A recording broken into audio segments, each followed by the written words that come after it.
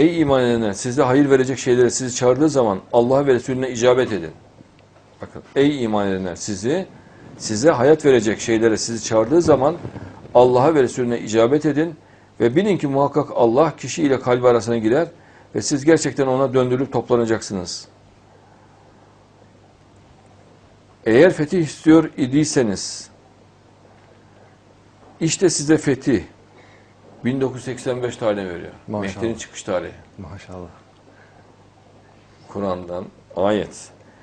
Ama eğer inkardan ve eski yaptıklarınızdan vazgeçerseniz bu sizin için daha hayırlıdır. Yok geri dönerseniz biz de döneriz diyor Allah. Yani eğer siz deccaliyet yaparsanız bize, biz de size mehdiyetle karşılık veririz diyor Allah. Topluluğunuz çok da olsa size bir şey sağlamaz diyor. Yani milyonlarca, milyarlarca olabilirsiniz diyor. Ama Allah ezerim diyor. Değil mi? İnşallah. Çünkü Allah müminlerle beraberdir. Yani Mehdi taraftarıdır Allah. Her devirde Mehdiyet taraftarı olmuştur. Evet. İnşallah. İnşallah.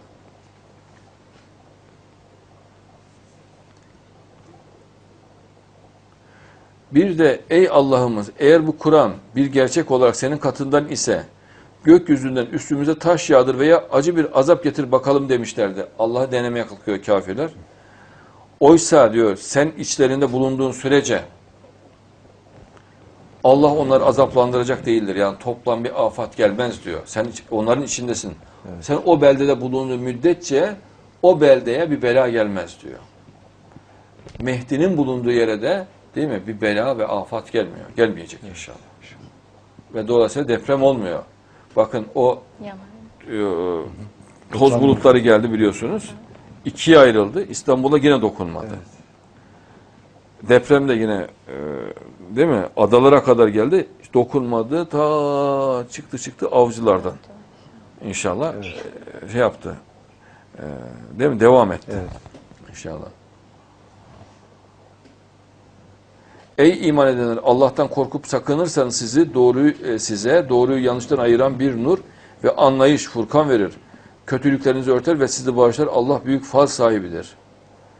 Hani o inkar edenler seni tutuklamak ya da öldürmek veya sürgün etmek amacıyla tuzak kuruyorlardı. Aynı şekilde Mehdi'ye de bu yapılacaktır. Onlar bu tuzağı hazırlıyorlarken Allah da bir düzen, bir karşılık kuruyordu diyor. Ben de bir tuzak kuruyordum o anda diyor Allah. Allah düzen kurucuların, tuzakla karşılık verenlerin en hayırlısıdır diyor Allah. Ben daha yaman tuzak kurarım diyor Allah. İnşallah.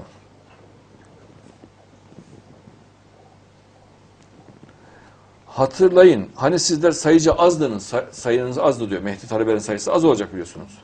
Ve yeryüzünde zayıf bırakılmıştınız. Herkes hakaret edecek, iftira edecek Mehdi'ye değil mi? Tutuklamaya kalkacaklar. İnsanların sizi kapıp yakalamasından korkuyordunuz. Mesela polisin alıp götürmesinden yahut bir başkasının mesela çetelerin alıp götürmesinden çekiniyordunuz. İşte o sizi yerleşik kılıp barındırdı. Sizi yardımıyla destekledi ve sizi temiz şeylerden rızıklar verdi ki şükredersiniz. Mesela iftira atılır değil mi? Gelir seni alır. Bir oyun olur. Ben polisi tenzih ederim de ama e, onun kanalıyla e, bir oyuna insanı sürükleyebilirler. E, polis masumdur ama orada insanlar onu kullanmaya kalkabilirler. Veyahut örgüt yapabilir. Bir şey yapabilir. İnşallah. İnşallah. Onları siz öldürmediniz ama onları Allah öldürdü. Attığın zaman sen atmadın ama Allah attı. Müminleri kendine güzel bir imtihanla imtihan etmek için diyor. Şüphesiz Allah işitendir, bilendir. Yani her şeyi ben yaratırım diyor Cenab-ı Allah. Bir şeyi attığınızda da ben atarım. Siz atıyormuşsunuz gibi görünür. Ama doğrusu ben atarım diyor Allah. Evet. Şeytanın Allah'a sığınırım. Şüphesiz senin Rabbin insanlara karşı büyük lütuf faz sahibidir. Ancak insanların çoğu şükretmiyorlar diyor Allah. Yani elhamdülillah demiyorlar diyor. Allah hamdolsun demiyorlar diyor. Halbuki Allah'a şükretmeleri lazım diyor. Ee, 79. surede sen artık şeytan Allah'a sığınırım. Sen artık Allah'a tevekkül et. Çünkü sen apaçık hak üzeresin. 79 senin aklına ne getiriyor Beril hocam? 1979. Hatırlayamadım. Mehdi'nin çıkış tarihine işaret ediyor olabilir mi? Evet, ediyor. Ee, E, çünkü gerçekten sen ölülere söz dinletemezsin.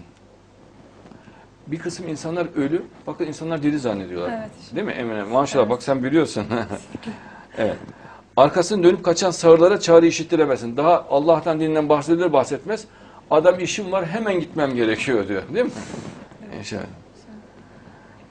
Ve sen körleri düştükleri sapıklıktan çekip hidayete erdirici değilsin. Sen ancak ayetlerimize iman edenlere söz dinletebilirsin. İşte Müslüman olanlar bunlardır. O söz başlarına geldiği zaman Mehdi zuhur ettiğinde, Hz. İsa zuhur ettiğinde Allah'ın o sözü, Allah'ın o vaadi, ahir zamanda Hz. İsa nasıl zuhur edeceğini vaat etti değil mi? Evet. Hz. Mehdi'nin çıkacağını nasıl vaat etti? O söz başlarına geldiği zaman, Allah'ın o vaadi oluştuğu zaman onlara yerden bir dabbetül arz çıkarırız. O da insanların bizim ayetlerimize kesin bir bilgiyle inanmadıkları onlara söyler. Tükellimuhum diyor Cenab-ı Allah. Ee, açıklar, beyan eder. E, biz bunu açıkladık, izah ettik. Fakat gerekirse yine ayeti açıklayabiliriz. Bakın sen körler düştükleri sapıklıktan çekip hidayete erdirici değilsin diyor 81. ayette Cenab-ı Allah. Yani öyle bir dönemde bahsediyor ki ölüler kaplamış. İnsana anlatıyorsun anlamıyorlar. Anlatmak istediklerin kaçıyor. Ee, kör insanlar mesela Allah'ın verdiği e, delilleri, Allah'ın gösterdiği delilleri anlamazdan geliyorlar. Fosil koyuyorsun ortaya, onu anlamazdan geliyor. Proteinlerin yapısını ortaya koyuyorsun, anlamazdan geliyor. Ee, bu kişiler diyor Cenab-ı Allah hidayete, er, hidayete erdirici değilsin diyor. Yani sen mehdilik görevini yaparken hadisin ama hidayete vesile olursun ama bunları hidayete erdiremezsin diyor. Allah bak hidayete erdiremezsin. Sen ancak ayetlerimize iman edenlere söz dinletebilirsin. Yani onlara ancak bu konuları anlatabilirsin. Ayete inanıyorsa. İşte Müslüman olanlar bunlardır diyor. İşte bakın böyle bir ortamda Allah ne diyor? O söz başlarına geldiği zaman Mehdi zuhur ettiğinde, Hz. İsa nüzul ettiğinde onlara yerden mamul, topraktan, bakır, çinko, silisyum, manezyum, her türlü e, kobalt yerdeki maddelerden oluşmuş bir dabbe, debip, hareketli bir hareketlenen bir cisim, bir varlık çıkartırız. Bu da e, hayvan gibi özellikler göstertir. Nedir hadislerde baktığımızda? Bir kere duyma özelliği var. Bilgisayara konuştuğumuzda değil mi başka yere nakledebiliyoruz. Duyma özelliği var. Gözü domuz gözü gibidir diyor. Bakıyoruz görme özelliği var.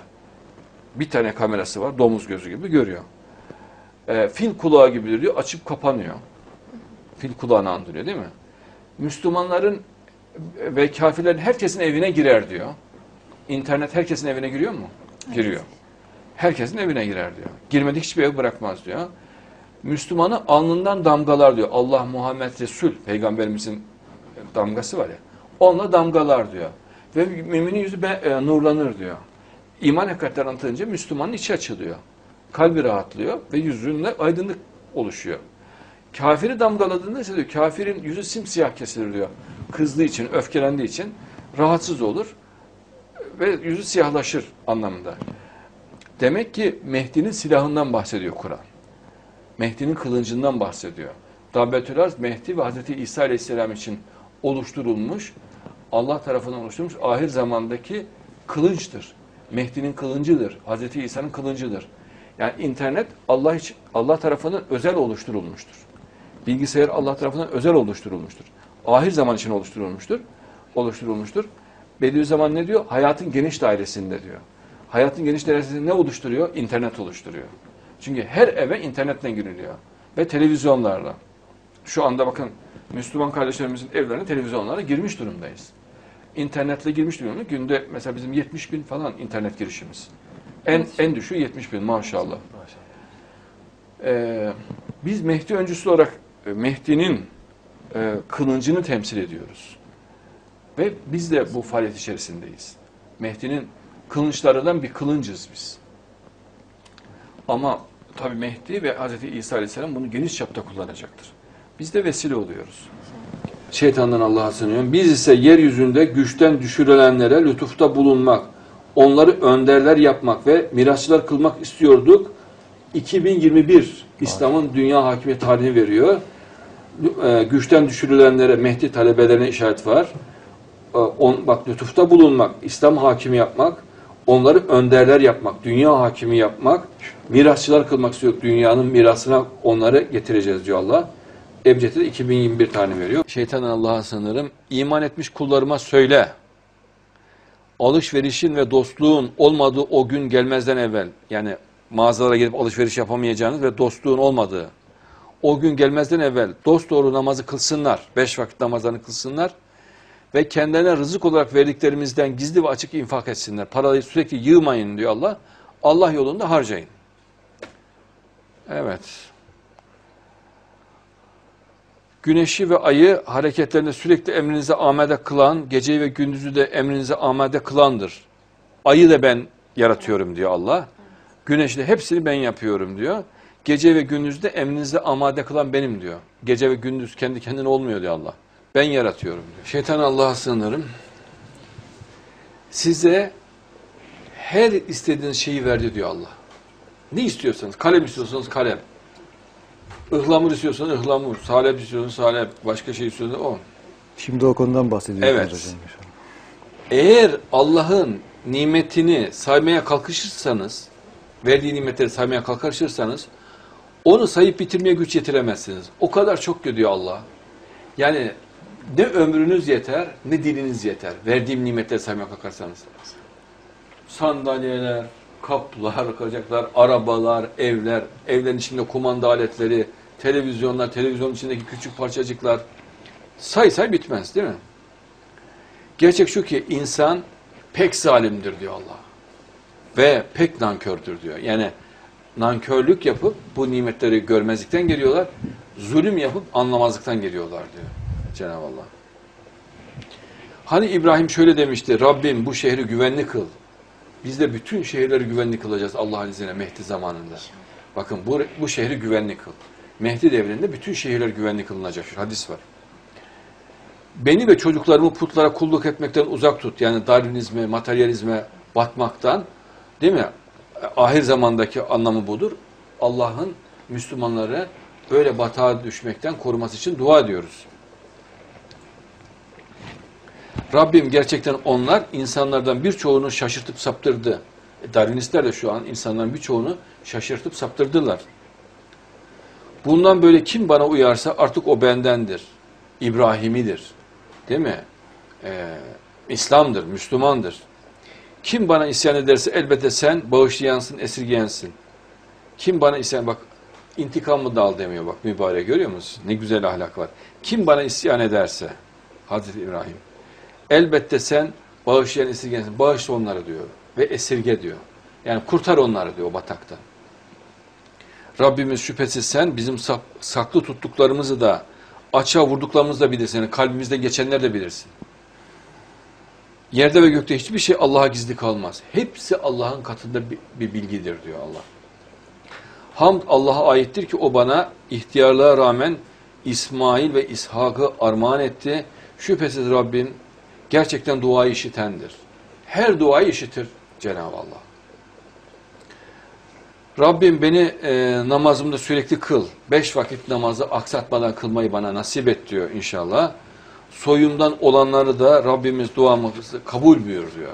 Bakın ibadet için Allah'a yalvarıyor. Ya Rabbi muntazam ibadetlerimizi yapayım, yapalım. Muntazam namazlarımızı kılalım diye dua ediyor. Rabbimiz hesabın yapılacağı gün beni ve anne babamı ve müminleri bağışla. Bütün herkese dua ediyor. Annesine, babasına. Biz de müminle dua ederken herkes içine dahil ederek dua edeceğiz. Ama mesela Allah bazı anneler vardır. Mesela Hazreti Nuh'un hanımı vardır. Kafirdi. Hazreti Lut'un hanımı vardı. Kafirdi. Hazreti İbrahim babası vardı. Azer kafirdi.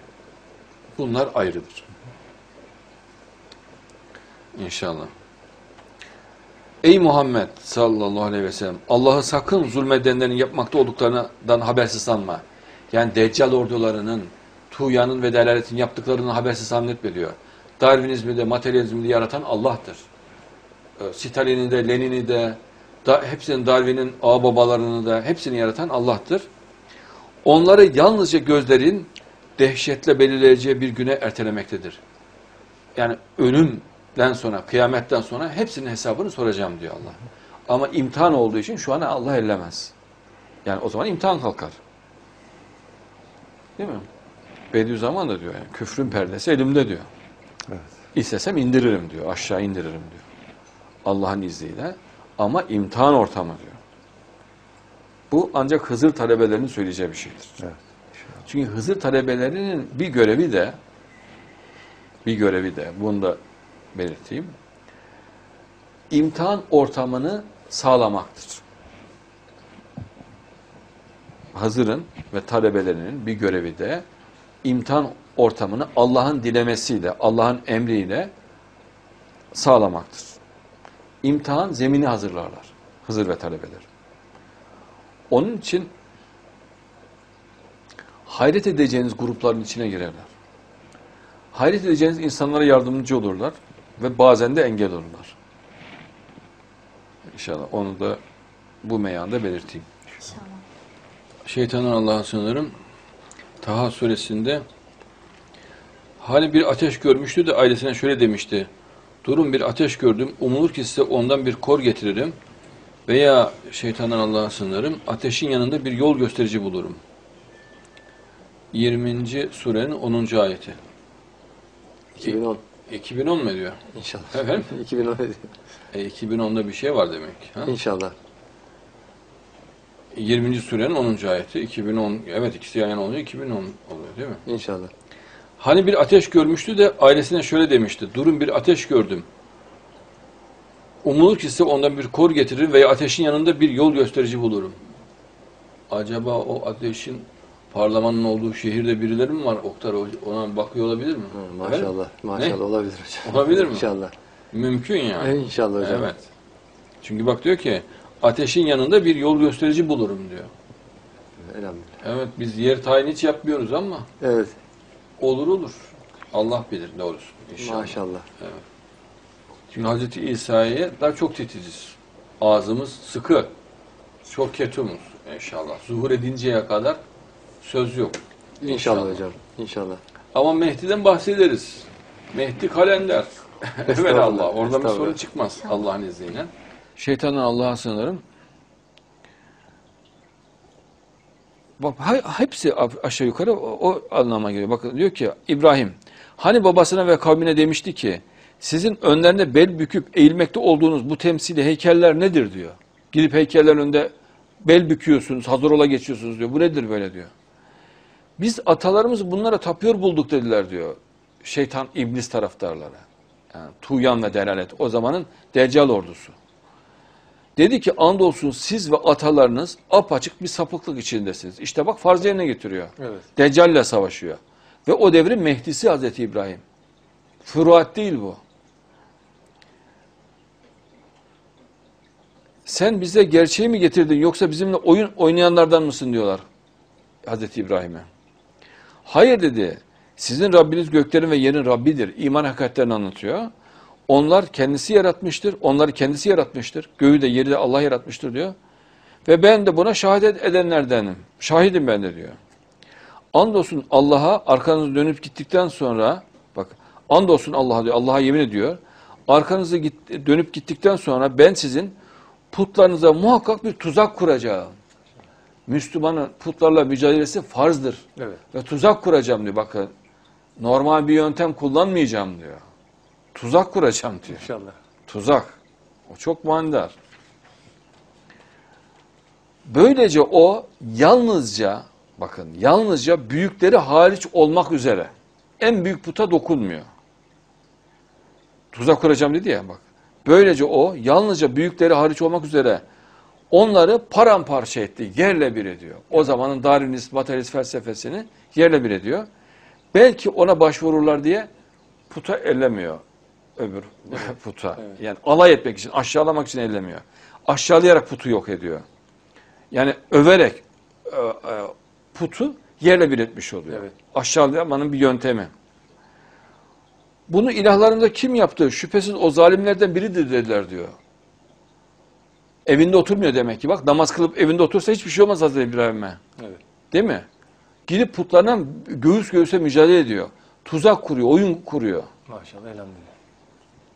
Kendisine İbrahim denilen bir gencin Bunları dilediğine doladığını işittiler diyor. Niye başkasına demiyorlar? Niye Necmi Efendi'ye, niye Hasip Efendi'ye demiyorlar Hazreti İbrahim'e diyorlar? Demek ki mücahit farz furuat değil. Farz olan görev yapıyor. Deccaliyetle mücadele yapıyor. Devrin Mehdisi. İnşallah. Demek ki önemliymiş. Evet. Değil mi? Dediler ki öyleyse onu insanların göz önüne getirin. Ona nasıl bir ceza vereceğimize şahit olsunlar. Evinde oturan adama hiçbir şey olmaz. Namaz kılıp oruç tutan, zekatını veren, hacca giden dedelere, amcalara kimseye bir şey olmaz. Başı kapalı evinde oturan hanım hanımcık hanımlara da bir şey olmaz. İnşallah. Kocasının dizinin dibinde oturan, cihata giren, küfre tuzak kuran, göğüs göğüse mücadele edenlerin başı belaya girer. İnşallah hocam. Hazreti İbrahim de bak başı belaya giriyor. Elhamdülillah. O zamanın yiğidi, aslanı. Maşallah. Derler ki ey İbrahim bunu ilahlarımıza sen mi yaptın? Mahkemede sorguluyorlar. Sen mi yaptın? Biliyorlar zaten de sorgulama. Hayır dedi diyor. bu yapmıştır diyor. Putu gösteriyor. İnşallah maşallah. Var bu gücü diyor yani yapar diyor. Büyük bir şey diyor. Dehşet bir şey diyor. Bu onların büyükleridir diyor. Eğer konuşabiliyorsa onlara sorun diyor. Öbür putlara sorun diyor. Bu yaptı diyor. Değil mi? İnşallah. O yüce bir güç olduğuna göre yapar diyor. Niye yapmasın diyor. Yani siz öyle inanmıyor musunuz diyor. İnanıyorsanız diyor yapar diyor işte. Darwinistler de demiyor mu?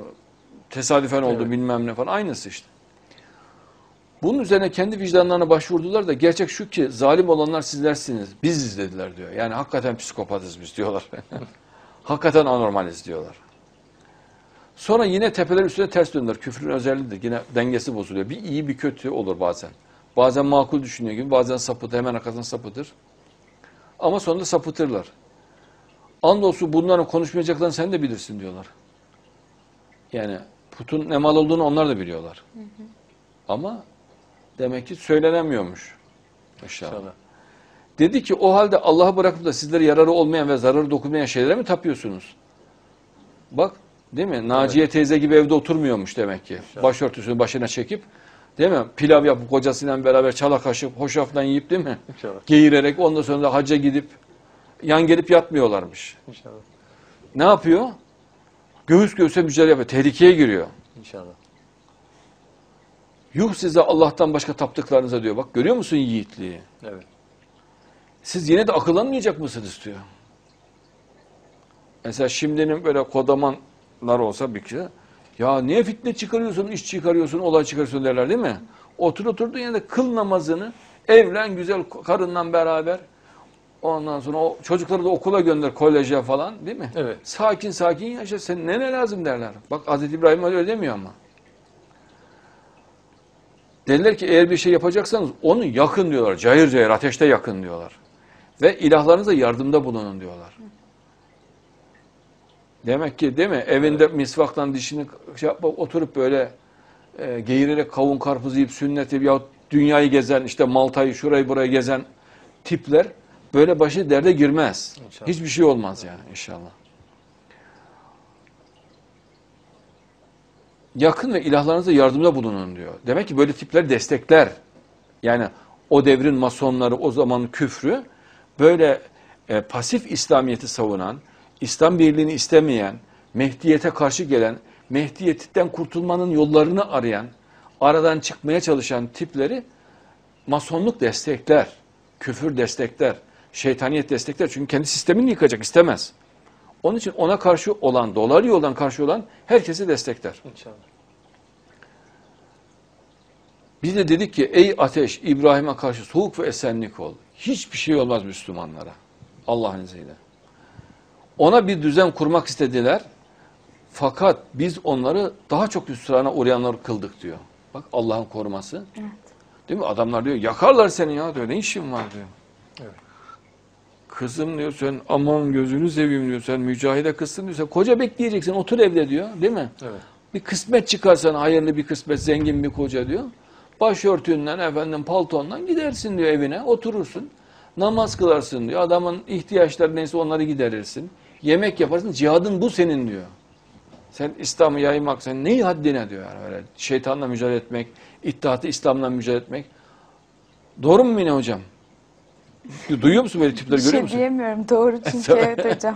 E tabii. Yani Ee, bunu da o kadar değil diyemiyorum. Hakikaten aynen o kadar hocam. Tabii maşallah.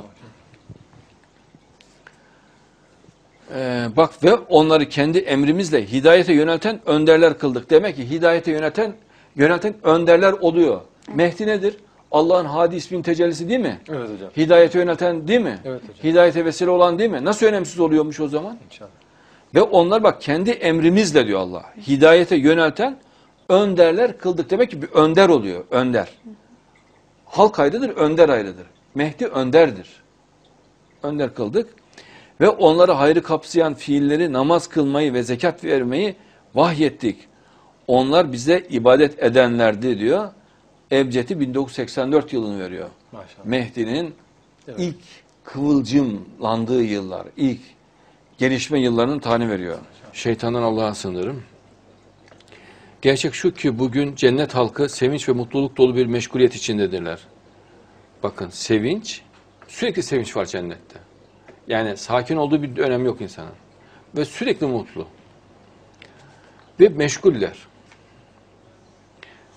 Kendileri ve eşleri gölgeliklerde tahtlar üzerine yaslanmışlardır.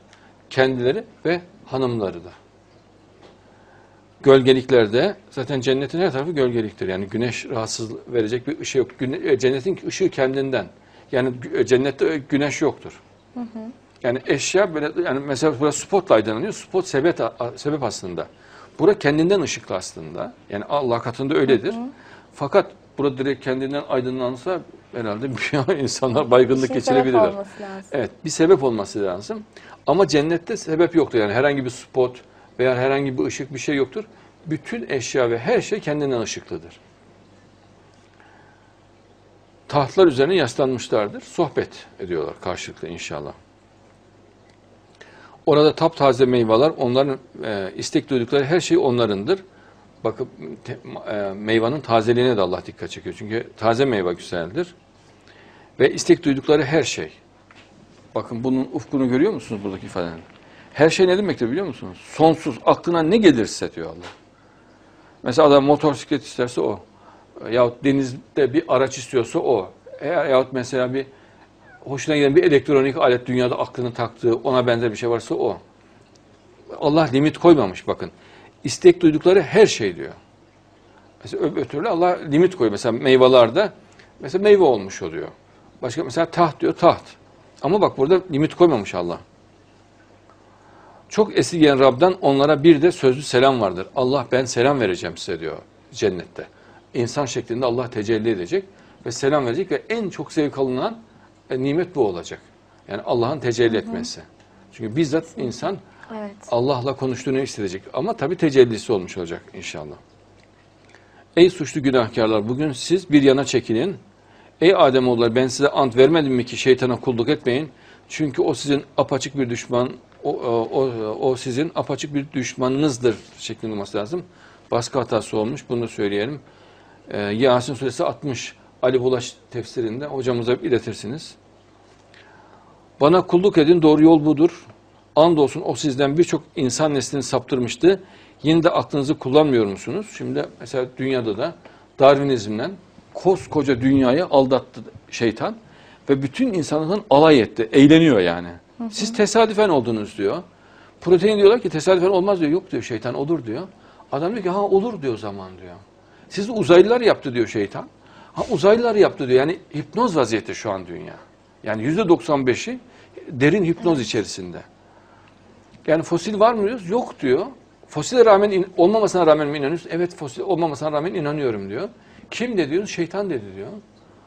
Niye böyle düşünüyorsun? Bilmiyorum diyor. Yani e, rüya gibi. Hani var ya böyle rüyada kalkan gezinir adam. Yani Her bir şey türlü mantıklı tesadüf. bağlantı kuramazsın. E, Bir kısmına diyorsun mesela bak Bediüzzaman açık açık Mehdi gelecek diyor diyorsun. Yok öyle bir şey ben görmedim diyor. Bak yazıyor diyorsun açıklıyor burada. Yok o anlamda değil o diyor. Bir insanın bedenine girmesi onu kastediyor diyor. Yahut işte şahsı manevidir diyor.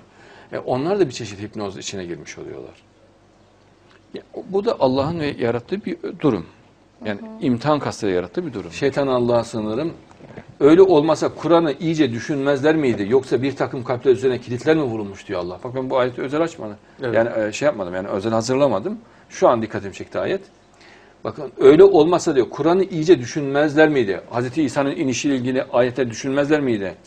Yoksa bir takım kalpler üzerine kilitler mi vurulmuş? Yani kalbiniz mi karardı diyor Allah. Kalbiniz mi kapandı diyor.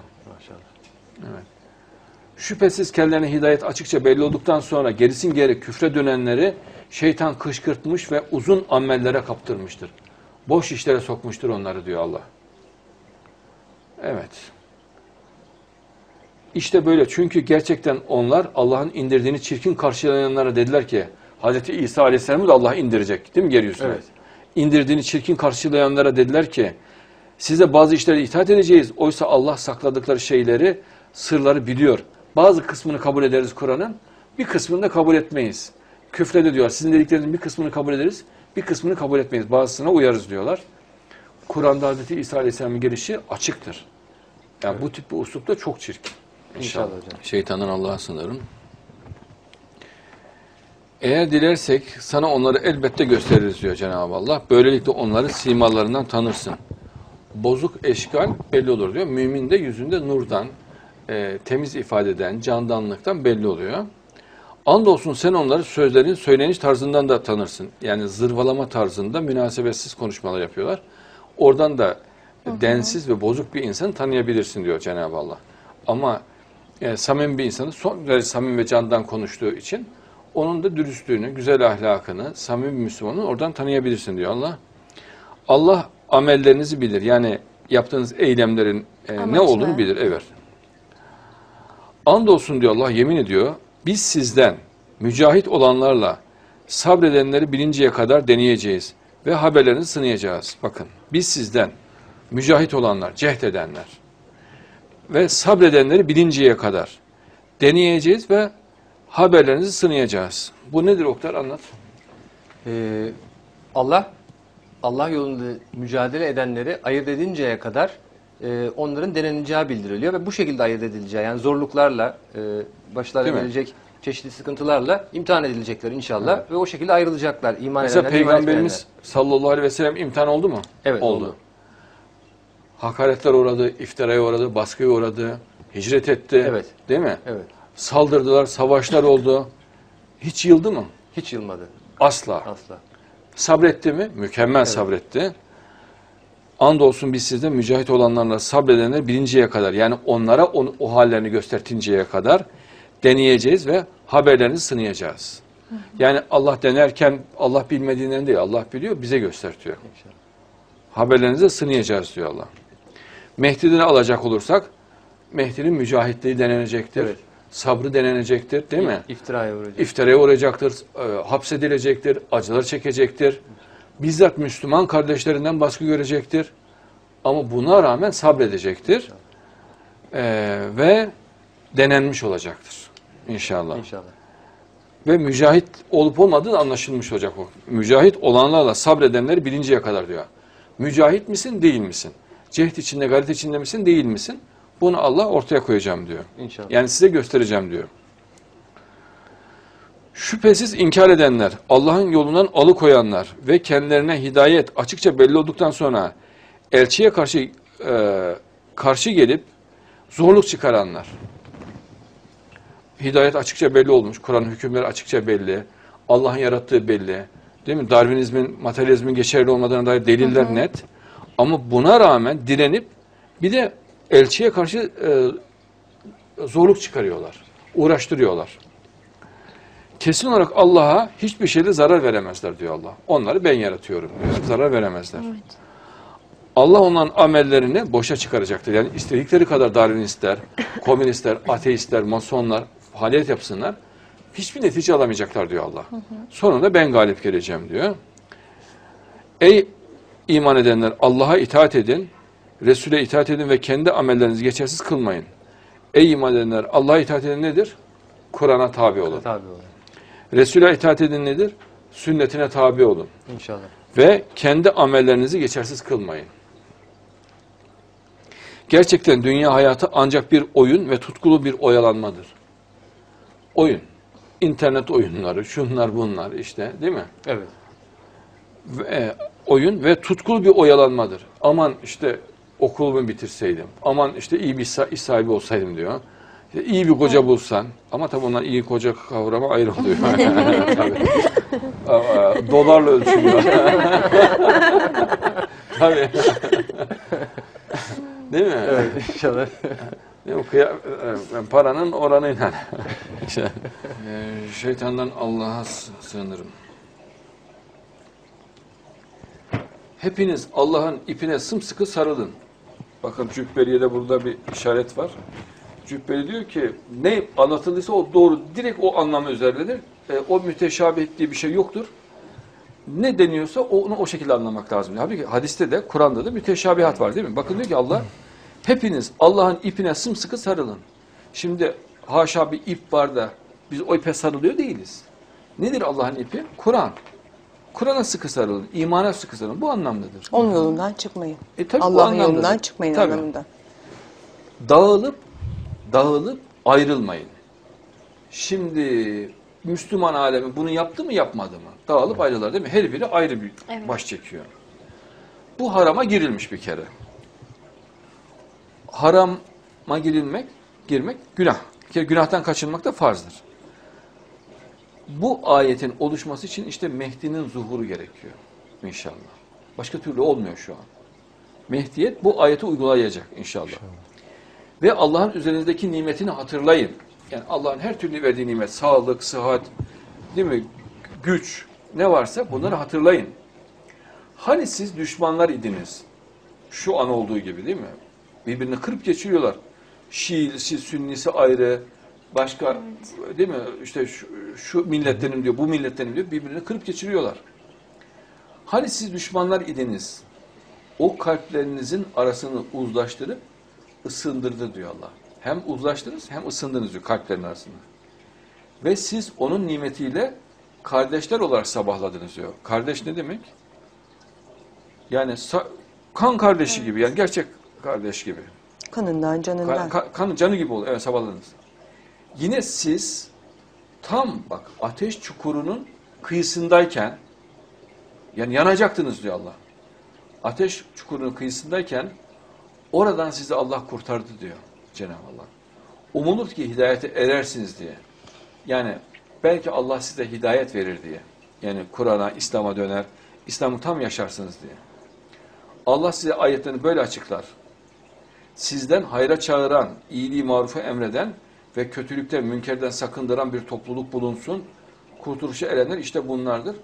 Hadiste de bu topluluğun Mehdi ve cemaati olduğunu, yani Mehdi'ye baktığına dair e, hadis var. İnşallah. Ali İmran suresi 104. Yani zaten hadis olmasa dahi Mehdi'ye baktığı açık görülüyor yani. Eğer yerindeki insanların çoğuna uyarsan seni Allah'ın yolundan saptırırlar. E, hakikaten şu an dünyada Darwinistler hakim. Yani çoğunlukla öyleydi. Ve saptırıyorlardı insanları.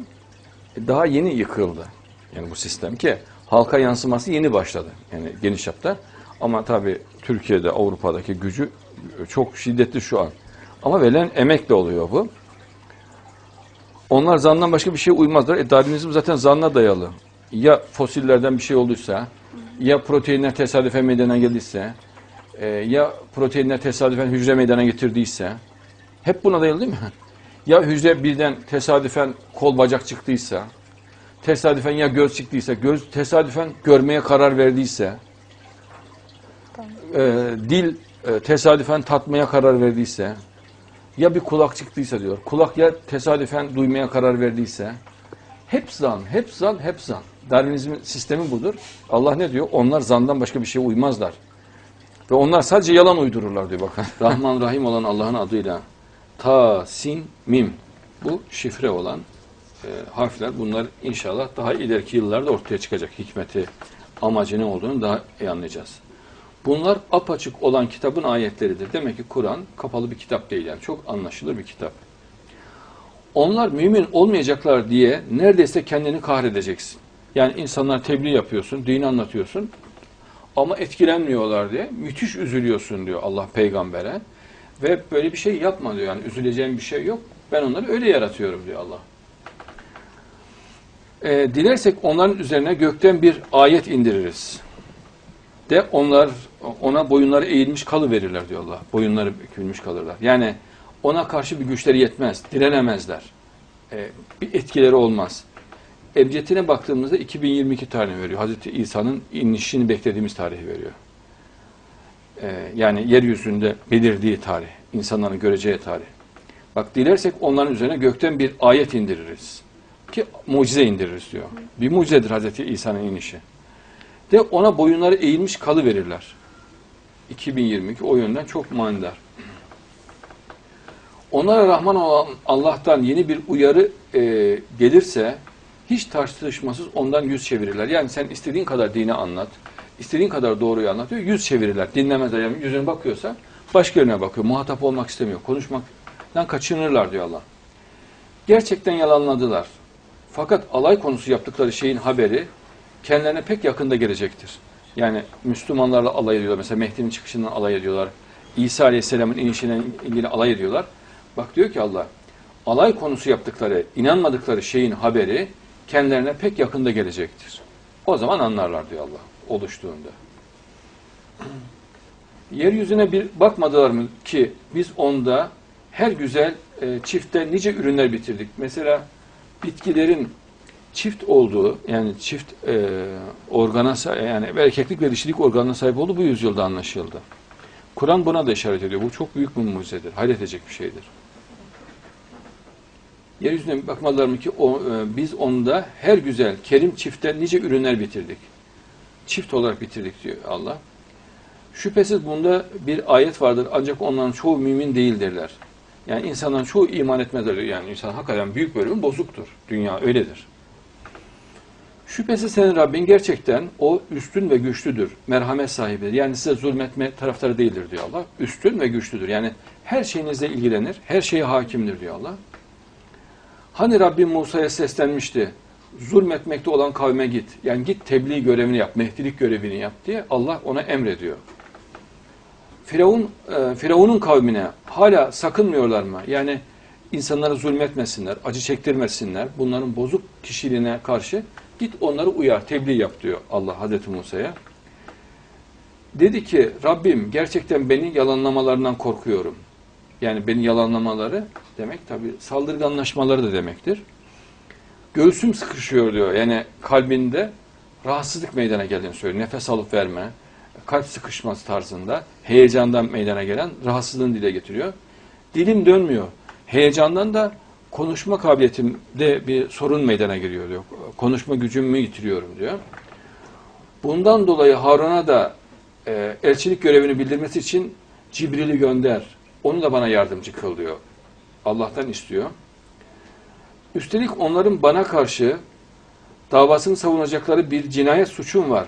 Bundan dolayı beni öldürmelerinden korkuyorum. Yani en şiddetli şekilde şeylerden birisi de bu zaten. Ee, Hazreti Musa şiddetli, kuvvetli bir insan. Yani bayağı uzun boylu ve çok yapılı, atletik ve yani kahredici bir gücü sahip yani. Çok böyle tuttu mu söken bir insan. İki kişi kavga ederken ayırmak için e, aralarına girdiğinde adam buna saldırınca Hazreti Musa da kendini korumak için adama vuruyor. Vurmasıyla adam ölüyor. Yani beyin kanamasından muhtemelen ölmüştür. Vurunca kafasına. Tabii hiç istemediği bir şey. Ee, ondan dolayı da aranıyor zaten. Cinayet suçuyla aranıyor. Allah hayır dedi. İkiniz de ayetlerime gidin. Şüphesiz sizinle birlikteyiz ve işitmekteyiz. Ben sizi görüyorum diyor Allah. Konuşmanızı da biliyorum diyor. Siz gidin diyor. Öyle bir şey olmaz diyor Allah. Ben sizi takip edeceğim diyor. Gecikme, bak gecikmek sizin Firavun'a giderek deyin ki hemen gidin diyor. Vakit kaybetmeyin diyor. Gecikmeyin diyor. Gerçekten biz alemlerin Rabbinin elçisiyiz. Biz Allah'tan tebliğ için geldik. Dini anlatmak için geldik deyin diyor. İsrailoğullarını bizimle birlikte göndermek için sana geldik. Yani o zamanki Müslümanları bizimle gönder. Bırak Müslümanları diyor. Eziyet etme.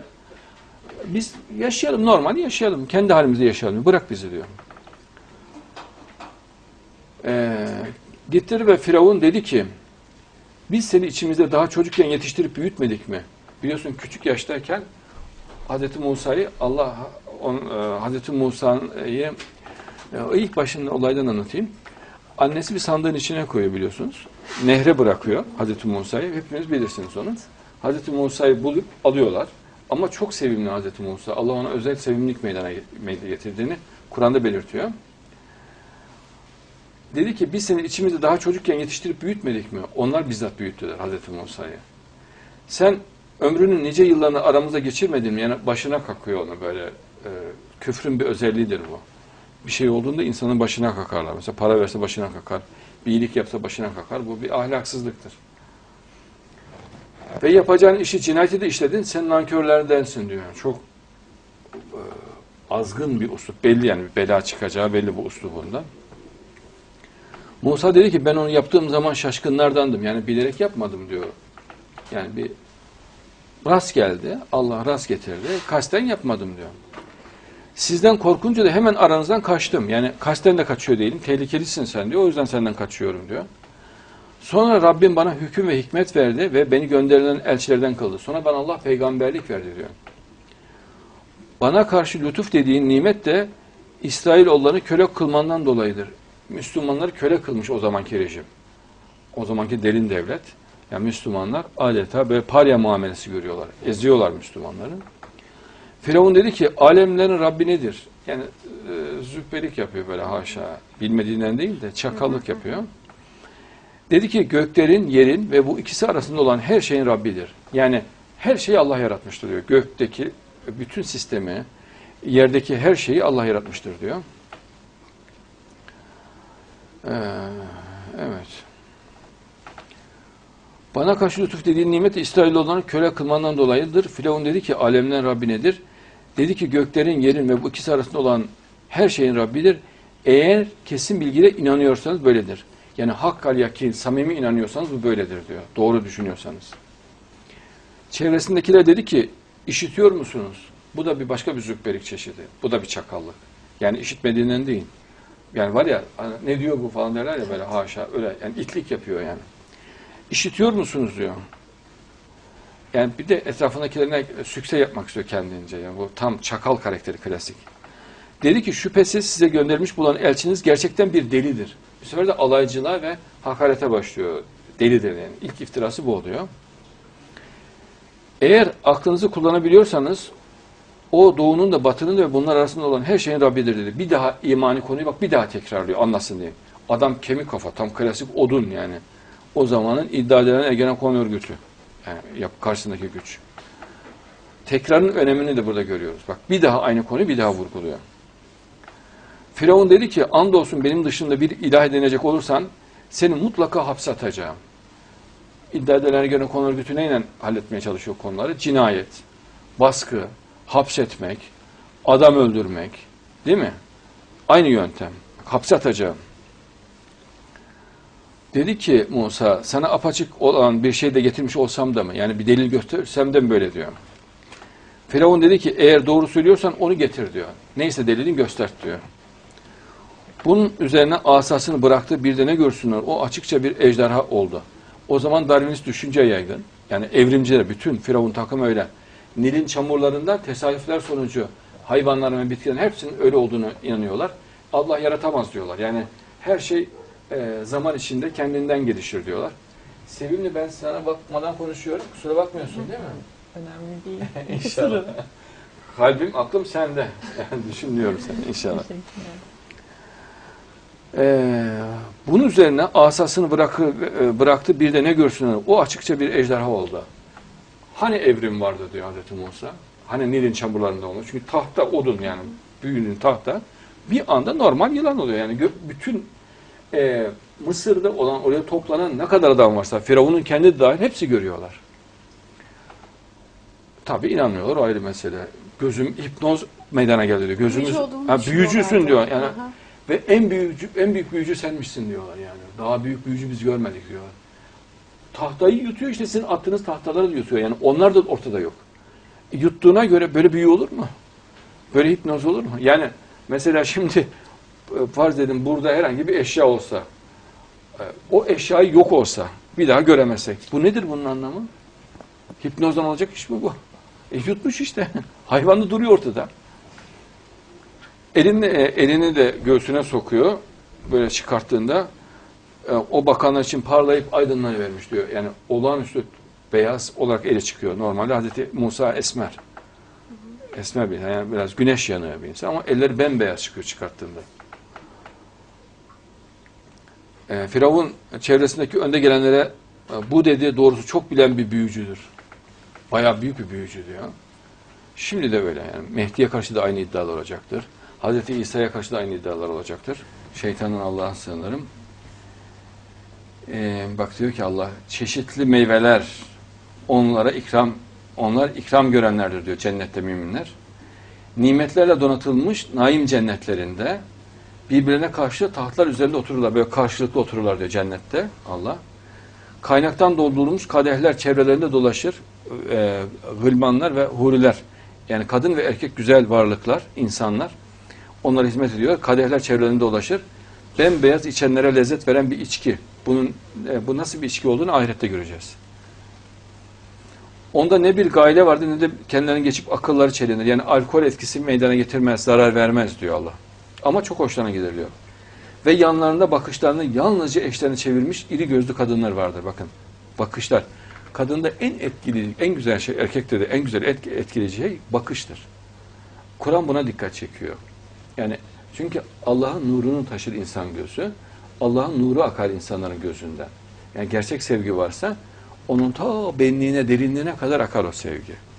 O çok önemli, büyük nimet olduğu için bak Allah öncelikle bunu şey, yalnızca eşlerine çevirmiş. Ve iffet.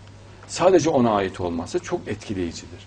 Mesela herkese ait olan bir kadın insanı etkilemez. Yani çok ağır ama kendine helali ise ve ona aitse çok derin etkilenir. İri gözlü diyor. Hurul in yani güzel gözlü, etkileyici gözlü kadınlar vardır. Sanki onlar saklı bir yumurta gibi çarpıcı ve pürüzsüz cilt düzgünlüğüne Kur'an dikkat çekiyor. Ciltleri son derece pürüzsüz ve güzel olacak diyor Allah. Bu dünyada biliyorsunuz nasıl uğraşıyor insanlar cilde düzgün olsun diye. Değil mi? ne çekiyorlar. ah severim ben senin o güzel canını. Böyleyken e, kimi kimine yönelmiş olarak birbirine soruyorlar.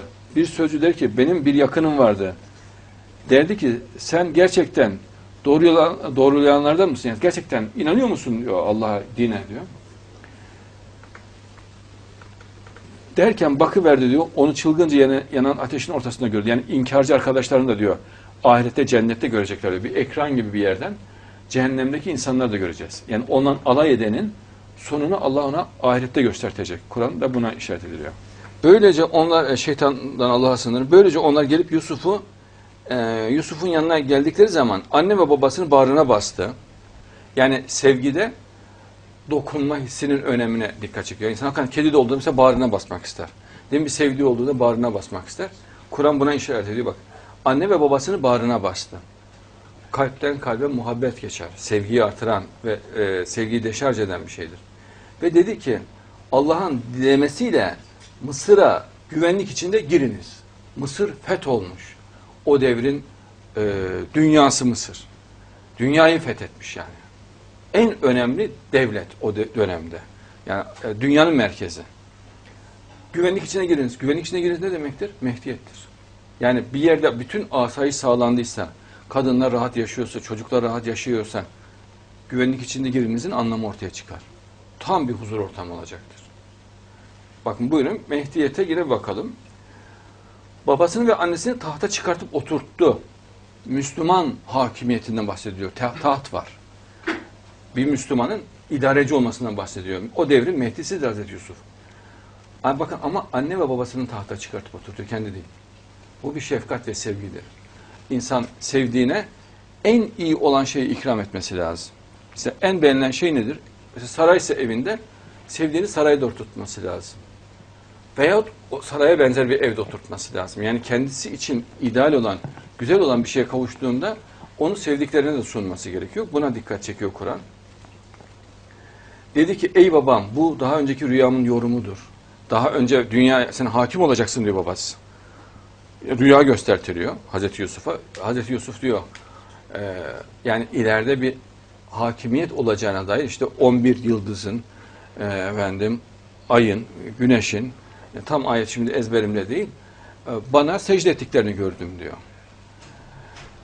Bunun tahakkuku diyor. Yani e, orada sana dünya hakimiyetinin ilgili bir rüya göstertildi diyor Allah. Rüyasında dünya hakimiyeti belirtiliyor ve o dünya hakimiyeti tahakkuk etmiş oluyor. Bu Mehdiyet'in tam uygulaması değil mi? Daha önceki rüyanın yorumudur. Doğrusu Rabbim onu gerçek kıldı. Mesela biz de diyoruz şimdi Mehdi'nin ilgili hadisler var. Bunlar oluşacak diyoruz. Bu rüya gibi geliyor değil mi insanlara? Tahakkuk ettiğinde bu rüya gibi gördükleri şeyin tahakkuk olmuş oluyor. İşte bu yorumu bu olmuş oluyor.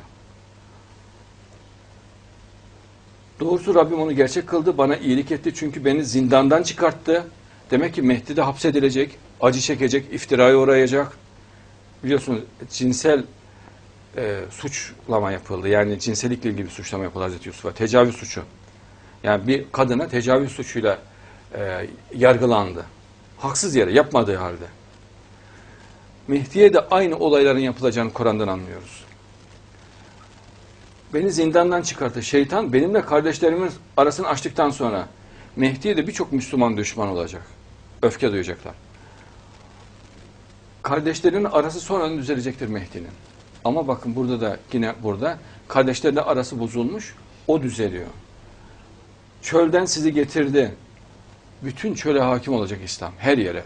Suudi Arabistan'a da, Mekke'ye, Medine'ye. Buna da özellikle dikkat çekilmiş. Şüphesiz benim Rabbim dilediğini pek ince düzenleyip tedbir edendi. Yani Allah'ın öyle ince bir düzeni vardır ki diyor, o kader yavaş yavaş yavaş işler. Ve sonunda Allah'ın dediği olur. Gerçekten bilen, hüküm hikmet sahibi odur. Rabbim sen bana mülkten pay ve onu yönetme imkanı verdin. İşte Mehdiyet. Yani e, cezaevinden, kuyudan e, o oradaki bütün bölgeye hakim oluyor. Mehdiyet'in açıklaması. Sözlerin yorumundan öğrettin. Mehdi de sözleri çok güzel yorumlayacaktır. Kur'an'ı çok güzel yorumlayacaktır. Aynı şekilde Hazreti Yusuf'un da böyle bir özelliği var. Göklerin ve, yaratı ve yerin yaratıcısı, dünyada ve ahirette benim velim sensin. Her yerde sen beni koruyacaksın diyor. Müslüman olarak benim hayatıma son ver. Şimdi dünya hakimi olmuş. Bakın doğrudan ahiret istiyor, Allah istiyor. Yani burada bir dünya hırsı yok. Uslu uslu dünya mıymış? Maşallah. Ee, Müslüman olarak benim hayatıma son ver ve beni salihlerin arasına kat. Demek ki dünyadan bir alıp veremedi yok. Bak tahta babasının annesini çıkartıyor. Allah'tan istediği de ahirette güzel bir hayat istiyor. Allah'ın rızasını istiyor. O kadar. Başka bir şey yok. E, demek ki Mehdi de dünya hırsı içerisinde olmayacak. Peygamberler de dünya hırsı içerisinde olmamışlardır. Hiçbir peygamber dünya hırsı içinde olmamıştır. Hazreti İsa Aleyhisselam da dünya hırsı içinde olmayacak. Bakın açar açmaz Mehdiyetle ilgili ayetlerin Kur'an'da nasıl hakim olduğunu görüyoruz. Kadın onların düzenlerini işitince şeytandan Allah'a sınırım. Onlara bir davetçi yolladı. Oturup dayanacakları yerler hazırladı ve her birinin eline e, bıçak verdi. Yusuf'a çık onlara dedi. Böylece onu görünce büyüttüler ve ellerini kestiler. Allah'ı tenzih ederiz. Bu beşer değildir. Bu ancak üstün bir melektir dediler. Hani diyorlar ya işte kadınlar çok etkileyicidir. Kadın sesi olmaz işte yüzüne. E, erkek de etkileyici oluyor demek ki. Bak kadın olağanüstü etkilenmişler de Yusuf'tan. Evet. İnşallah. Al- Allah kuluna yetere değil mi diyor Allah. Seni ondan başkaları mı korkutuyorlar? Ben cezaevinde karşılaşmıştım bu ayetle. Ee, 86'da daha önce Evet. söylemiştim ya. Maşallah. ya Kur'an'dan herhangi bir ayet açayım dedim. Açtım. Çok üstümde baskı vardı böyle bayağı kardeşlerden de bağlantı kuramıyorum diye. Kur'an'dan bir işaret olsun dedim. Yani bu ayet çıkmıştı. Çok hoşuma gitmişti. Elhamdülillah. Allah kuluna kafi değil mi? Maşallah. Maşallah. Allah kimi hidayete erdirirse ki Mehdiyete bakan bir ayet. Onun için saptırıcı yoktur. Yani deccaliyet onu etkilemez. Darwinistler onu etkilemez. Allah intikam sahibi, güçlü ve üstün olan değil midir? Allah küfürden, dinsizlerden intikam alacak diyor Allah. Yani onları etkisiz hale getirecek. Onların gücünü kıracak inşallah. Şeytandan Allah'a sınırım. Allah'a karşı yalan söyleyenden ve kendisine geldiğinde doğruya, Kur'an'ı yalanlayandan daha zalim kimdir? Allah'ın hükmüne göre hareket edin diyor Cenab-ı Allah. Kur'an'a karşı yeni yeni fikirler geliştirmek, Kur'an'a karşı yeni anlatımlar geliştirmenin haramlığını Allah vurguluyor. Tam Kur'an'a göre hareket edeceğiz. Yapmacık, suni izahlar, yeni yeni helaller, haramlar çıkartmayın diyor Cenab-ı Allah. Doğruyu getiremeyen doğrulayanlara gelince doğru zaten Kur'an'dır. Doğrulayan da Müslümanlardır inşallah. Eğer seninle çekişip tartış- tartışırlarsa de ki ben bana uyunanla birlikte kendimi Allah'a teslim ettim. Çekişip tartışmaya çok meraklıdır münafıklar. Hep böyle dinde bir açık aramaya çalışırlar. Mesela Kur'an'ı savunuyorsa başka bir yerden çalışmaya. Yani onu illaki çürütmeye, onun anlattıklarını bozmaya çalışırlar. Münafığın özelliğidir. Evet. Yani kendisinin daha doğru olduğunu olduğunu vurgulamaya çalışır ve Müslümanın da hatalı olduğunu vurgulamaya çalışır. De ki diyor Cenab-ı Allah ben bana uyanlarla birlikte yani kendi cemaatimle, kardeşlerimle, Müslümanlarla birlikte kendimi Allah'a teslim ettim. Tam bir Müslüman oldum. Ve kitap verilenlerle ümmilere de ki yani cahil olup okumayanlara ve ehli kitaba de ki siz de teslim oldunuz mu? Eğer teslim oldularsa gerçekten hidayete ermişlerdir. Yani Kur'an'a tabi olursa, peygambere tabi olurlarsa e, tamam inşallah. Ey iman edenler! Sizden olmayanlar sırdaş edinmeyin. Yani e, kafir olanları, Allah'a düşman olanları e, sırdaş edinmeyin. Onlar size kötülük ve zarar vermeye çalışıyor. Yani çok kahpedir münafıkları. Her an bir ahlaksızlık yapmak için bir fırsat kollarlar. Bir açığı var mı, bir yediği var mı, bir yerden bir zarar verebilir miyiz? Bak size kötülük ve zarar vermeye çalışıyor. Size zorlu bir sıkıntı verecek şeyden hoşlanırlar. Mesela tutuklansanız, yaralansanız, mesela şehit edilseniz, evlerinize zarar gelse yahut ekonomik yönden çökseniz, size zorlu bir sıkıntı verecek şeyden hoşlanırlar. Yani böyle bir kahpe tinetedir münafıklar. Buz ve düşmanlıkları ağızlarının dışa vurmuştur. Yani müthiş bir nefret ve kin içinde ama sezdirmemeye çalışıyor ama ağzından taşar. Dışa vurmuştur. Sinelerinin gizli tuttukları ise daha büyüktür. Yani akıl almaz bir nefret. Yani öldüresiye bir kin duyarlar diyor. Size ayetlerimizi açıkladık. Belki akıl erdirirsiniz diye diyor Allah. Ve belki akıl erdirirsiniz. Yani düşünürseniz kavrarsınız diyor Allah. Allah ey Meryem oğlu İsa şeytandan Allah'ın sınırlarım insanlara beni ve anneni Allah'ı bırakarak iki ilah edinin diye sen mi söyledin?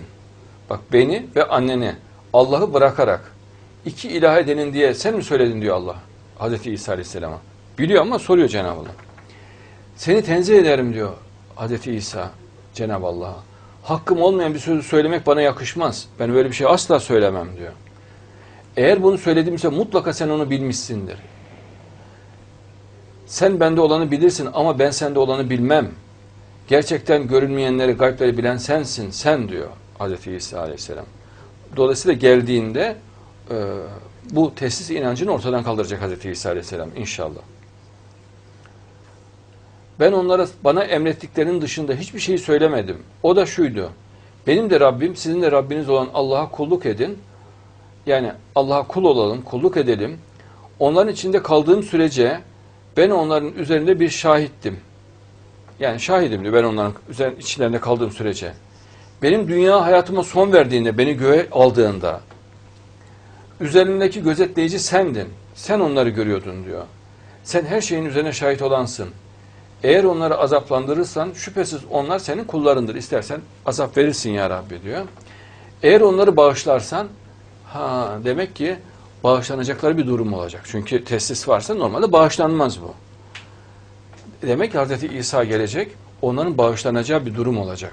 Yani teslis inancı kalkacak, tek Allah'a inanacaklar ve Allah da onları bağışlar, bağışlayacak. Ve onları bağışlarsan şüphesiz aziz olan, hakim olan sensin, sen diyor Hz. İsa. Allah dedi ki bu doğrulara doğru söylemelerinin yarar sağladığı gündür. Doğru söyledin diyor. Onlar için onlar için içinde ebedi kalacakları altından ırmak akan cennetler vardır. Her yerde evlerde altından su akar. Küçük arklar şeklinde de büyük ırmaklar şeklinde ama bizim bildiğimiz böyle çamur, toprak tarzına değildir. Yani e, cennetin taşı toprağı çok daha değişiktir. Yani burada tozlu üstüne gittin mi toz yapışır insana batarsın bilmem ne olur. Değil mi? Orada öyle değildir. Ee, Allah onlardan razı oldu, onlar da ondan razı olmuşlardır. Yani Allah insanlardan razı diyor, insanlar da Allah'tan razı olmuşlardır. İşte büyük kurtuluş ve mutluluk budur. Yani asıl hedefiniz bu olsun diyor. Yani Allah'ın rızasını kazanmak. Yani e, cennet kazanmak için değil de diyor Allah, Allah'ın rızasını kazanmak için hareket edin diyor. Cennet Allah'ın bir lütfu oluyor. Ama asıl amacımız Allah'ın rızası olacak. Göklerin, yerin ve iç- içlerinde olanların tümünün mülkü Allah'ındır. O her şeye güç yetirendir. O zaman ben mülk sahibiyim kimse demeyecek. Bak Allah ne diyor? Göklerin, yerin ve içlerinde olanların tümünün, tamamının, evler, apartmanlar, yatlar, katlar tamamının mülkü Allah'ındır diyor. Bana ait diyor Allah. O zaman ne olmuş oluyor insan? Bekçisi olmuş olur. Malın bekçisiyim diyecek. Mülk sahibi olamıyor. Şeytandan Allah'a sığınırım. Rahman, Rahim olan Allah'ın adıyla. Hamd, gökleri ve yeri yaratan, karanlıkları ve aydınlığı kılan Allah'ındır. Karanlığı ben yaratım diyor. Bak karanlık da benim tarafından yaratılıyor diyor. Aydınlık, ışığı da ben yaratıyorum diyor Allah. Bizim beynimizde oluşuyor ışık. Dışarıda ışık yok. Dışarıda simsiyah karanlık var. Bunları ben yapıyorum diyor. Bundan sonra bile inkar edenler yani bu bilgiye rağmen yani bu olağanüstü bilgiye rağmen inkar edenler Rablerine bir takım varlıkları denk tutuyorlar. Mesela Darwinizmi şunu bunu ortaya atıp e, anormal inançlara giriyorlar diyor. Ama bakın bu bilginin çok önemlisi olduğunu söylüyor Allah. Bundan sonra bile inkar edenler diyor. Yani bu mühim bilgiye rağmen. Karanlıkları ve aydınlığı ikisi de ben yapıyorum diyor. Beyninizde ben oluşturuyorum diyor Allah. Sizi çamurdan yaratan sonra bir ecel belirleyen odur. Çamura Allah'ın ihtiyacı olduğundan değil, sadece hükmen çamurdan yaratmıştır Allah. Yani çamur olmadan insan yaratılmaz diye bir konu yok. Çünkü çamur herhangi bir madde, onu da Allah yaratıyor. Çamuru yaratan insanı yaratamaz mı? E, fakat bizim hoşumuza gitsin, bizim beğenimimizi kazansın diye Allah böyle bir güzelliği yaratıyor. Adı konulmuş bir ecel, mesela hepimizin ne zaman öleceği belli onun katındadır. Siz yine de kuşkuya kapılıyorsunuz diyor. Buna rağmen insanlar kuşkuya kapılıyor diyor Allah. Büyük bir bölüm böyledir. Göklerde ve yerde Allah odur. Gizlinizi ve açığınızı bilir. Kazandıklarınızı da bilir. Bilinçaltınızdaki bütün düşünceleri hepsini diyor ben yaratıyorum diyor Allah. Ve hepsini de bilirim diyor. Şeytan Allah'a sanırım. Kendilerine hak gelince onu yalanladılar. Fakat alaya aldıklarının haberi onlara gelecektir hep Müslümanlar tarih boyunca hep alay edilmiştir. Ya iftira edilmiştir, ya hakaret edilmiştir. Hep baskıya uğramışlardır. Kendilerine hak gelince onu yalanladılar diyor. Ne zaman Kur'an ya hak bir kitap gelse mutlaka insanlar yalanlamışlardır. Yani böyle fıtratlarında var, mayalarında var. Ka tabi kabul edenler tenzih ediyorum. Fakat alay aldıklarının haberleri onlara gelecektir diyor. Ebced'i de 2015 tane veriyor. Demek ki 2015 tarihinde iyi bir şeyler olacak habere ne alacaklar demek. Kendilerinden önce nice nesilleri yıkıma uğrattıklarımızı görmüyorlar mı? Yani hepsini biz yıktık, birçok insanlara acı verdik diyor. Bunu görmüyorlar mı diyor Allah'ın intikam aldığını. Biz kitabı üzerinize yazılı bir kağıtla göndersek de onlar elleriyle dokunsalar bile inkar edenler tartışmasız bu aç, e, bu apaçık bir büyüden başkası değildir derler. Yani ne mucize olursa olsun inanmayacaksa insanlar mutlaka inanmaz diyor Allah. Yani e, gösterilen mucizenin büyüklüğü fark etmez diyor. Ve derler ki ona bir melek indirilmeli değil miydi? Cübbelerin dediği gibi. Eğer bir melek indirilseydi elbette iş bitirilmiş olurdu ve sonra kendilerine göz açtırılmazdı. Biz melek indirmeyiz diyor Allah. Melek indirirsek o zaman göz açtırılmaz diyor. Yani dolayısıyla Cübbel'in dediği gibi Mehdi'nin başının üstünde sarıp üstünde de bir bulut, bulutun üstünde de bir melek bu şekilde bir şey olmaz diyor Allah. Yani Kur'an ayetiyle bu sabitlenmiş durumda. Ee, şeytan Allah'a sanırım Araf suresi de ki Allah'ın kulları için çıkardığı ziyneti ve temiz rızıkları kim haram kılmıştır? Demek ki kendi kendimize haramlar ortaya atmayacağız. De ki bunlar dünya hayatında iman edenler içindir. Zinet ve temiz rızıklar yani her türlü zenginlik, güç, güzellik Müslümanlar için. Bunlar dünya hayatında iman edenler içindir. Kıyamet günü ise yalnızca onlarındır. Ahirette ise yalnızca onların diyor. Ee, bilen bir topluluk için ayetleri böyle birer birer açıklarız. Yani Cenab-ı Allah'ın hitabı. Her ümmet için bir ecel vardır. Onların ecelleri gelince ne bir saat ertelenebilir ne de öne alınabilir. Tam zamanda çökerler. Mesela Osmanlı niye çöktü diyor insanlar. Allah'ın takdiri öyleydi onun için. Gazneliler de vardı, Selçuklular vardı değil mi? Almanya'da Hitler'in iktidarı vardı, Mussolini'nin iktidarı vardı. Allah hepsini çökertti, değiştirdi. Başka şekillere koydu. Öyleyse Allah'a karşı yalan uydurup iftira düzenden şeytandan Allah'a sığınırım veya ayetlerini yalanlayandan daha zalim kimdir? Allah'a karşı yalan uydurmak yani bu Kur'an'dadır, Kur'an'ın hükmüdür, İslam'da bu vardır diye yalan söylemek haramdır. Ee, Bunu aslında çok fazla görüyoruz. Bunların yasaklığını Kur'an bize açıkça belirtiyor. Dediler ki Rabbimiz biz nefislerimize zulmettik. Eğer bizi bağışlamazsan ve esirgemezsen gerçekten hüsrana uğrayanlardan olacağız. Müslüman sürekli Allah'a tövbe edecek. Günahlarının bağışlanması için.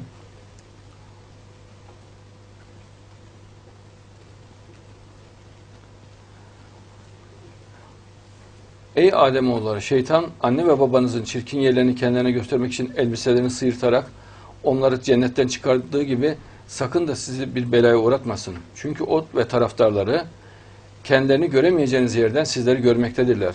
Siz gerçekten şeytanları inanmayacak biz gerçekten şeytanları inanmayacakların dostları kıldık. Şeytandan Allah'a sığınmak lazım ve şeytanların her yerde olduğunu Allah belirtiyor. Şeytandan Allah'a sığınırım. Bak Cenab-ı Allah diyor ki şeytandan Allah'a sığınırım. Herkese tekrar tekrar söylemenin nedeni onu hatırlamalı ve düşünmeleri için Kur'an'ın emri bu. Ağızlarıyla Allah'ın nurunu söndürmek istiyorlar. Yani konuşarak, anlatarak, e, sözle Kur'an'ın hükümlerini ortadan kaldırmaya çalışıyorlar. Darwinizmi, materyalizmi yaymak, ateizmi yaymak istiyorlar diyor Allah. Oysa dinsizler, ateistler istemese de Allah kendi nurunu yani İslam'ın hakimiyetini, Kur'an'ın hakimiyetini tamamlamaktan başkasını istemiyor. Yani Kur'an'ı tam anlamıyla yaşatacak bir sistemi Allah istediğini belirtiyor.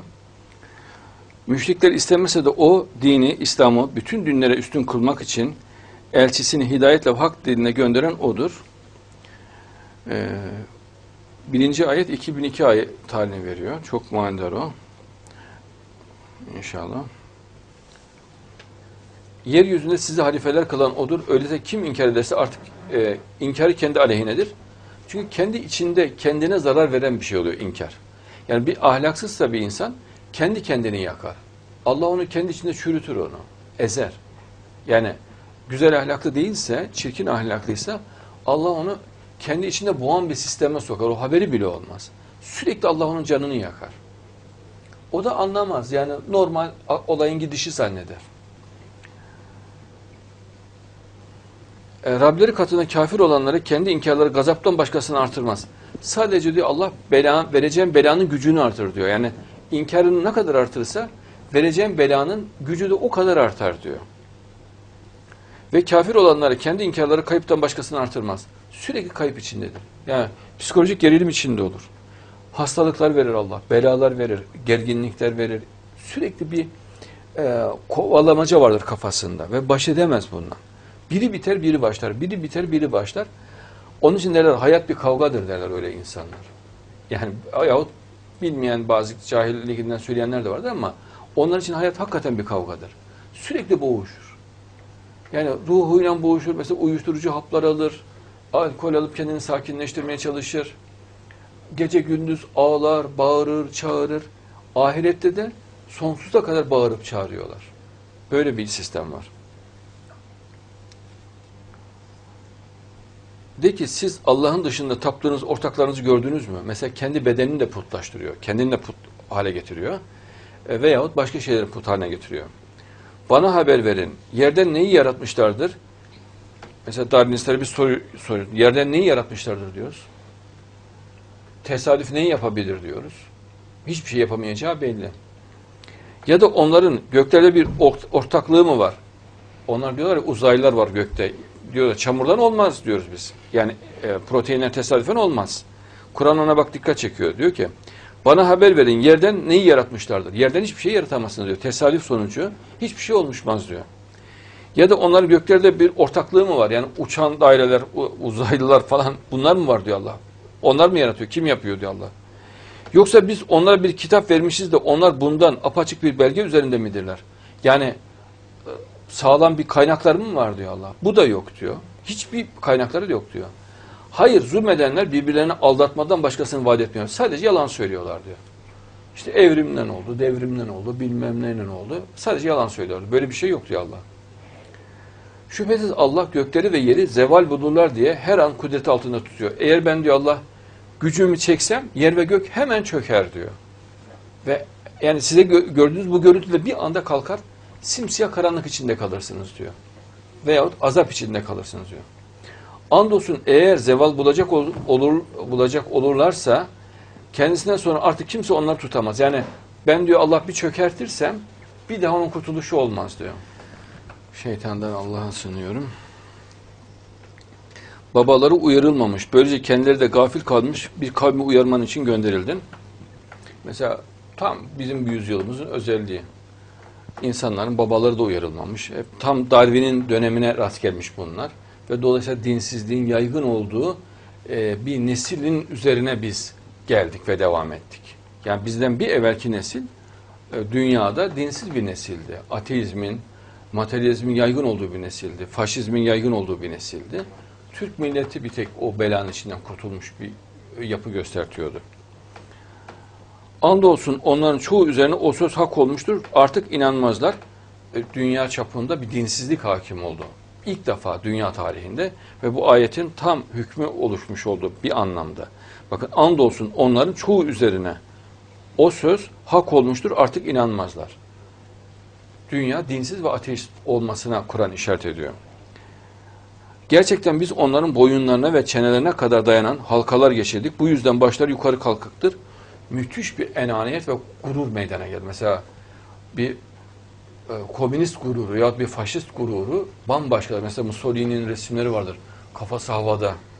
Mesela Hitler'in de resimleri vardır. Böyle akıl almaz bir gurur ve enaniyet ve büyüklük hissi vardır. Kur'an bunlara dikkat çekiyor. Çenelerine kadar e, dayanan halkalar geçirdik diyor. Yani onların azameti ve azgınlıklarına dikkat çekiyor. Kendilerini uyarsan da uyarmasan da onlar için birdir inanmazlar. İstediğin kadar anlat diyor. Çünkü akılları iptal olmuştur diyor Allah. Derin bir hipnoz halindeler adeta. Yani dinsizliğin çukuruna düşmüşler. Çıkamıyorlar içinden.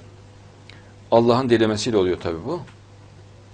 Sen ancak zikre, Kur'an'a uyan, gayb ile Rahman olan Allah'a karşı içi titreyerek korku duyan kimseyi uyarırsın. Yani Allah'ı anlama gücü olan, Allah'ı kavrama gücü olan e, ve Allah'ı görmediği halde Allah'a inananları uyarabilirsin diyor Allah. Onun dışında böyle bir yeteneğin ve gücün yoktur diyor.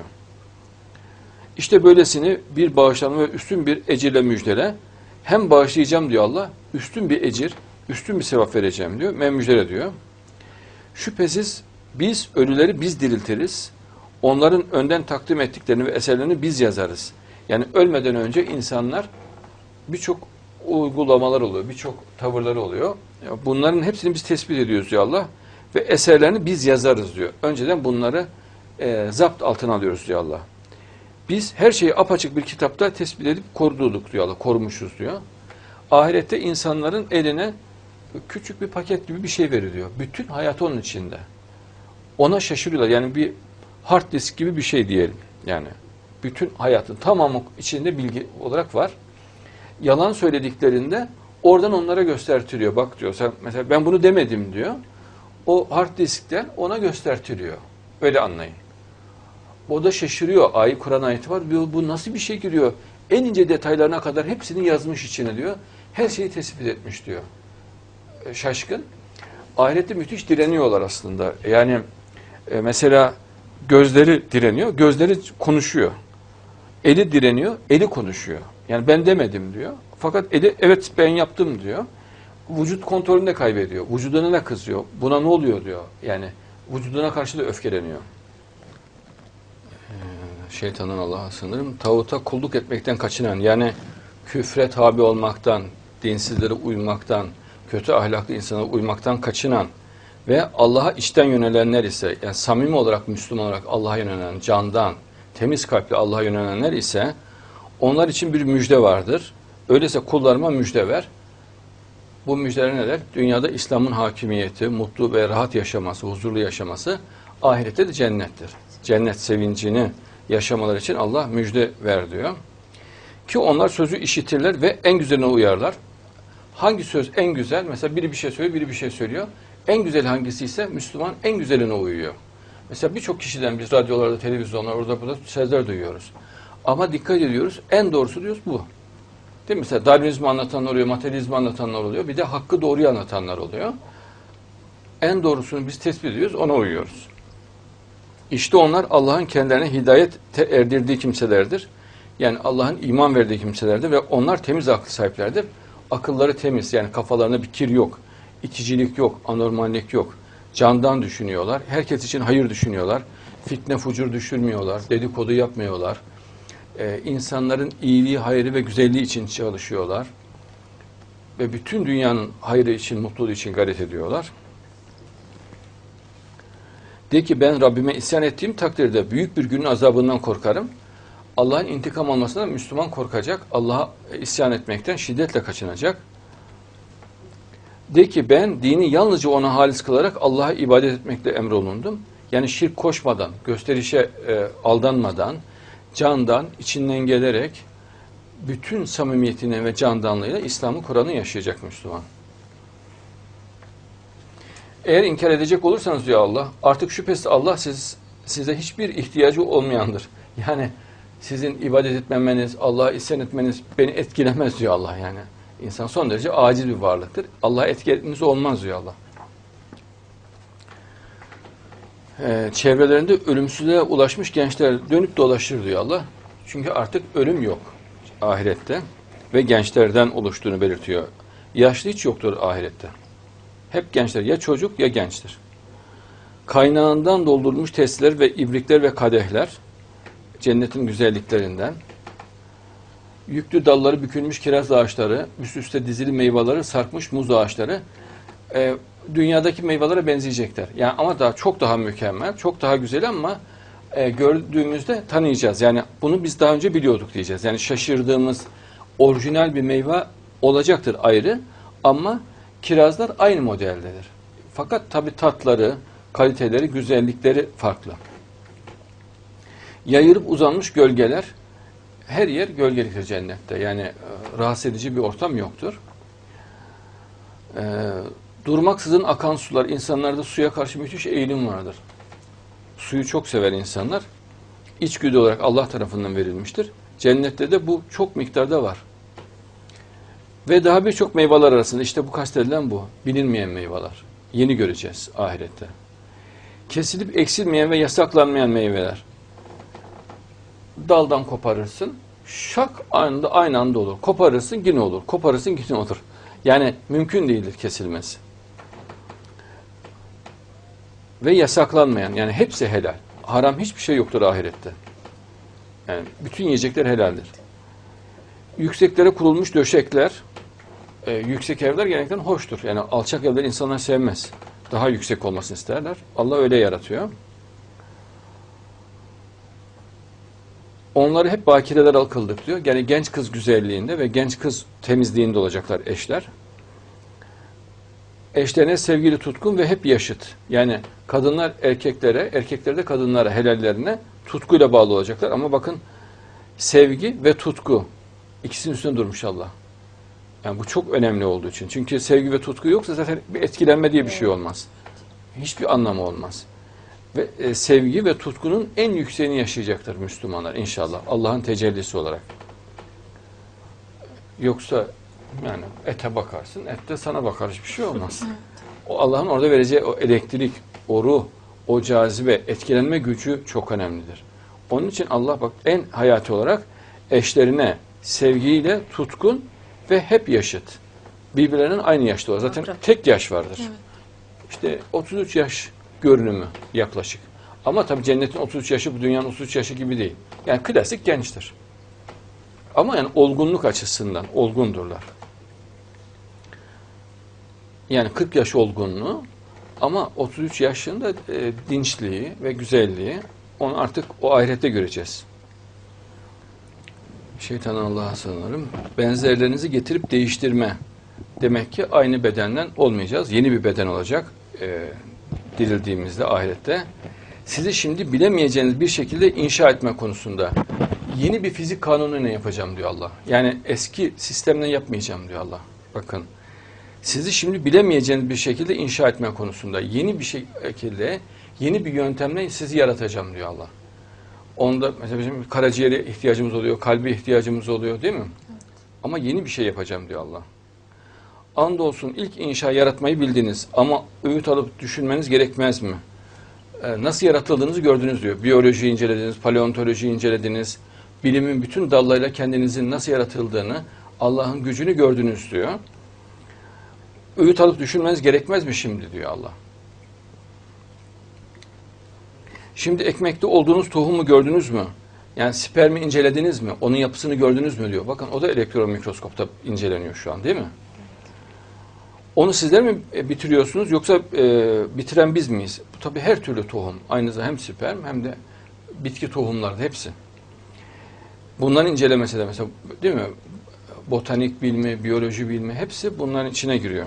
Şeytan Allah'a sığınırım. Gizli toplantıların, fısıldaşmaların kulisten men edilip sonra men edildikleri şeye dönenleri günah, düşmanlık ve peygambere isyanı aralarında fısıldaşmaları görmüyor musun? Diyor ki peygamber gizli konuşmayın diyor. Allah ayette belirtiyor anladığım kadarıyla. Men ediliyorlar. Veya peygamber men ediyor. Kur'an bunu bu şekilde belirtiyor. O şekilde olabilir. Bak günah, düşmanlık ve peygamber isyanı. Münafıkların nefretini görüyor musun? Bir günahı konuşuyorlar. Bir düşmanlık, nefret diyorlar.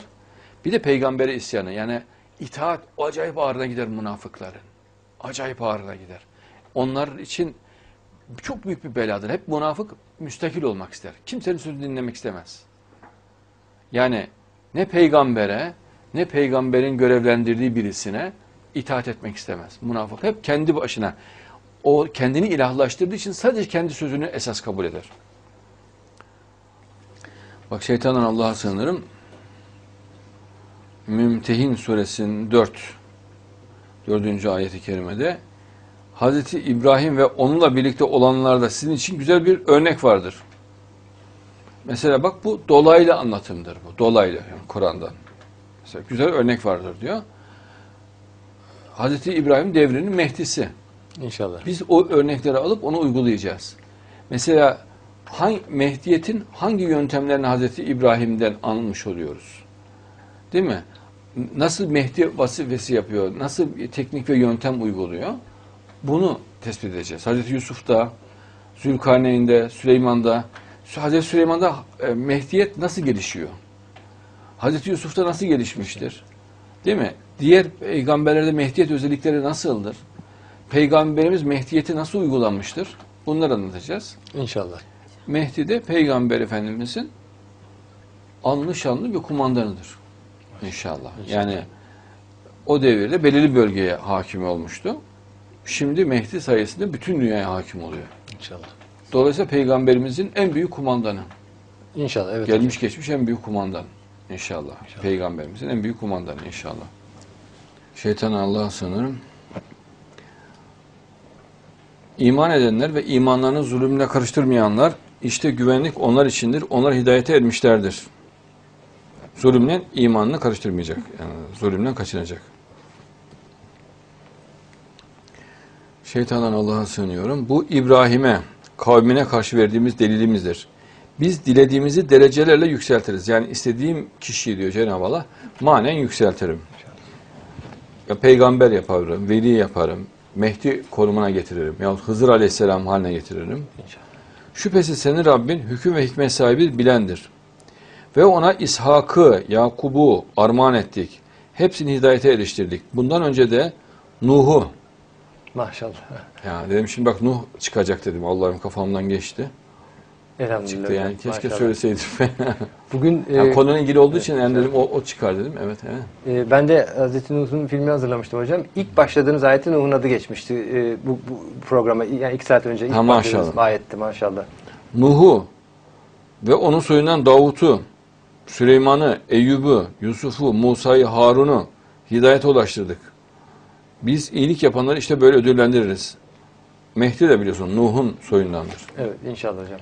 Zekeriya'yı, Yahya'yı, İsa'yı, İlyas'ı da hidayete eriştirdik. Onların hepsi salihlerdendir. İsmail'i, İlya, Elyasa'yı, Yunus'u ve Lut'u da hidayete eriştirdik. Onların hepsini alemlere üstün kıldık. Babalarından, soylarından ve kardeşlerinden kimini bunlara kattık. Onları da seçtik ve dosdoğru bir yola yöneltip ilettik. Bu Allah'ın hidayetidir. Allah Hadi ismine tecelli ediyor. Hidayetidir. Kullarından dilediğini bununla hidayete erdirir. Onlar da şirk koşsalardı elbette bütün yapıp ettikleri onlar adına boşa çıkmış olurdu. Şirk olduğunda her şey boşa çıkar diyor Allah. Efendim? Allah saklasın. Tabi Allah vermez. Bunlar kendilerine kitap ve hikmet verdik, e, hikmet ve peygamberlik verdiklerimizdir. Eğer bunları tanımayıp küfre sapıyorlarsa andolsun biz buna karşı inkara sapmayan bir topluluğu vekil kılmışızdır. İnkara sapmayan bir topluluğu vekil kılmışızdır. Belki de Mehdi'ye bakıyor. Mehdi topluluğuna bakıyor, cemaatine bakıyor. İnşallah. Ayet. İşte Allah'ın hidayet verdikleri bunlardır. Allah'ın hadi ismine tecelli ettikleri bunlardır. Öyleyse sen onların bu hidayetlerine uy. Mehdi'ye uy. Mehdi'nin izahlarına, Kur'an'a uy anlamına da gelir. Yani ona da işaret eder. De ki ben bunun için sizden bir ücret istemiyorum. O Kur'an alemlere bir öğüt ve hatırlatmadan başkası değildir. Ücret istememek çok önemli. Yani insanlar maddi bir karşılık olduğunda çok sarsılırlar. Sevgide de, dostlukta da öyledir. Yani maddi çıkar devreye girdiğinde e, buz gibi bir hava eser. E, sevgi sarsılır. İmani konularda da. Yani bir çıkar mevzu bahisse manaya muazzam zarar verir. Yani etki gücü çok çok azalır veya bazen de tamamen yok olmaya doğru gidebilir Allah esirgesin. Şeytandan Allah'a sığınırım. Ey kavmim bana karşı gelişiniz sakın Nuh kavminin ya da Hud kavminin veya Salih kavminin başlarına gelenlerin bir benzerini size isabet ettirmesin. Üstelik Lut, Lut kavmi de size pek uzak değil.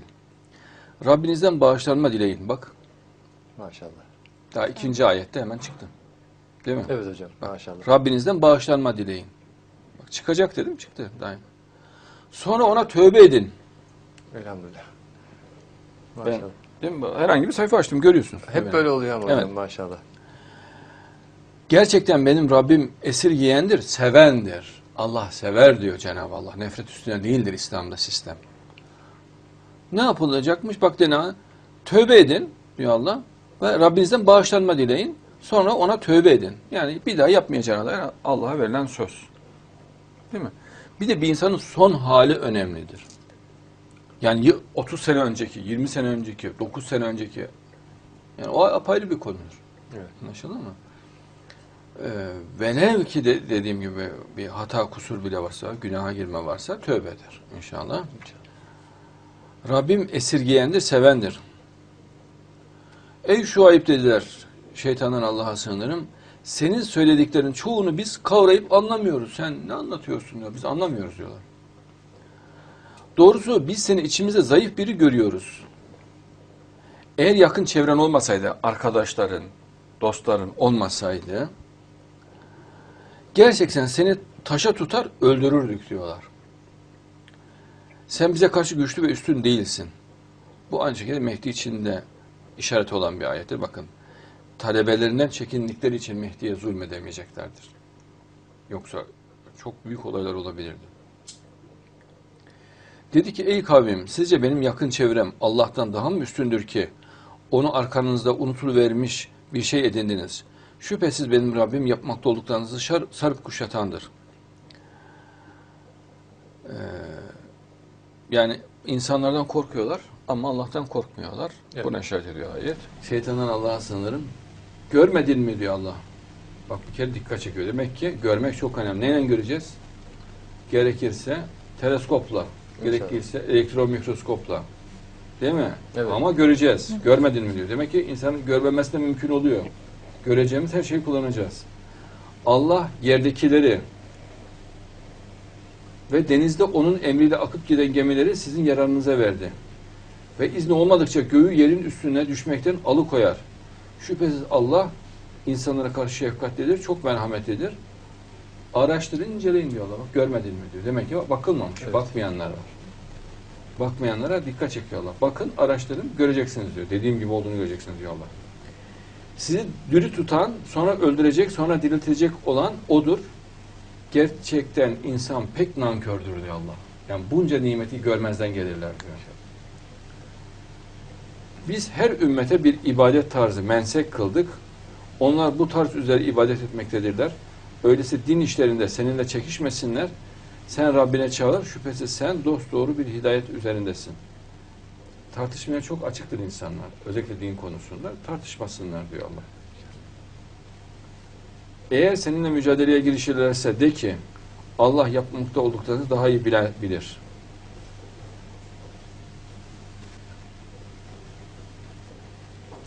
Onlar Allah'ı bırakıp da Allah'ın kendisine bir delil indirmediği ve haklarında hiçbir bilgileri olmayan şeylere tapıyorlar.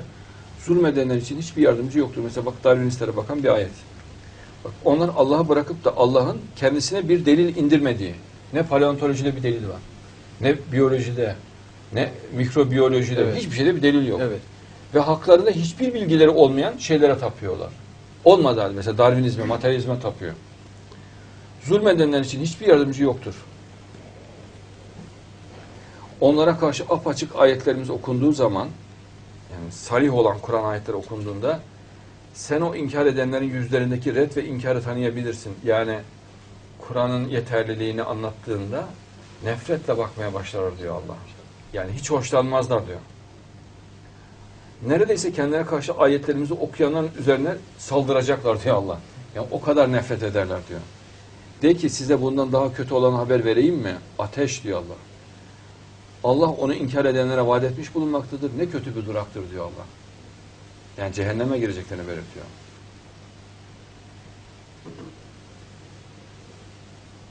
Allah yolunda hicret edip öldürülen veya ölenlere gelince muhakkak Allah onları güzel bir rızıkla rızıklandıracaktır. Şehit olacaklar ve e, yem, yemeye içmeye devam edecekler diyor Allah. İnşallah. Şüphesiz Allah rızık verenlerin en hayırlısıdır.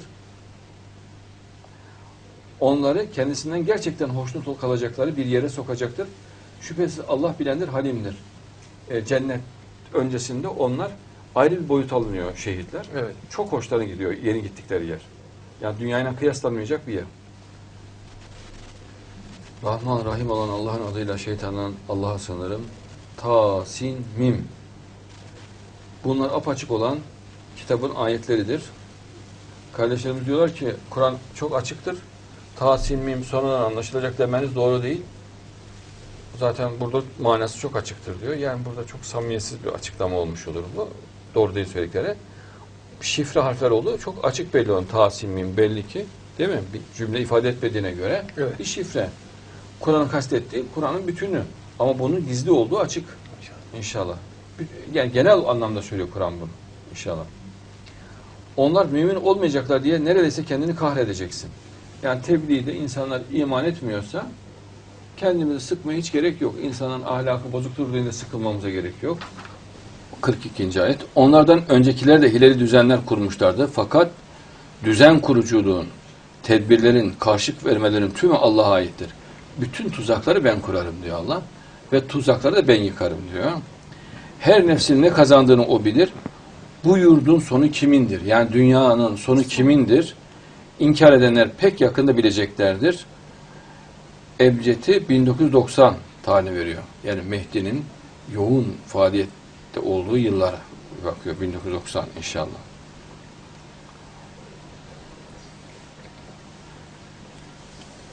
Dünya hayatında onlar için bir azap vardır. Ahiretin azabı ise daha zordur. Dünya hayatında da e, zulmedenlere bir bela gelişecek diyor Allah. Yani mutlaka karşılıklarını alacaklar. Ama ahirette asıl karşılıklar olacak. Ama yani diyorlar ya dünyada karşılığını bulmuyorlar diye. Halbuki küfür mutlaka karşılığını bulur. Bir kere sevgi elinden alındı mı bir insan hücre hapsine atılmıştan daha beterdir. Yani sevgi gitti mi bir insan elinden mahvoldu demektir. Allah ellerine bir kere sevgiyi alıyor. Şefkati alıyor. Merhameti alıyor. insani duyguları alıyor. Yani derinliği alıyor. Tutkuyu alıyor. Aşkı alıyor. Allah aşkını alıyor. E geriye ceset kalıyor zaten. Çok müthiş bir beladır bu. Ama bundan da bırakmıyor Allah. Yani toplu belalar verir. Veyahut tek tek belalar verir. Yani Kur'an'da da bunu açıkça belirtiyor Allah. Bir de insana inanmıyorlar. Allah da diyor onlar, yanlarından geçmiyor musunuz diyor. Mesela Ad kavmi, Samut kavmi, Firavun'un başına gelenleri görmüyor musunuz diyor Allah. Ben diyor intikam sahibiyim ve alırım intikamımı diyor. Yok diyor Allah öyle bir şey yapmaz diyorlar. Allah yapıyorum üstünde geziyorsunuz diyor. Yerle bir ettim diyor. E, anlamıyorlarsa ona göre bir karşılık veririm diyor Allah. Ama beni sevin diyor, ben de sizi seveyim diyor. Beni unutmayın, ben de sizi unutmayayım diyor Allah. Bana şükredin, nimetimi artırayım diyor. Eğer şükretmezseniz nimetimi alırım diyor Allah. Elinizden alırım nimeti. Yani verdiğim nimeti geri alırım diyor. E, şükretmek ne kadar kolay değil mi? Elhamdülillah diyeceksin. Allah'ım sana şükür diyeceksin. Ve Kur'an ahlakına uyacaksın. Kur'an'a tabi olacaksın. E, Kur'an bize sürekli kolaylık göstertiyor. Kur'an'da zorluk yoktur. Hep kolaylık vardır. Yani insanlar kendi beyinlerinde onu zorlaştırıyorlar.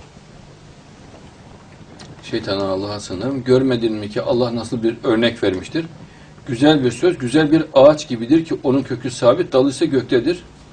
Ee, İncil'de de buna benzer, bu ayete benzer, buna benzer değil mi Allah affetsin, bu ayete benzer bir açıklama var. Rabbini izleye her zaman yemişini verir, Allah insanlar için örnekler verir, umulur ki onlar öğüt alır düşünürler. Şeytandan Allah'a sığınıyorum. Kötü murdar söz ise kötü bir ağaç gibidir. Onun kökü yerin üstünden koparılmış, kararı yerinde durma, e, tutma imkanı kalmamıştır kökü koparmış. Allah iman edenleri dünya hayatında ve ahirette sapa sağlam bir sözle sebat içinde kılar. Zalimleri de şaşırtıp saptırır. Allah dilediğini yapar. En özetiyle vereyim. Eğer Kur'an'a tam tabi olursanız doğru yolda olursunuz ya Allah. Yani burada anlatılan odur. Ama kendi kafanıza, hevanıza göre giderseniz çok fazla ihtimal üstünde duracağınız için sapıtırsınız diyor Allah. Yani önü sonu gelmez. Çünkü insanın beyni sonsuz düşünme kabiliyetine sahip e, perişan olur. Yani kararsız olur. Kararsız içinde bocalar. Bir türlü doğruya karar veremez. Yani mesela seveyim mi sevmeyeyim mi? Doğru mu söyleyeyim yalan mı söyleyeyim? İyi mi yapayım kötü mü yapayım? Yani perişan eder bu. Allah işte sabit tek bir anayasaya e, imani bir anayasa meydana getirmiş Cenab-ı Allah. Herkes ona uyduğunda Sorun toplum kalmayacak. huzur içinde oluyor, güzel oluyor. Mesela herkes doğru söylüyor. Herkes sevecen oluyor. Herkes merhametli oluyor. Herkes cömert oluyor. Toplumun tamamı mükemmel oluyor. Öbür türlü anarşi oluyor. Mesela biri cömert oluyor, biri pinti oluyor. Biri yalan söylüyor, biri doğru söylüyor. O zaman şimdi yalan söyleyenle doğru söyleyen karşılaştığında yalan söyleyen sürekli mağdur durumda kalıyor. Ee, doğru söyleyen de e, mağdur durumda kalıyor. İkisi de eziliyorlar. Ama herkes doğru olduğunda herkes mutlu olmuş olur. Yani toplum düzenini meydana getirmiş oluyor Allah. Bizi yaratırken Allah yani nasıl haşa benzetmek gibi olması ilaçlarda prospektüs vardır yanında kullanışı. İşte dünyanın da yanında e, dünyanın nasıl kullanılacağını Allah bize Kur'an'la göstermiş oluyor. Yoksa Allah sevgisini insanı baştan derde sokuyorlar. İşte Birinci Dünya Harbi'ni çıkarttılar, İkinci Dünya Harbi'ni çıkarttılar. Faşizmi, komünizmi çıkarttılar, mahvettiler insanları. İşte Darwinizmi, materyalizmi çıkarttılar. İnsanları inançsız, ateist yaptılar. Ve insanlar bunalıma girdi. Sonunda ekonomik kriz me- meydana geldi dünyada. Bakın şimdi Avrupa'da müthiş panik var. Yani ekonomik kriz durdurulamıyor. Yani yangın gibi. Kökeninde yine Kur'an ahlakına uymama vardır. Ve bir türlü çözüm bulamıyorlar. Şeytanın Allah'ın sınırım. Görmedin mi? Onlar her bir vadide vah, vehmedip duruyorlar. Masonların vadileri vardır. E, vadi derler onlar yaptıkları toplantılarda koydukları bir isimdir. Vehmediyor mesela Darwinist düşünceler, materyalist düşünceler konusunda sapkın yanlış düşünceler oluyor ki onları inşallah kurtaracağız. Onlarla da bağlantıdayız. Ve gerçekten onlar yapmayacakları şeyleri söylüyorlar. Ancak iman edenler, salih amellerde bulunanlar ve Allah'ı çok zik- zikredenler ile zulme uğratıldıktan sonra zafer kazananlar. Bakın Mehdi mesela önce zulme uğrayacaktır, sonra zafer kazanacaktır. Başka zulmetmekte olanlar nasıl bir inkılaba uğrayıp devrileceklerini pek yakında bileceklerdir. Yani İslam'ın nasıl dünyaya hakim olduğunu göreceklerdir diyor. Mehdi'ye bakan bir ayet. E, Şuara suresi 227. Ebcedi de mutabık o yönüne çok manidar. Efendim şeytanın Allah'a sınıyorum. Süleyman'a cinlerden, insanlardan ve kuşlardan ordular toplandı ve bunlar bölükler halinde dağıtıldı. Aynı şekilde Mehdi'den de cinlerden, insanlardan ordular olacak inşallah. Ve hayvanlara da hükmedecek. Yani kuşlara da hükmedecek. Onların e, ahir zamanda e, daha bakımlı, daha hoş, daha güzel imkanlarda yaşayacaklarını da Kur'an işaret etmiş oluyor. Yani hayvan sevgisi, bitki sevgisi, Allah'ın yaratıkları olan sevgiye de Kur'an işaret etmiş oluyor. Sonra kitabı şeytandan Allah'a sığınırım. Kullarımızdan seçtiklerimize miras kıldık. Fakat onlardan kimi kendi nefsine zulmeder. Vesvese eder. Herkesi kendisine düşman zanneder. Olayları aleyhine görür. Mesela bakar eline işte kanser olmuş olabilirim diyor. Ya birisi bana düşman diyor. Hakkımda dedikodu yapıyor diyor. Kendine zulmeder sürekli. Ee, kimi orta bir yoldadır. Yani namazını kılıyor. Kendi işinde gücünde. Tebliğ yapmıyor. Bazen kılıyor. Bazen kılmıyor. Ee, İşte kendine göre bir anlayışı oluyor. Veyahut Cenab-ı Allah'ın kastettiği başka bir şey. Kimi de Allah'ın izniyle hayırlarda yarışır, öne geçer. İşte bunlar Mehdiler, peygamberler, veliler, büyük mürşitler öne geçmişler. Yani var gücüyle Allah için e, hizmet ediyor ve tamamen kendini Allah'a teslim etmiş. Çok candan. Bir de o işte hani avami tavır gösterenler vardır. İşte bu büyük fazlın kendisi de işte ben Allah bunu beğenirim diyor. Büyük fazıl budur. Benim beğendiğim budur diyor. Yani yarışıp öne geçenleri beğenirim ben diyor Allah. Adnen cennetleri onlarındır. Oraya girerler. Orada altından bileziklerle ve incilerle süslenirler. Hani evrim vardı? Altın bilezik evrimden olur mu? İncilerle süsleniliyor. Cen- Cennette inciler var. Bu da mı evrimden oldu? Ve orada onların elbiseleri ipektendir. E burada terzi yok. Allah yaratıyor. Değil mi? Demek ki o evrim yokmuş. Derler ki bizden hüznü giderip yok eden Allah'a hamdolsun. İnsanın başının çok büyük belası hüzün. Sabah kalkar hüzünle kalkar, akşam yatar hüzün. Her şey onun aleyhinedir. Her şey. Yemek yer acaba kilo mu aldım der. Annesi bir şey der, ciğerine oturur. Bir arkadaşı telefon eder, imalı konuştu der. Sırf o yeter ona. Başka bir şeye gerek yok. Akşama kadar ondan. Bu dünyanın bir belasıdır. Allah ben bunu gidereceğim diyor. Yani dünyadaki mühim imtihan vesilelerinden bir tanesidir. Bu da tabii kalbin boş olmasına kaynaklanıyor. Kalp Allah'la beraberse, yoğun iman varsa hüzün o kalbe giremez. Yani kalp bakın tam anlamının Allah'ın nuruyla doluysa oraya yabancı bir madde giremiyor artık. Ne hüzün, ne korku, ne tedirginlik, ne vesvese hiçbir şey girmez. Yani kalbi Allah'la tam doldurmak lazım Allah sevgisiyle. Ee, kalbi tam kaplaması lazım Allah sevgisi. O zaman hiçbir şey olmaz. Şüphesiz Rabbimiz gençlikten bağışlayandır, şükrü kabul edendir. Elhamdülillah dediğinizi ben kabul ederim diyor Allah. Ve tövbe ederseniz de bağışlarım diyor. İşte ben günahkarım, işte ben bitmişim derler ya. Böyle bir şey yok. Mesela toplumda öyle bir şey var. Birisi bir hata yapıyor. İstifa etsin, mahvoldu, yok oldu adam. Sen akşama kadar o, o tip şeyleri yapıyorsun. Sen niye mahvolmuyorsun da o mahvolmuş oluyor? O da bir insan, sen de bir insansın. Tövbe eder biter. Değil mi? Yani, yani güncel bir konu oldu şimdi biraz söylüyorum. Ee, mesela o kart kokoşlar ortaya çıktılar böyle e, iguanalar. Gece gündüz ahkam kesmeye başladılar. Böyle tam kart horozlar yani böyle kartlaşmış, tüy dökülmüş horozlar. Bütün millete akıl ve ahkam dağıtıyorlar. Ya millet nefret ediyor. Adam yerine de koymuyor. Çok aşağılık biliyorlar. E, fakat bunlar da sanki Türkiye'yi kendileri yönetiyormuş gibi, bunların aklına Türkiye'nin çok büyük ihtiyacı varmış gibi. İşte falanca istifa etsin, sen dur, sen geç, sen şunu yap. Sen kimsin de senin sözünü kim dinlesin yani? Ve böyle adamdan sözünü dinlemek de çok anormal bir hareket olur. Kale almak, muhatap olmak, değer vermek. Yani benim kastettiğim kişileri kastediyorum. Ben. Onlar kendilerini biliyorlar. Yani baronun e, kart kokoşlarını kastediyorum. Bir avuçlar e, hem habire ahkam kesiyorlar. Yani o, hem olayın içindeler, hem olayın tezgahçıları, hem de olayı yatıştıran yahut olaya yön veren havasındalar. Ve amaçlarına ulaştılar gördüğüm kadarıyla. E, burada çok akılcı tavır koymak lazım. Bunların e, e, farfarasına, gargarasına, şamatasına hiçbir şekilde karşılık vermemek lazım. Ve adam yerine koymamak gerekiyor. Allah'ın affetmesi yeterlidir. Şeytana Allah'a sınıyorum. Allah'a karşı yalan söyleyenden ve kendisine geldiğinde doğruyu Kur'an'la yalanlayandan daha zalim kimdir diyor. Ee, ehli kitap da olsa, her kim olursa olsun Kur'an'a tabi olması gerektiğini bu ayetten anlıyoruz. Yani kim olursa olsun Kur'an'la karşılaştığında mutlaka Kur'an'ı vicdanıyla tasdik etmesi lazım. Okuyup anladıktan sonra. Kafirler için cehennemde bir konaklama yeri mi yok?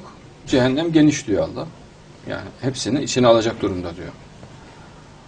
Doğruyu getiren ve doğrulayanlara gelince, yani doğru konuşan ve e, onu tasdik edenlere gelince, Onlar muttaki, takva sahibi olanlardır, güzel huylu olanlardır diyor. İyi huylu olanlardır. Rableri katında dileyecekleri her şey onlarındır. İşte bu ihsanda bulunanların ödülüdür. Çünkü Allah onların dünyada yaptıklarının en kötüsünü temizleyip giderecek. Yani dünyada yaptığı en kötü günah, en kötü çirkin şeyler, her ne varsa onları ben gizleyeceğim diyor Allah. Yok edeceğim. Hatırlayamayacak diyor.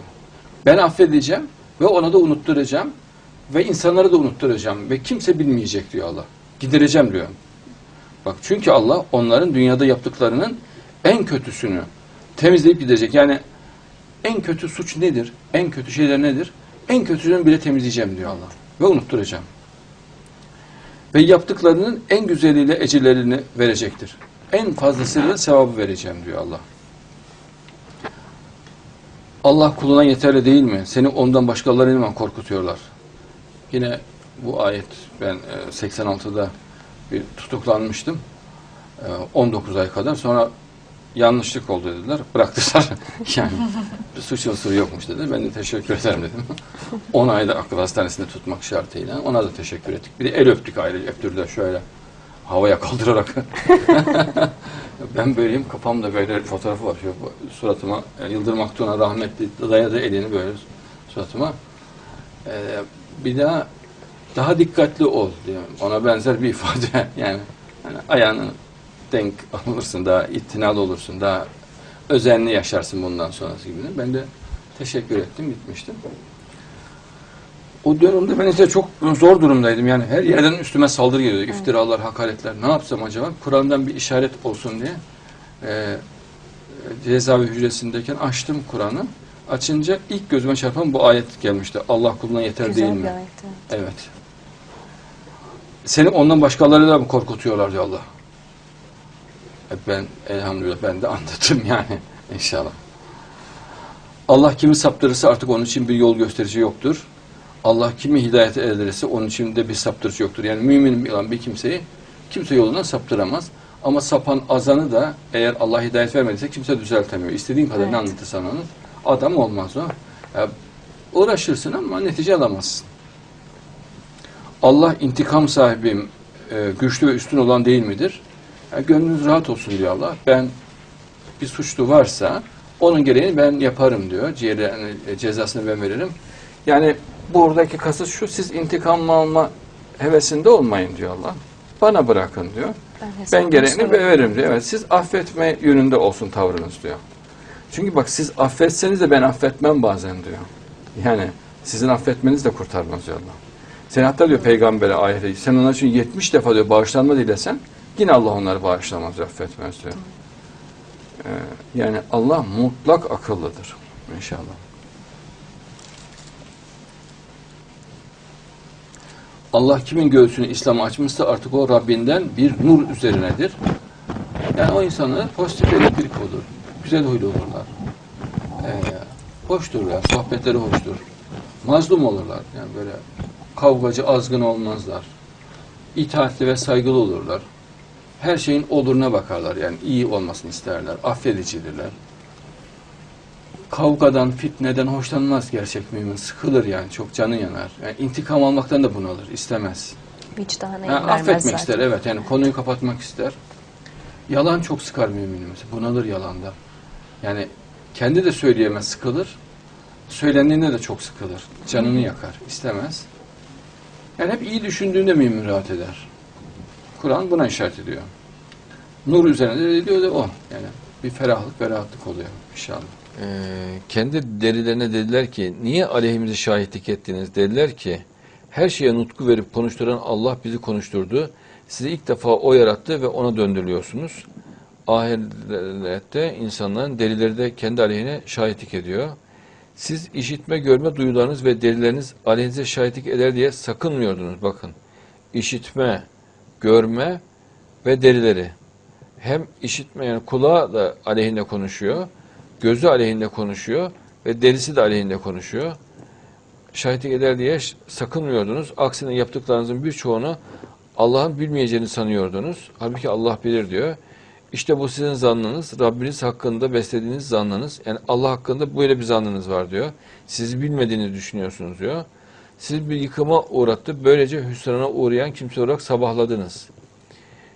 Şimdi eğer sabredebilirlerse artık onlar için konaklanma yeri ateştir.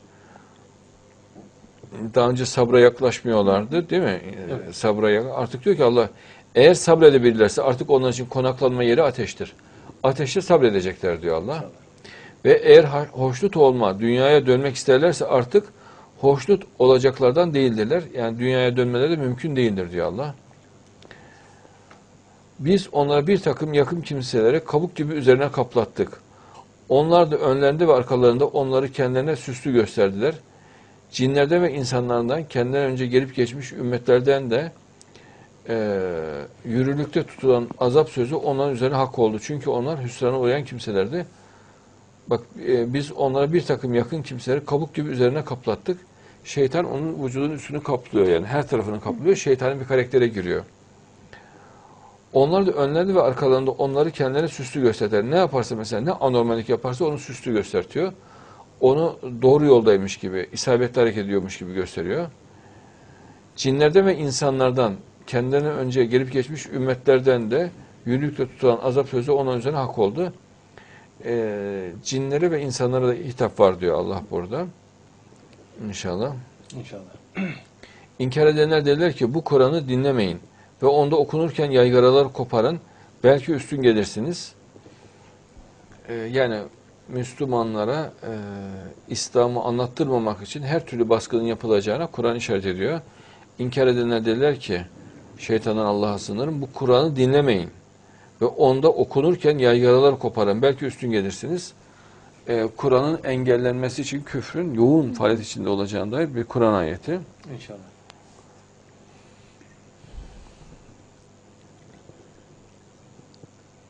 İnkar edenler dediler ki Rabbimiz cinlerden ve insanlardan bizi saptırmış olanları bize göstert. Ayaklarımızın altına alalım. En aşağılarda bulunanlardan olsunlar. Ahirette bir sefer onlara kinleniyorlar. Hem cinlere hem de insanlara kinleniyorlar. Ee, bu olan durumu e, onlardan sormaya çalışıyorlar. Sanki kendileri yapmamış gibi e, cinin kanalıyla yahut insanın kanalıyla mecburen yapmışlar gibi bir usluk kullanıyorlar. Halbuki böyle bir şey yok. Herkes kendinden sorumlu. Ee, ve dedi ki ey çocuklarım şeytandan Allah'a sığınıyorum. Tek bir kapıdan girmeyin. Ayrı ayrı kapılardan girin. Ben size Allah'tan hiçbir şeyi sağlayamam, gideremem. Hüküm yalnızca Allah'ındır. Ben ona tevekkül ettim. Tevekkül edenler yalnızca ona tevekkül etmelidirler. Allah'a tevekkül edin diyor ama ayrı ayrı kapılardan girin. Fakat takdir ayrıdır. Tedbir ayrıdır. Tedbir takdiri engellemez. Fakat sebebe sarmak için ayrı ayrı kapılardan girin diyor. Yani aynı noktadan hareket etmeyin. Ayrı ayrı girin İnşallah. diyor. Babaların kendilerine emrettiği yerden e, girdiklerinde Yakup nefsindeki dileği açığa çıkarması dışında onlara Allah'tan gelecek hiçbir şeyi gidermeyi sağlamadı. Gerçekten o kendisine öğrettiğimiz için bir ilim sahibiydi ancak insanların çoğu bilmezler diyor. Yusuf yanına girdikleri zaman kardeşini bağrına bastı. Ben dedi senin gerçekten kardeşinim artık onların yaptıklarına üzülme. Şeytan Allah'a sınırım. Andolsun e, Nahl suresi 113 andolsun diyor Allah yemin ediyor onlara kendi içlerinden bir elçi, bir muslih, bir mehdi gelmişti. Fakat onu yalanladılar. 2007 Ya maşallah. Ebced'i 2007 açsın baksın kendileri hesap etsin kardeşlerimiz. Dilleriniz yalan yere nitelendirmesi dolayısıyla şuna helal buna haram demeyin diyor. Hani sahtekar hocalar çıkıyor ya şu helal şu haram herkese fetva veriyor. Bak ne diyor Allah? Dillerinizin yalan yere nitelendirmesi dolayısıyla alışmışsınız yalan söylemeye diyor Allah bu tiplere. Şuna helal buna haram demeyin. Yani fıtratınızda var yalan söylemeye eğilim diyor. Yapmayacaksınız diyor. Çünkü Allah'a karşı yalan uydurmuş olursunuz diyor. Şüphesiz Allah'a karşı yalan uyduranlar kurtuluşa ermezler diyor Allah. Yine bak yine Nur suresi çıktı. Demek ki önemli bir konu bu. Ya yani günün konusu ki bak Allah diyor şeytana Allah'a sığının namus sahibi bir şeyin habersiz mümin kadınları zina suç atanlar dünyada ve ahirette lanetlenmişlerdir. O durumda siz onu iftirayı dillerinizde aktardınız, hakkında bilginiz olmayan şeyi ağzınızda söylediniz ve bunu kolay sandınız. Oysa o Allah katında çok büyük bir suçtur. Onu işittiğiniz zaman bu konuda söz söylemek bize yakışmaz Allah'ım sen yücesin. Bu büyük bir iftiradır demeniz gerekmez miydi? eğer toplum bunu uygularsa kadınlarımız mağdur olmaz, insanlarımız mağdur olmaz. Dedikodu fitnesi ortadan kalkar. Yani bir söz, bir laf böyle ortalığı birbirine katmaz. Değil mi? Kur'an ahlakı uygulandığında hiçbir şey olmaz. Yani bu olay mesela çok rahatsız edici bir ömrünü, bütün ömrünü vermiş bu insan mesela Deniz Baykal. Bir e, filmden, bir sözden bambaşka bir şey meydana geliyor. Mesela gayet güzel giderken ki mesela Kutlu Doğum Haftası'nın konuşmasında nefes kesildi yani. Çok büyük bir e, manevi heyecan meydana geldi Baykal'ın konuşmaları. Mükemmeldi. Kur'an'a, İslam'a tam sahip çıkan candan bir üslup. Sen misin onu yapan iddia eden Ergenekon örgütü hemen dişlerini çıkarttı. Hemen baron devreye girdi ve olaylar bu şekilde geldi. Ee, ama herkesin sahip çıkması lazım hakka, doğruya. Mesela ben CHP'li değilim. Ama ben sahip çıkıyorum. Ben Baykal'ı severim ben insan olarak. Ve hiçbir şekilde de çizgimde de bir değişiklik olmadı. Yani kafamda kıpırtı bile olmaz. Ama büyütmemek lazım bu tip şeyler. Yani orada bir hata yapıldı. Tabii bir hayır vardır. Yani gereksiz büyütüldü. Konu tamamen kapatılması gereken bir konu. Mesela o hanım programda mesela o da çok mağdur durumda kalmak. Mesela çok değil mi? Ee, İnsan ona da e, değil mi şefkatle bakar. Çocuğu da var. Yani bir anda onun toplum karşısındaki e, manevi rahatsızlığını da düşünmek lazım. Yani bana ne olmaz. Değil mi? İnşallah yani e, şefkatle, merhametle ve sevgiyle olaylara yaklaşmak lazım. Şeytan Allah'a sığınım Araf suresi 105. Benim üzerimdeki yükümlülük Allah'a karşı Allah'a karşı ancak gerçeği söylemektir. Bak peygamber bunu söylüyor. Bak. Benim üzerimdeki yükümlülük Allah'a karşı ancak gerçeği söylemektir. Ben de ne yapıyorum? Gerçeği söylüyorum. Rabbinizden size apaçık bir belgeyle geldim. Artık İsrailoğullarını benimle gönder diyor Hazreti Musa. Firavun, Firavun dedi ki eğer gerçekten bir ayet getirmişsen ve doğru söylüyorsan bu durumda onu getir bakalım. Böylelikle Musa asasını fırlatınca anında apaçık bir ejderha oluverdi. Her devirde Darwinizm baş belası. Her devirde e, evrim düşüncesi baş belası. Bak Hz. Musa'nın ilk karşılaştığı olay yaratılıştan ilgili. Firavun ne diyor? Nil'in çamurlarından bütün bu insanlar, bitkiler, hayatın hepsi oradan tesadüfler sonucu oluştu diyor. Ve Allah yok diyor haşa. Ve Allah yaratmamıştır diyor. Yarattık, e, yani meydana gelen şeyler evrim sonucu olmuştur diyor. Allah da bunu ortadan kaldırmak için Hz. Musa uzun uzun evrim teorisini bu devirde olduğu gibi bilimi bir kılınç haline getirerek ortadan kaldırmak durumunda çok zor. Zaten cahil adamlar. Onlar net delil isterler. Allah diyor asanı daha önce söylüyor zaten. Asadan at o yılan haline gelecek diyor. Hz. Musa asanı atınca biliyorsun yılan haline geldi. Kaçtı Hz. Musa. Allah korkma diyor peygamberlerin katından korkmaz. Gel diyor geri. Bak korktuğu halde iradesini kullanıyor Allah rızası için. Gidip kula, yılanın kuyruğundan tutuyor. Ve anında asaya, dümdüz asaya dönüşmüştür. Ee, böylelikle Musa asasını fırlatınca anında apaçık bir ejderha oluverdi. Evrim teorisi orada yerle bir olmuş oluyor. Yaratılışı bir anda yıkıyor. Yani tahtadan yılan olmuş oluyor. Canlı yılan.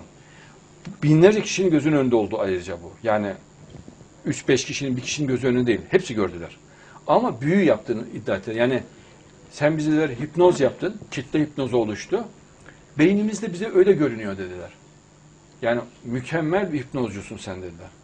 Yani diğer alimleri de geçti dediler. Yani şu an beynimizde biz onu öyle görüyoruz. Aslında öyle bir şey yok dediler ve inanmadılar. Bir de elini sıyırdı. O anda diyor anında bakanlara bembeyaz diyor. El, ilk, ikinci mucizesi de elinin çıkarttığın bembeyaz olması.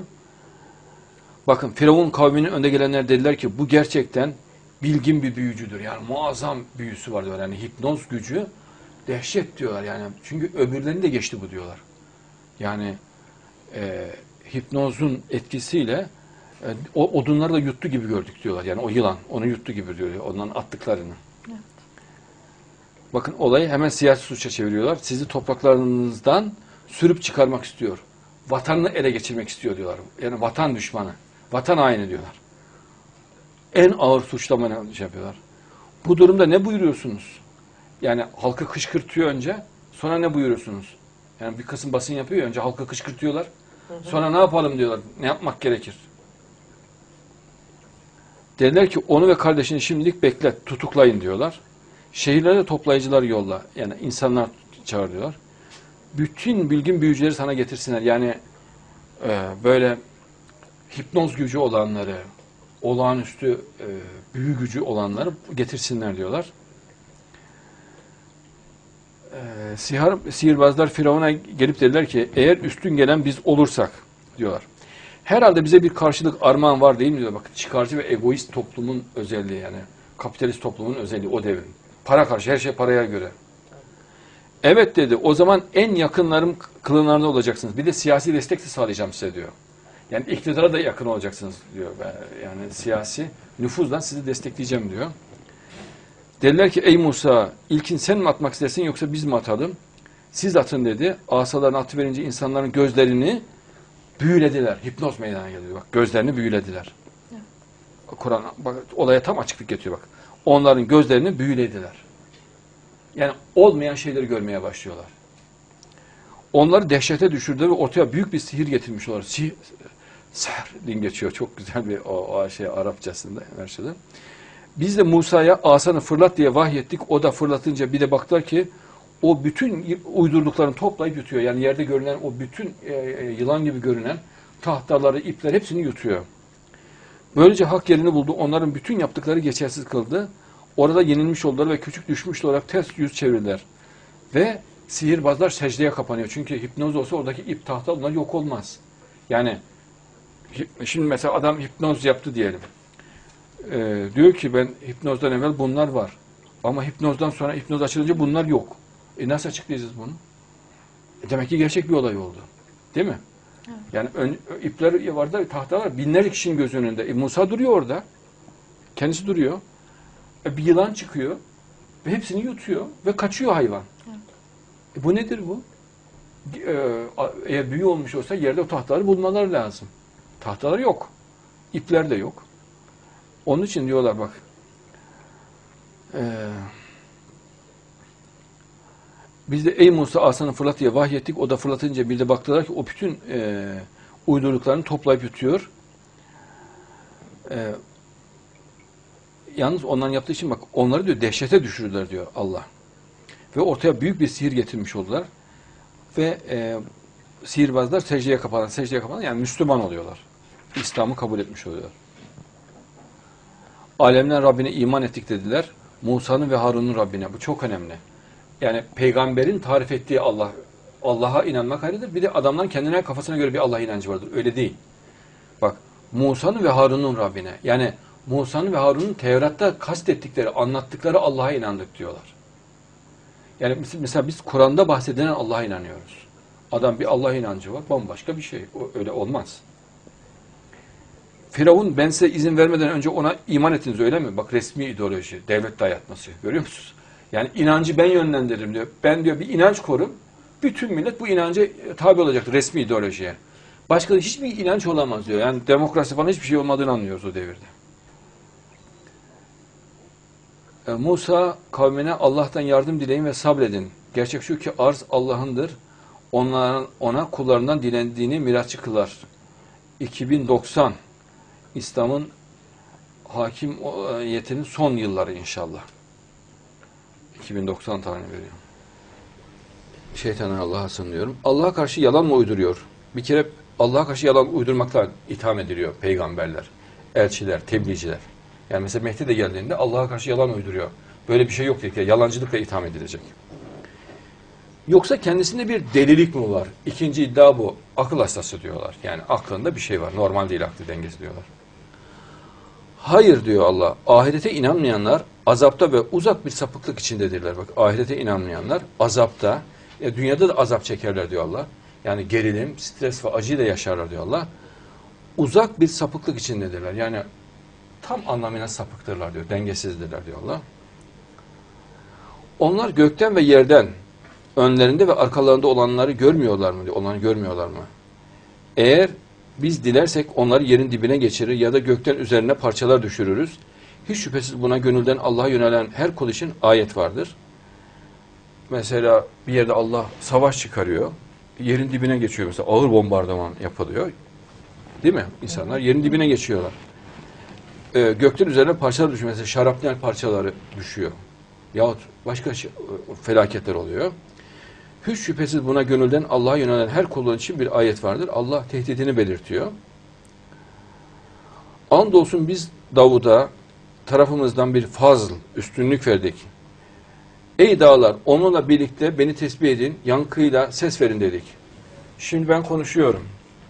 Dağlarda benim sesim her yerde duyuluyor mu duyulmuyor mu şu an? Duyuluyor. Kur'an buna işaret ediyor işte. Yani e, bunu durduk yere söylemez Allah. Yani herhangi bir çünkü zaten bir yerde insan konuşursa bir, bir yerde dağda yankılanır. Sesi yankılanır. Ama kastedilen bu değil. Yani sırf bu değil. Bakın ey dağlar diyor. Ey dağ derdi. Dağlar. Onunla birlikte beni tesbih edip yankıyla ses verin. Yani benim sesim mesela aynı anda evlerin içerisinde aynı şekilde duyuluyor. Yüzüm de görülüyor şu an. Avrupa'da, Amerika'da, dünyanın her yerindeyiz şu an. Radyolardan da yayın var şu an. İnternet yayınımız da var. Elhamdülillah. 60-70 bin arasında internet girişlerimiz çok yüksek. Ama yüksekliğe tabii bundan kimse yetinmesin. Devam. Geliştireceğiz. 60-70 bin iyi. 600-700 bin iyi. Yani normal en, iyisi, en az o olması lazım. Kuşlara da aynısını emrettik ve ona demiri yumuşattık. Mesela ahir zamanda demir en yoğun olarak şu an kullanılıyor. Ve macun gibi kullanılıyor. Pres yapılıyor, şunu yapılıyor, bu yapılıyor. Kur'an buna da işaret ediyor. Geniş zırhlar yap.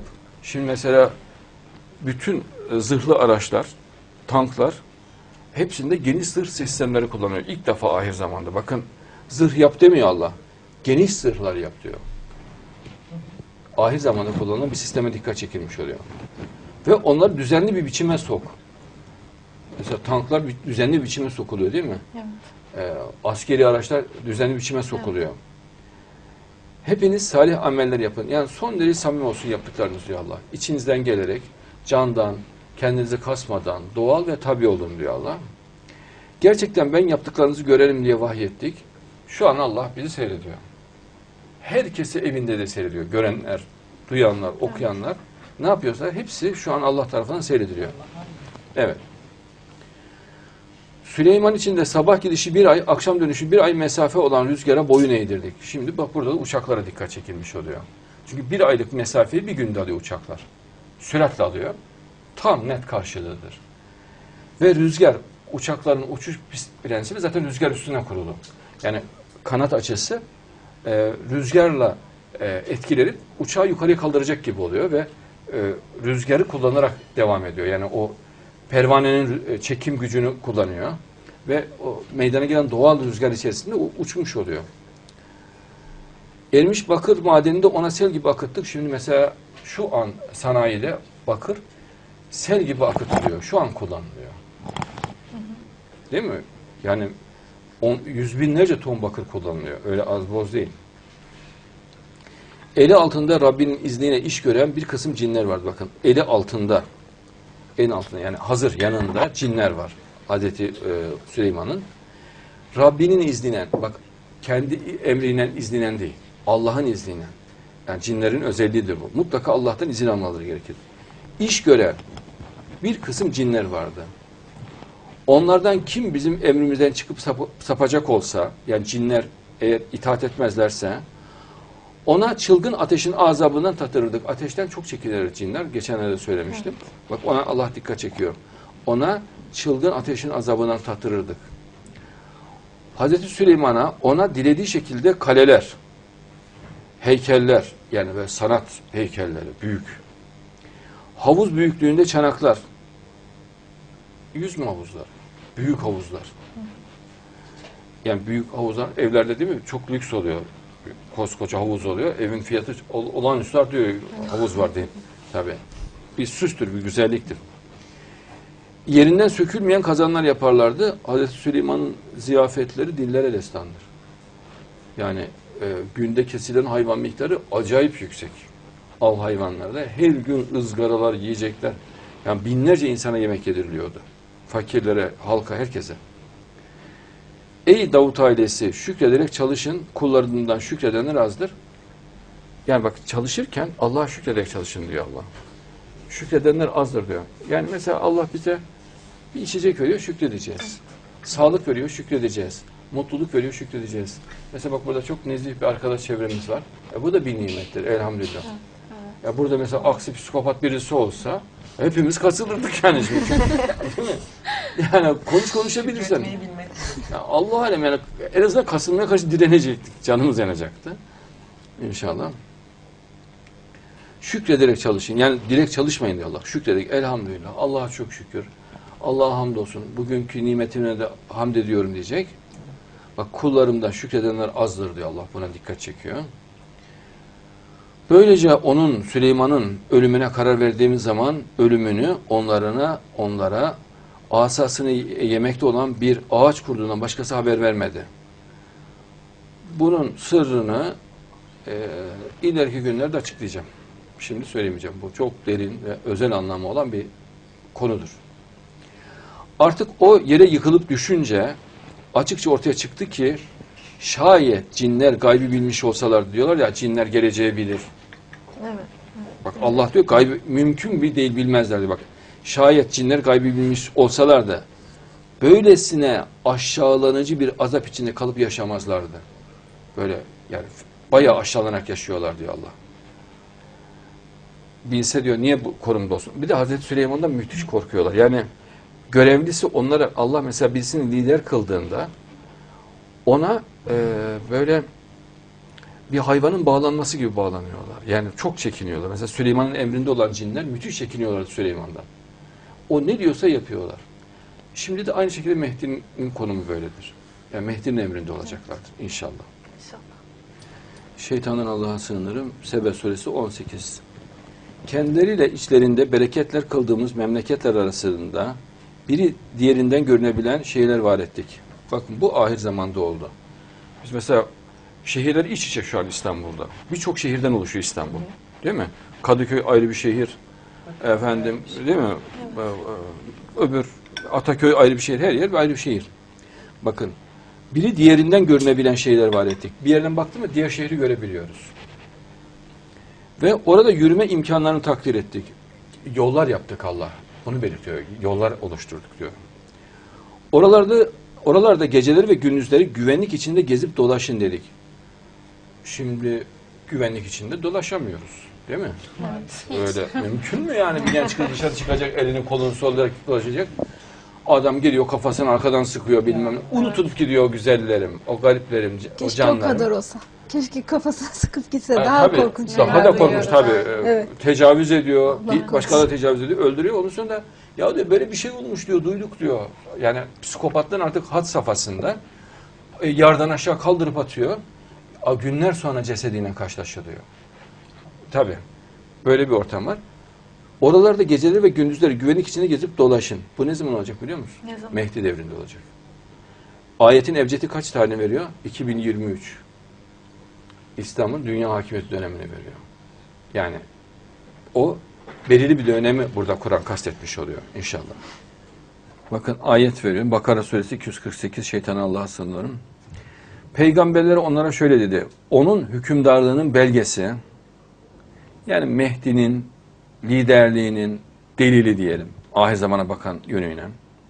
Size tabutun gelmesi olacaktır ki yani Hz. Musa'nın kutsal sandığı onda Rabbinizden bir güven duygusu ve huzur. İçinize güven duygusu gelecek diyor ve huzur. Yani onun bulunuşuyla. Yani öyle bir özelliği de var Allah'ın hikmeti. Mesela kalplere güven ve huzur inmesine vesile oluyor. Bütün savaşlarda oraya götürüyorlarmış e, o sandığı.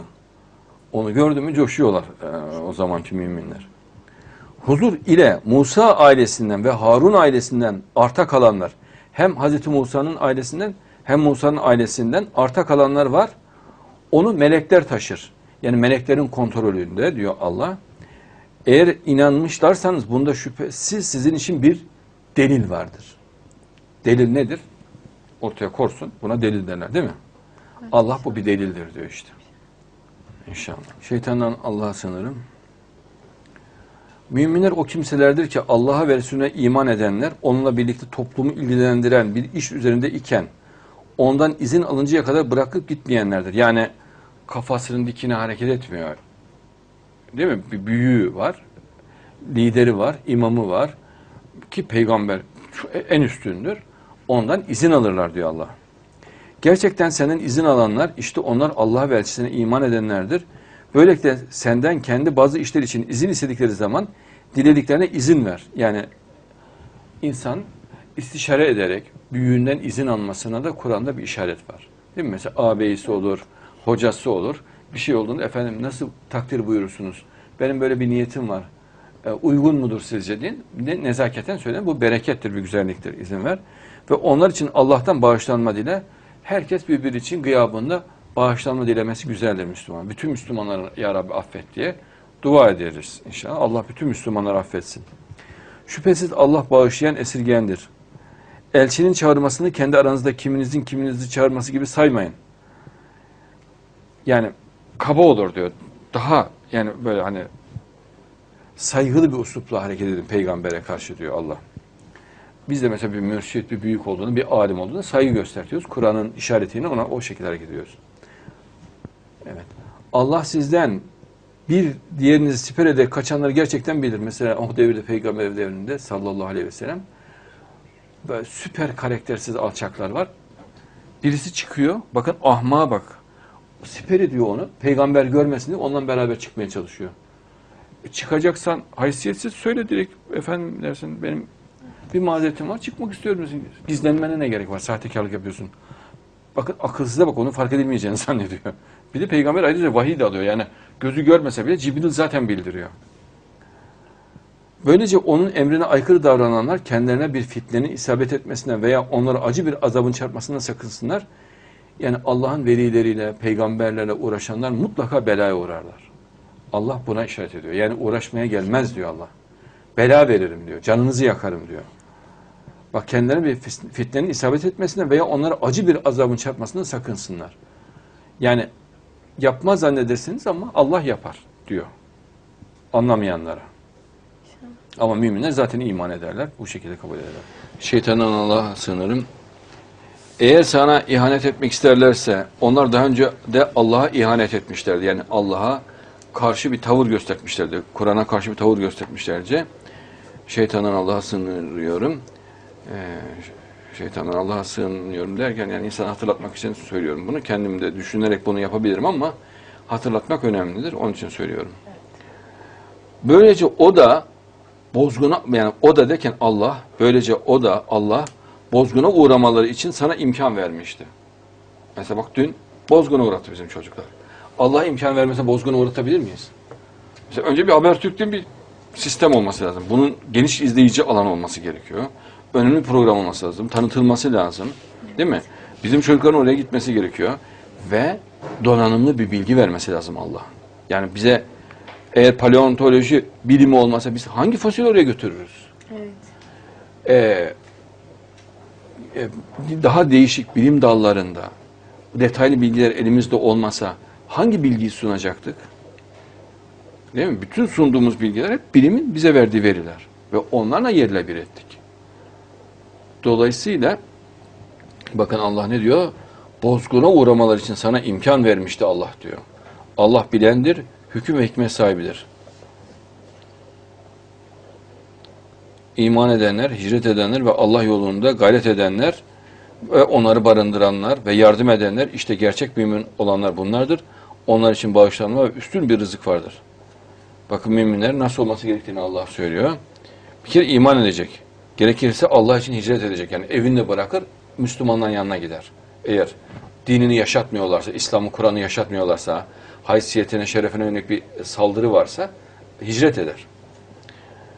Yani başka Müslümanların yanına gider. Allah yolunda e, gayret edenler ve Müslümanları barındıranlar, Müslüman hicret ettiğinde onu korumak, kollamakla mükelleftir Müslüman. Ve yardım edenler yani her yönde manevi de yardım, e, maddi de yardım, yardım edenler. İşte gerçek mümin olanlar bunlardır. Hicret edip geldiyse bir Müslüman, ona her türlü yardımı yapmaktan Müslüman mükelleftir, farzdır. Allah bunu anlatıyor. Bak gerçek mümin olanlar bunlardır. Onlar için bir bağışlanma ve üstün bir rızık vardır. Hem bağışlayacağım diyor Allah hem de ekonomik yönden rahatlatacağım diyor. Üstün bir rızık budur. Yani daha güzel yiyecekler, daha iyi bir ortam sağlayacağım diyor Allah. İnşallah. İnkar edenler birbirlerinin velileridir. Yani Darwinistler, materyalistler, şunlar buna birbirlerini korurlar diyor Allah. Birbirlerine destek olurlar. Birbirlerine dostturlar. Birbirlerine organize bir yapılanma içindedirler diyor. Eğer siz bunu yapmazsanız, eğer siz Müslümanlar birbirinize destek olmazsanız, mezheplere, cemaatlere ayrılıp birbirinize düşman olursanız, birbirinizle mücadele ederseniz, yeryüzünde bir fitne, her yerde ezilirsiniz, perişan olursunuz ya Allah. Bölünürsünüz, canınız yanar. Değil mi? Ee, evet, sürünme tarzında perişanlık yaşarsınız diyor. Ve büyük bir bozgunculuk, fesat olur diyor. Bozgunu uğrarsınız diyor Allah. Ve şu an yerle bir görüyorsunuz İslam alemi. Ve Mehdi'yi bekliyorlar. Yani toparlanmayı ve birlik olmayı bekliyorlar. Çünkü bakın inkar edenler birbirini desteklediği gibi birbirini desteklemiyorlar. Ne yapıyorlar? Bilakis birbirlerine muhalif bir tavır içindeler ve Allah'ın rahmetinin ümidini kesmiş bir tavır içindeler. Mesela biz diyoruz ki Bediüzzaman da söylüyor. Kur'an'ın emri çok açık ayettir. İttihat-ı İslam en büyük farzdır diyoruz. Allah'ın en büyük emridir. Bediüzzaman bunu açıkça belirtmiş. Ve Kur'an'da da bunu görüyoruz. Yok diyorlar. Biz yeterli bu diyor. Namazımızı kılıyoruz, orucumuzu tutuyoruz. E kardeşim sürünüyorsun, perişansın. Anlamıyor musun? Allah'ın emrini yapsana. Ama biz tabii anlatmaya devam edeceğiz. Yani bu e, bozgunun nedenini, bu acının nedenini Allah bak ayette çok net açıklıyor. E, şeytan Allah'a sınırım. İşte böyle. Onun yanında özü kapsayan bilgi olduğunu biz büsbütün kuşatmıştık. Ledün ilmi, e, hikmet ve vehbi ilim Mehdi'nin özellikleridir. Yani özü kapsayan bilgi. Özü içine almış, toparlamış, kısa, net ve vurucu bilgi, asıl bilgi. İşte böyle onun yanında özü kapsayan bilgi olduğunu büsbütün kuşatmıştık. Biz biz yarattık diyor Allah. Ben yarattım diyor. Sonra bir yol tuttu 92'de. İki seddin arasına ulaştı 2015. PKK'nın inşallah yerle bir olacağı tarihi veriyor Allah'ın izniyle 2015 inşallah. Onların sedlerinin önünde hemen hemen hiçbir sözü kavramayan bir kavim buldu. Ayrı bir dil konuşacaklar diyor. Ya ba- başka bir dil kullanacaklar diyor. Kur'an işaret ediyor. Kavramıyor yani. O kişinin söylediği sözü kavramıyor. Yani Mehdi'nin dilini kavramayacaklar. Ama Mehdi etkili olacak. Bu görülüyor inşallah. Ya fikren tam bir hakimiyete işaret ediyor inşallah. O devirde. Şeytanı Allah'a sınırım. Sizi diri tutan, sonra öldürecek, sonra diriltecek olan odur. Gerçekten insan pek nankördür diyor Allah. Yani genelinde nankördürler diyor Allah. Bak sizi diri tutuyor diyor. Sonra öldürecek, sonra diriltecek olan odur diyor. Gerçekten insan pek nankördür. Bak nankör de demiyor Allah. Pek nankör.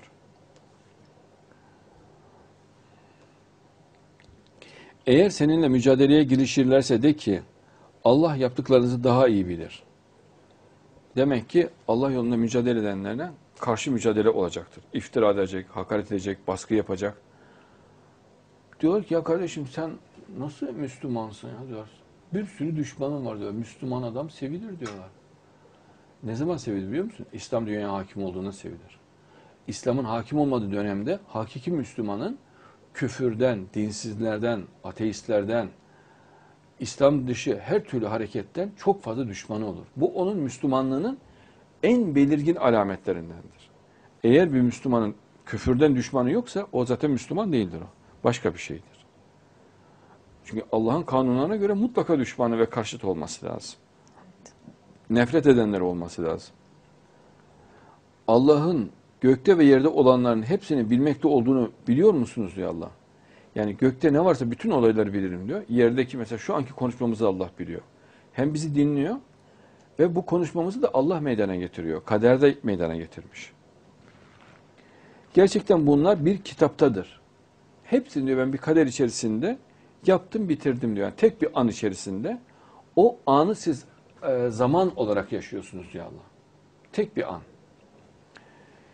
Hiç şüphesiz bunları bilmek Allah için pek kolaydır. Ben yani kaderi yaratırken bunu çok kolay yarattım diyor Allah. Yani zor ve karmaşık değil benim için. Yani bize çok zor geliyor ya. Benim için pek kolay diyor Allah. Onlar Allah'ı bırakıp da e, Hac suresi 71.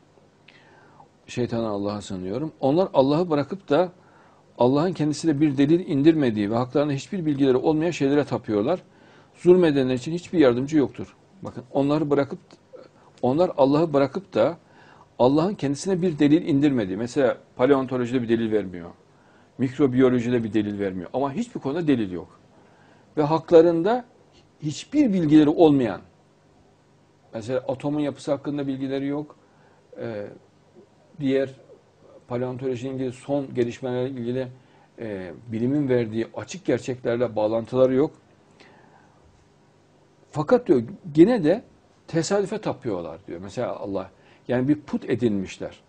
Mesela atoma tapıyorlar. Atomun bunu yaptığına inanıyorlar. Ama Allah diyor ki bak bir delil vermedim diyor Allah. Yani böyle bunların gibi delilleri yok diyor. Haklarında bilgileri yok diyor. Mesela Darwinistlere de bakıyoruz. Zır cahiller. Yani karşımıza çıkan şey bu. Bir de ciddi bir mantık bozukluğu var. Mesela bir mutasyonlar ciğerin meydana geleceğine inanıyorlar. Tek bir mutasyonla. Ciğer yani binlerce kilometre kılcal damarlarla kaplı e, çok kapsamlı e, muhteşem bir organdır. Ve vücudun oksijen ihtiyacını karşılaması için Allah tarafından yaratılmıştır. Tesadüfen böyle bir şey meydana gelir mi? Ama adam diyor tesadüfen meydana geldi diyor. Onlara karşı apaçık ayetlerimiz okunduğu zaman sen o inkar edenlerin yüzlerindeki ret ve inkarı tanıyabilirsin. Yani suratlarından anlaşılır diyor Allah. Neredeyse kendilerine karşı ayetlerimizi okuyanın üzerine çullanacaklar. Yani saldırganlaşıyorlar bazen. Yani kendini tutamıyor. Mesela bağırıyor, çağırıyor, kafasını, saçlarını çekiyor, hakaret etmek istiyor. Bazen de hakikaten saldırma eğilimi göstertiyorlar. De ki size bundan daha kötü olan haber vereyim mi? Ateş. Allah onu inkar edenlere vaat etmiş bulunmaktadır. Ne kötü bir duraktır. Tabi biz ateş deyince normal dumanlı ateş biliyoruz. Ahiretin ateşi ayrıdır. Yani onu oraya gidenler Allah vermesin orada görecekler. Allah'a karşı yalan mı uyduruyor yoksa kendisine bir delilik mi var? Bakın o devrin Mehdisi, o devrin peygamberi, tebliğcisine ne diyor insanlar? Allah'a karşı yalan mı uyduruyor? Bak hem Allah taraftarı gibi görünüyor hem de Allah'a karşı mücadele ettiğini söylüyor peygamberin. Halbuki Allah'ın elçisi zaten peygamber. Evet. Tam bir dinsiz uslubu. Yoksa kendisinde bir delilik mi var? Bütün peygamberler, bütün elçiler hemen hemen hep delilikle suçlanmıştır. Yani ilk suçlandıkları konulardan bir tanesi bu delilik. Hayır, ahirete inanmayanlar azapta ve uzak bir sapıklık içindedirler. Ahirete inanmamak, yani Allah'a inanamıyor zaten. Ee, o yüzden de azaptadırlar diyor Allah ve uzak bir sapıklık içindedirler. Yani e, derin bir sapıklık içindedirler. Bakın hep göklerden bahsediyor Allah. Bak bu ayeti de açtım şimdi. Oraya rast rast geldim. Rabbin e, göklerde ve yerde olan herkesi en iyi bilir. E, şimdi göklerde ve yerde. Yerde olanlar Mehdi var, talebeler var. Yani özel insan olarak. Ama göklerde olan kim var? Hazreti İsa var. Değil mi? Bak herkes diyor. En iyi bilir.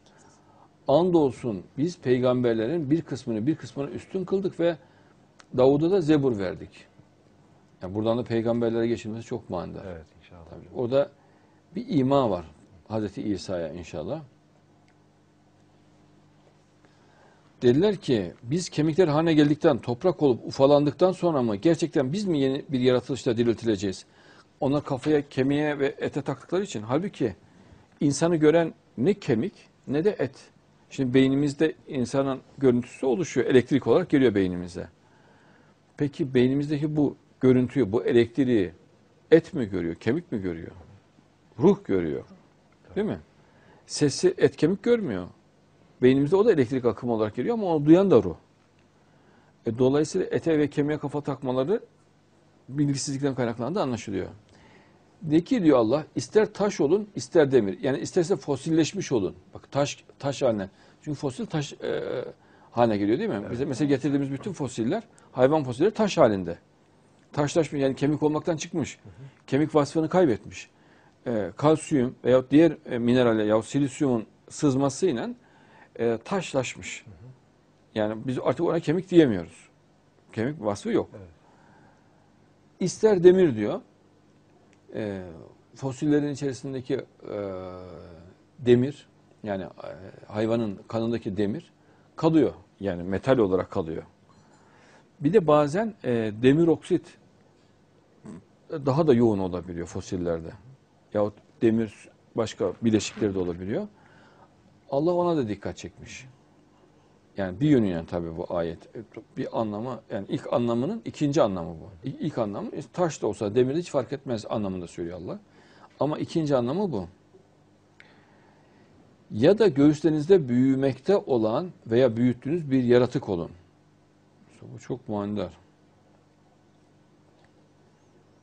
Ee, ya da göğüslerinizde büyümekte olan veya büyüttüğünüz bir yaratık olan. Yani kafanızdan hayali meydana getirdiğiniz bir yaratık. Var ya insanlar kafalarında böyle yaratıklar düşünüyorlar. Yani son zamanda özellikle. Yani, evet. Biz bizi kim hayata geri çevirebilir diyecekler. De ki sizi ilk defa yaratan. Bu kadar diyor Allah. Şu an nasıl göstertiyorum diyor size görüntüyü. Hayalinize değil mi? Şu an biz renkli olarak bir dünya görüyoruz. Şu an yapıyor muyum diyor Allah. Yap, yapıyor Allah. İşte ben bunu nasıl yapıyorsam, ertesi gün nasıl yapıyorsam, daha ertesi gün nasıl yapıyorsam aynı bilgi ve aynı yöntemle yapacağım diyor. Yani bu güce sahip olduğumu size gösteriyorum diyor.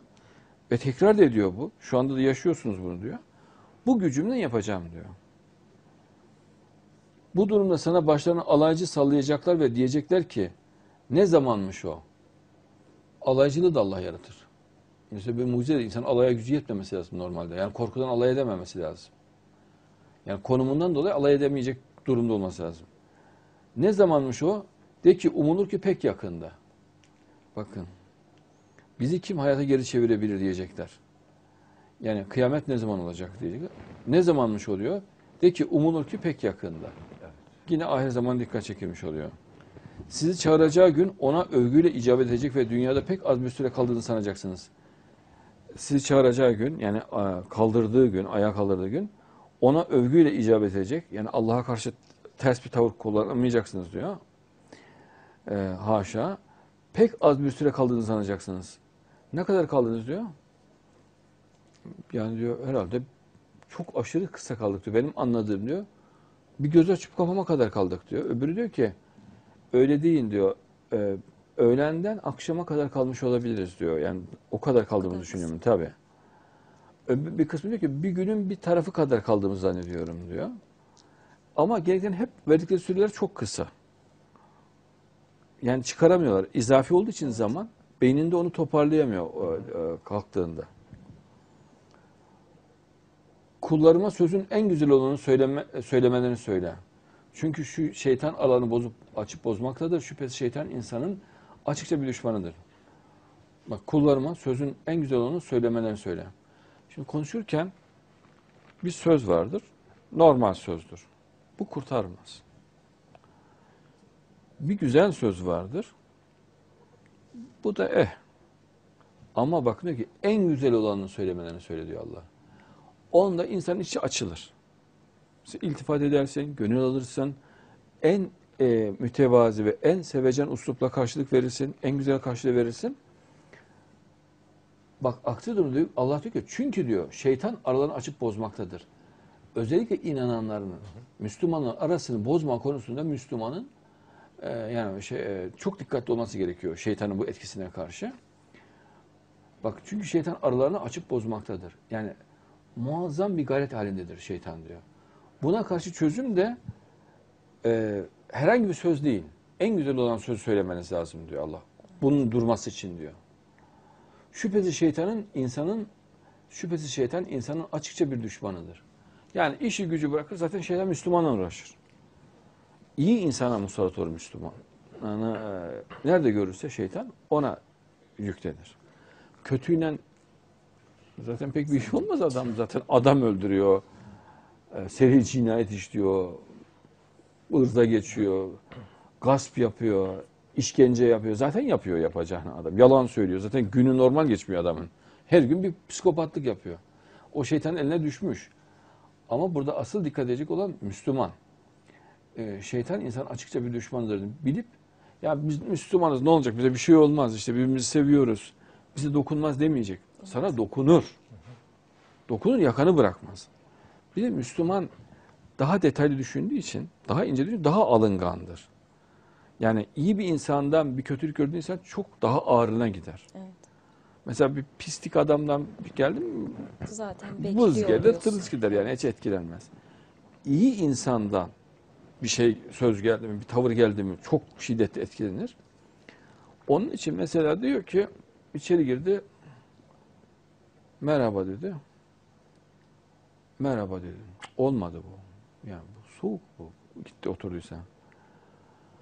Merhaba diyecek. Canım ciğerim diyecek. Neyse artık değil mi orada bir güzel bir şey söyleyecek. Bugün seni çok iyi görüyorum diyecek değil mi? Aa ben de seni çok iyi gördüm diyecek. Allah günümüzü hayırlı etsin diyecek. Sevinçle karşılayacak. Yüzünde güzel bir ifade, sevgi ifadesi, bir pırıltı olacak. Ve ya diyecek en güzeli hangisi olabilir? Çünkü en güzel söz Allah'ın rızasına en uygun olan olmuş oluyor.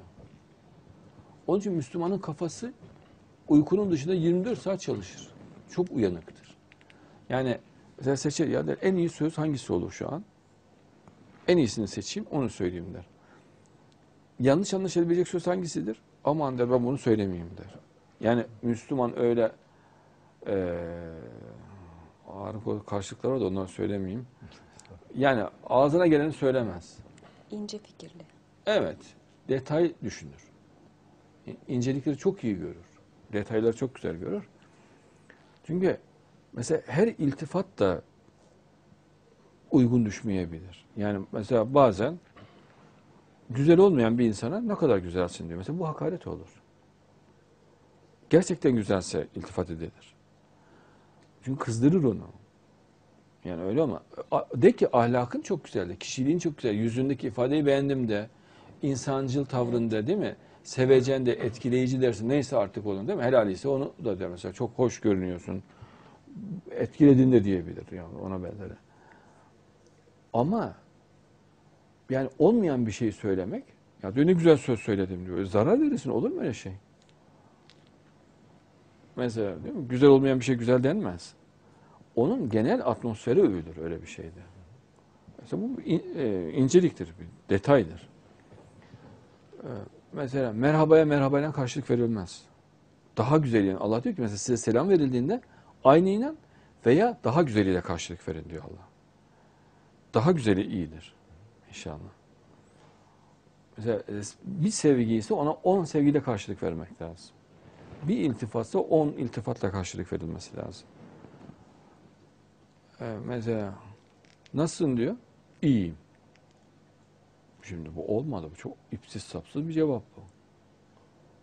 Olur mu? Allah'a hamdolsun çok iyiyim. Teşekkür ederim.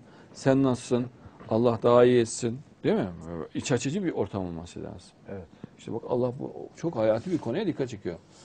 Kullarıma sözün en güzel olanı söylemelerini söyle. Yani en her şeyde Allah'ın rızasının en çoğu vardır. En güzel sözde de Allah'ın rızasının en çoğu vardır. Mesela ne bileyim sağlığını, sıhhatini koruma konusunda titiz olmak lazım. Eleştirirken de öyle bir cümle seçeceksin ki biraz gönlünü alır gibi, biraz eee, onu onore ederek ama onu en az rencide edecek kelimeyi bulmak lazım. Cümleyi bulmak lazım. Yani çünkü eleştiri insana çok ağır gelir genelde. Nefsine ağır gelir. Evet, düz eleştiri çok rahatsız eder. İnşallah özellikle böyle değil mi? Müslümanlar arasında çok özen olması lazım. Kendinden eleştirilir. Mesela ortaya laf söylemek de kızdırır yalnız. O da mesela bir uyanıklık değildir. Güzel. Mesela diyor ki ben ortaya laf söyledim. Sen onu ima ettin belli. İma çok kızdırır. Yani çok rencide eder. Öyle olmaz. Çok mecburiyet varsa ima olabilir. Yani çok daha ge- gelinlik olacaksa, kötü bir şey olacaksa ima olabilir. Onun dışında ima olmaz. Gönlünü alarak yani bunun önemli olmadığını söyleyerek. Ne bileyim mesela çok öfkeli. Kur'an'a dayandırarak söylemek lazım. Bak bizim sevgilimiz olan Allah öfkeli olmamamızı söylüyor. Ayette bunu söyledi değil mi? Zaten onun eleştirisi değil ki Kur'an'ın emri olmuş oluyor. Dolayısıyla ondan kurtulmuş olur. Ama şahsi kanaat olarak söylerse o onu rahatsız edebilir. Allah diyor dersen rahat olur. Yani çünkü herkesin kabul ettiği bir en üstün sonsuz güce tabi oluyorsun. Ama benim şahsi kanaatim bu dersen o olmaz. Şeytanın Allah'a sığınırım. Diyor ki Cenab-ı Allah Lokman suresinde eğer yeryüzündeki ağaçların tümü kalem ve denizde onun ardından yedi deniz daha eklenerek mesela bak yedi deniz olmasının söylemesi Kur'an'da o manidar. Mürekkep olsa yine de Allah'ın kelimeleri yazmakla tükenmez. Şüphesiz Allah üstün ve güçlüdür, hüküm hikmet sahibidir. E, Burada kastı Allah'ın e, bizim düşünce ufkumuzu açmak için söylüyor Allah. Çünkü insanlar hep Allah'a belirli bir oranı, sadece dünyada olan bir varlık gibi düşünürler. Veyahut uzayın belirli bir bölümünde. Halbuki yani sonsuz büyük dendiğinde biraz onu düşünülmesi lazım sonsuz büyüğün. Mesela uzaydaki bütün uzaydaki atomların sayısını bir düşünelim. Değil mi? Bir o kadar daha evren var. Yani o sayı kadar evren var. O sayının birbirinin çarpımı kadar yine evren var. O sayının birbirinin çarpımının çarpımının çarpımının çarpımının kadar evren var. Yani önü sonu yok. Çok çok büyük bir güçtür Allah. Yani, e, sonsuz büyüktür. Onun için e, ufkumuzu açmak için Allah zaman zaman böyle e, deliller verir. Mesela biz düşünüyoruz. Ağaçların tümü kalem. Dünyada ne kadar çok ağaç var. Yani şu kadar şu kadar kalem olacaklar. Bu kadar kalem olacaklar. Ve bu kalemler denizde, yedi deniz, Atlas Okyanusu falan hepsi mürekkep oluyor. Batırılıyor. Ve dünyadaki nimetler yazılıyor. Fakat bitmiyor. Yani deniz bitiyor, tükeniyor. Fakat Allah'ın kelimeleri bitmiyor. Ee, bu da Allah'ın büyüklüğünün anlaşılması içindir. Zaman zaman Allah'ın e, hatta her zaman Allah'ın büyüklüğünün düşünülmesi lazım. Yani özellikle sonsuzun düşünülmesi lazım. Sonsuz büyük ne demektir? Allah'ın büyüklüğü nasıl olur? Bunu insanın kafasına bir geçirmesi gerekiyor. O zaman Allah'ı hakkıyla takdir edecek duruma gelebilirler. Eğer böyle düşünmezlerse bunu kavramaları mümkün olmaz. Her halükarda dar planda düşünürler. Allah'ın bizden istediği mesela biz Allah Allahu Ekber diyoruz. Allah büyüktür diyoruz. Bu büyüklüğün e, tam kavranmasını istiyor Allah. İnsana her ne olursa olsun belirli bir e, sınır koymak istiyorlar. Öyle değil inşallah. Şeytandan Allah'a sığınıyorum. Yine Lokman suresi 31'de. Görmüyor musun ki size ayetlerinden bazılarını göstermesi için gemiler Allah'ın nimetiyle denizde akıp gitmektedir. Gemileri de ben götürüyorum diyor Allah. Çünkü denizde akışını biz beynimizin içinde görüyoruz. Kafamızda Allah göstermese öyle bir şey göremeyiz. Hiç şüphesiz bunda çok sabreden, çok şükreden için gerçekten ayetler vardır. Sabreden ve çok şükreden. Bu e, Müslümanın tarifi. Çok sabreden, çok şükreden. Allah Müslümanlar için diyebilirdi ama öyle dememiş, başka bir açıklama yapmış. Çok sabreden ve çok şükreden. Çünkü Müslüman sürekli sabırlı. Yani güzel ahlakta ta- sabırlı, cömertlikte sabırlı, iyilikte sabırlı, vefada sabırlı. Mesela vefa ömür boyu olması gerekiyor, sabırlı olmak gerekir. Ve çok şükreden. Allah'ın nimetine şükretmesi. Elhamdülillah bak bizi burada bir araya getirdi Allah. Sohbet ettiriyor. Sağlığımız, saatimiz yerinde. Mesela bir belanın içinde değiliz, bir derdin içinde değiliz. Nimetler var. Allah ışık yaratmış, aydınlık, pırıl pırıl. Ve interneti yaratmış. Yani mümin kardeşlerimiz şu an bizi Avrupa'nın birçok yerinde, dünyanın birçok yerinde izleyebiliyorlar. Tabii büyük bir kitle tarafından izleniyoruz. Ey insanlar Rabbinizden korkup sakının. Şeytandan Allah'a sığınıyorum. Korkup sakınmak ne demek? Mesela bir kötülük yapacaksa, bir yanlış yapacaksa Allah onu ahirete hesabını vereceğini düşünüp dengeli tutarlı olacak. Evet. Öyle bir günün azabından çekinip korkun ki o gün hiçbir baba çocuğu için bir karşılık veremez. Hani babası oğluna düşkündü, oğlu babasına düşkündü. A- Kıyamet başlayınca hepsi başı derdine düşüyor. Evet. E, korusana oğlunu işte, değil mi? Al üstüne kapan, korumaya çalış. E, daha önce yapıyordun, değil mi? Yapamıyor. Yapamaz. Çünkü bu mümin vasfıdır. Mümin mümini korur, Müslümanı korur. O zaman küfür hakim olacağı için böyle bir şey olmayacak. Hiçbir baba çocuğu için karşılık veremez ve hiçbir çocuk da babası için bir şey verebilecek durumda değildir. Onunla zaten canı alınmış oluyor. Yani küçük çocukların da canı alınacak kıyametten önce. Azabı görmemeleri için. Şüphesiz Allah'ın vaadi haktır. Artık dünya hayatı sizi aldatmaya sürüklemesin ve aldatıcılar da sizi Allah ile aldatmasın. Allah ile aldatan çok fazla aldatıcı var. Görüyorsunuz her yerde. E, tek tek sayarsam şimdi olmaz ama herkes biliyor. Evet. Ama bak Allah diyor ki artık dünya hayatı sizi aldatmaya sürüklemesin. Yani dünya hayatında bir şey yok diyor Allah. Ya bir görüntü için, ucuz zevkler için sakın Allah'ı bırakmayın. Kur'an'ı bırakmayın, ahireti bırakmayın, güzel ahlakı bırakmayın. Ya O ucuz zevkler de sizi boğar diyor ondan sonra Allah. Yani çok canınız yanar. Çünkü bir mutluluk yok sonunda. Allah mutluluk vermem diyor. Şeytandan Allah'a sığınırım. Ey peygamber gerçekten biz seni bir şahit, bir müjde verici ve uyarıcı olarak gönderdik. Bir kere şahit. Mesela ben size şahidim. Siz de bana şahitsiniz. Birbirimizi görüyoruz. Şahidiz. Bir müjde verici. Ben mesela müjde veriyorum. Müslümanlar müjde veriyorlar. Değil mi? İnşallah siz mesela bir konu anlatıyorsunuz, müjde vermiş oluyorsunuz. Ve uyarıcı olarak gönderdik. Helal harama dikkat edelim. Güzel huylu olalım, vefalı olalım, sadık olalım, sevecen olalım, affedici olalım. Hayra yoralım, hayır gözüyle bakalım diyoruz değil mi? İnşallah, maşallah. Ve kendi izniyle Allah'a çağıran ve nur saçan bir çera olarak gönderdik. Bak. Ve kendi izniyle Allah'ın yaratmasına, Allah'a çağıran, yani İslam'a, Kur'an'a çağıran, İslam birliğine çağıran, İttihat-ı İslam'a çağıran, Türk İslam Birliği'ne çağıran ve nur saçan bir çera, bir kandil olarak gönderdik diyor. Işık saçıyorsun, nur saçıyorsun diyor Allah.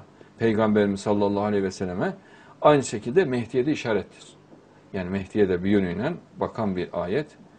Müminlere müjde ver. De diyoruz Mehdi'yi müjdeliyoruz değil mi? Hazreti İsa aleyhisselam müjdeliyoruz. Dünya hakimiyetini müjdeliyoruz. Gerçekten onlar için Allah'tan büyük bir fazl vardır. Kurtuluş, ferahlık, iyilik. Kafirlere ve münafıklara itaat etme. Yani ne diyorlarsa da kabul etme. Onların sapkın düşüncelerine, fikirlerine e, uyma. Eziyetlerini aldırma. Seni tutuklattırabilirler, hapsattırabilirler, e, suikast yaptırabilirler, oyun oynayabilirler, küfredebilirler, değil mi? Tuzak kurabilirler. Hiçbir şeyi aldırma diyor bak. Eziyetlerini aldırma ve Allah'a tevekkül et. Allah'ın koruması altındasın. Her şeyi Allah yaratıyor diyor Cenab-ı Allah. Vekil olarak Allah yeter. Benim korumam altındasın diyor Allah. Ve her şeyi ben yanıtıyorum diyor. Evet. Allah ve Resulü bir işe hükmettiği zaman mümin erkek ve mümin bir kadın için o işte kendi isteklerine göre seçme hakkı yoktur.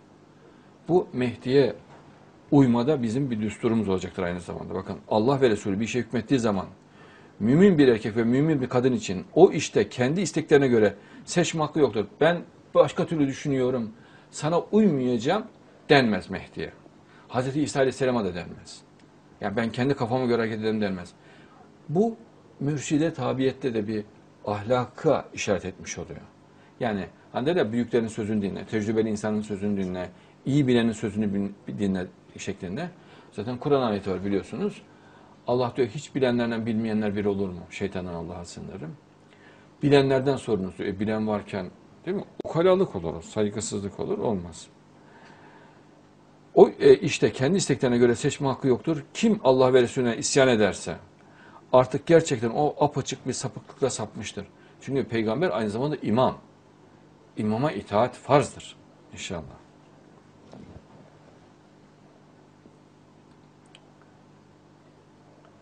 Bakın burada sürekli nurdan bahsediyor. Lisan nurdan da bahsettik daha yeni. Çok manidar.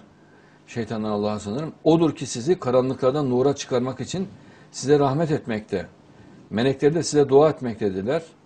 Şeytandan Allah'a sığınırım. O müminleri çok esirgeyicidir. Ben sizi koruyorum diyor Allah inşallah. Yani zulümatlardan nura. Bu ayetlerin ebcedleri hep e, Bediüzzaman'ın e, zamanına, Lisan-ı Nur Külliyatı'nın yazılış tarihine, yani bu e, nurla ilgili, nurdan bahseden ayetler hep o tarihleri veriyor. Bu da çok manidar, çok acayiptir. Onu başka bir gün, biz çünkü hep Mehdi devrine bakalım. Bir de Bediüzzaman'ın devrine bakan ayetler var. Bediüzzaman'ın bizzat kendi tespitleri, Abdülhamit devrini vurguluyor. Cengiz Hülagu fitnesi dönemlerine vurguluyor. Yani Kur'an'dan bütün tarihi adeta e, gözler önüne getirmiş Bediüzzaman. Mesela şu tarih şuna bakar diyor, şu tarih şuna bakar ve hepsi tam isabet. Yani ne dediyse doğru çıkıyor. E, Bediüzzaman e, gerçekten çok büyük bir alim. Yani ben tam anlatamadım insana ya. Birçok insan da bilmiyor. Yazık bilmemeleri. Yani çok çok yazık. Yani mutlaka tanımaları lazım. Yani Nur Külliyat'ını mutlaka okusunlar. Ve çok nefis bir Osmanlıca vardır. Yani çok çok güzel. Yani böyle ahenk, e, sıcaklık ve müzik vardır uslubunda. Yani nefis bir Osmanlıcadır. Ve çok zengin bir dil kullanmıştır Bediüzzaman. Yani hayret edilecek bir e, dil genişliğine sahip. E, yani Osmanlıcanın o tatlı uslubu, o hoş uslubu, beyinlere, ruha etki eden o derin uslubunu e, görebilecektir kardeşlerimiz. Ya iki sayfa bile oku, olsa okusunlar. Yani dediğimin doğru olduğunu anlayacaklar.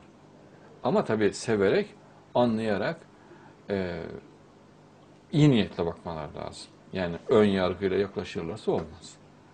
Ön yargıyla Kur'an'a yaklaşırlarsa o da olmaz. Tabii. O zaman Kur'an onları boğar söyleyeyim. Yani olan akılları da gider ondan sonra. Kur'an'ın öyle bir özelliği vardır. Yani iman gözüne sevgiyle yaklaşırsa kurtuluşuna vesile olur. Küfür ve e, muannit göze yaklaşırsa da boğar Kur'an onu. Yani tam anlamıyla bunalıma girer. Yani olan aklı da gider. Yani Allah vermesin. İnşallah. Sonra onların arkasından öyle nesiller türedi ki namaz kılma duyarlılığını kaybettiler. Yani namazları bıraktılar diyor Allah. Ve şehvetlerine kapılıp uydular. Şehvet sadece cinsel ilişki değildir. Yani her şey. Yani insanın nefs çıkarına uygun olan her şey. Yani nefsane olan şeyler. Böylece bunlar azgınlıklarının cezasıyla karşılaşacaklardır. Ancak tövbe eden, iman eden ve salih amellerde yani samimi yaşayan, samimi ibadet edenler, bulunanlar onların dışındadırlar. İşte bunlar cennete girecekler ve hiçbir şeyle zulme uğratılmayacaklardır. Yani adnen cennetleri onlarındır ki Rahman olan Allah onu kendi kullarına gaybden vaat etmiştir. Yani görünmez olarak vaat etmiştir. Görmedikleri halde vaat ediyor Allah. Şüphesiz onun vaadi yerine gelecektir. Cennette, adnen cennetinde onda boş bir söz işitmezler. Sadece selam, yani güvenlik, rahatlık e, bunları işitirler diyor. Sabah akşam onların rızıkları orada bulunmaktadır. Yani sürekli tükenmeyecek yiyecekler vardır diyor Allah. O cennet biz kullarımızın takva sahibi olanları ona varisçi kılacağız. Yani takva sahibi Allah'ın dinine titiz olanlar, samimi olanları varisçi kılacağız. Yani biz oraya onları göndereceğiz. Şeytan Allah'a sınırım. Ee, sonra biz ona cehenneme girmeye kimlerin en çok uygun olduğunu daha iyi biliriz. Yani kimlerin cehenneme gireceğini biz biliriz diyor Allah. Bakın sizden ona girmeyecek hiç kimse yoktur. Herkes girecek cehenneme diyor. Demin söylemiştim ya. Cehennem arazisine bir kere girilecek. Bu Rabbinin kesin olarak üzerine aldığı bir karardır. Yani çünkü o zaman biz bilmemiş olacağız. Allah yani cehennemden bahsediyor. Sonsuza kadar bilmemiş olacağız cehennemi. Onun için Allah işine sokmayarak arazisine sokuyor cehennemin. Sonra takva sahiplerini kurtarırız. Sonra onlar oluyor yani müminleri, takva sahiplerini o araziden alıp cennete götürüyor Allah, götürtüyor. Zulmedenleri e, dizüstü çökmüş olarak bırakırız. Yani cehennem arazisinde onlar dizüstü bırakılıyorlar. Orada kalıyorlar. Sonra oradan cehennem alınıyorlar. Yani ikinci aşamada. Cenab-ı Allah diyor ki 11. ayette Sonra duman halinde olan göğe yöneldi. Böylece ona ve yere dedi ki isteyerek veya istemeyerek gelin ikisi de isteyerek, itaat ederek geldik dediler. Bakın e, dünyanın ilk yaratılışta atmosferin tamamı bir dumanla kaplı olduğunu Kur'an 1400 sene öncesinden bildiriyor. Bilim daha bunu bu yüzyılda anladı. Yani ilk e, dünyanın oluşumunda bütün yeryüzünün dumanla kaplı olduğunu, yani her tarafın e, gazlarla kaplı olduğunu söylüyor. Bakın ayet sonra duman halinde olan göğe yöneldi diyor Allah. 1400 sene öncesinden bilimden önce Allah açıklıyor Kur'an'da. Ee, sonra da tabii biraz da 11 Eylül olaylarına, 11 Eylül'deki olaya da bakıyor. Duman 11 biraz manidar. Evet.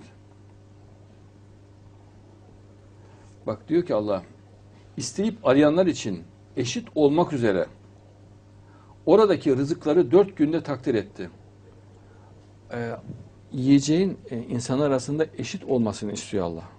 Yani herkese yiyeceğin dağıtılmasını, yani biri az yiyen, biri çok yiyen, böyle değil de eşit dağıtılmasını e, burada Kur'an işari manada bize bildirmiş oluyor.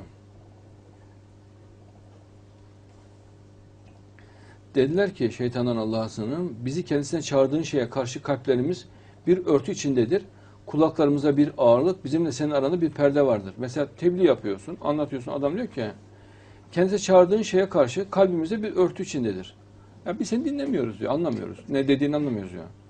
Kulaklarımızda bir ağırlık var diyor. Yani ne anlatıyorsun sen diyor. Masal mı anlatıyorsun diyor. Bizimle senin aranda bir perde vardır. Yani mümkün değil bizim seninle anlaşmamız diyor yani. Seni anlam kabul etmem mümkün değil.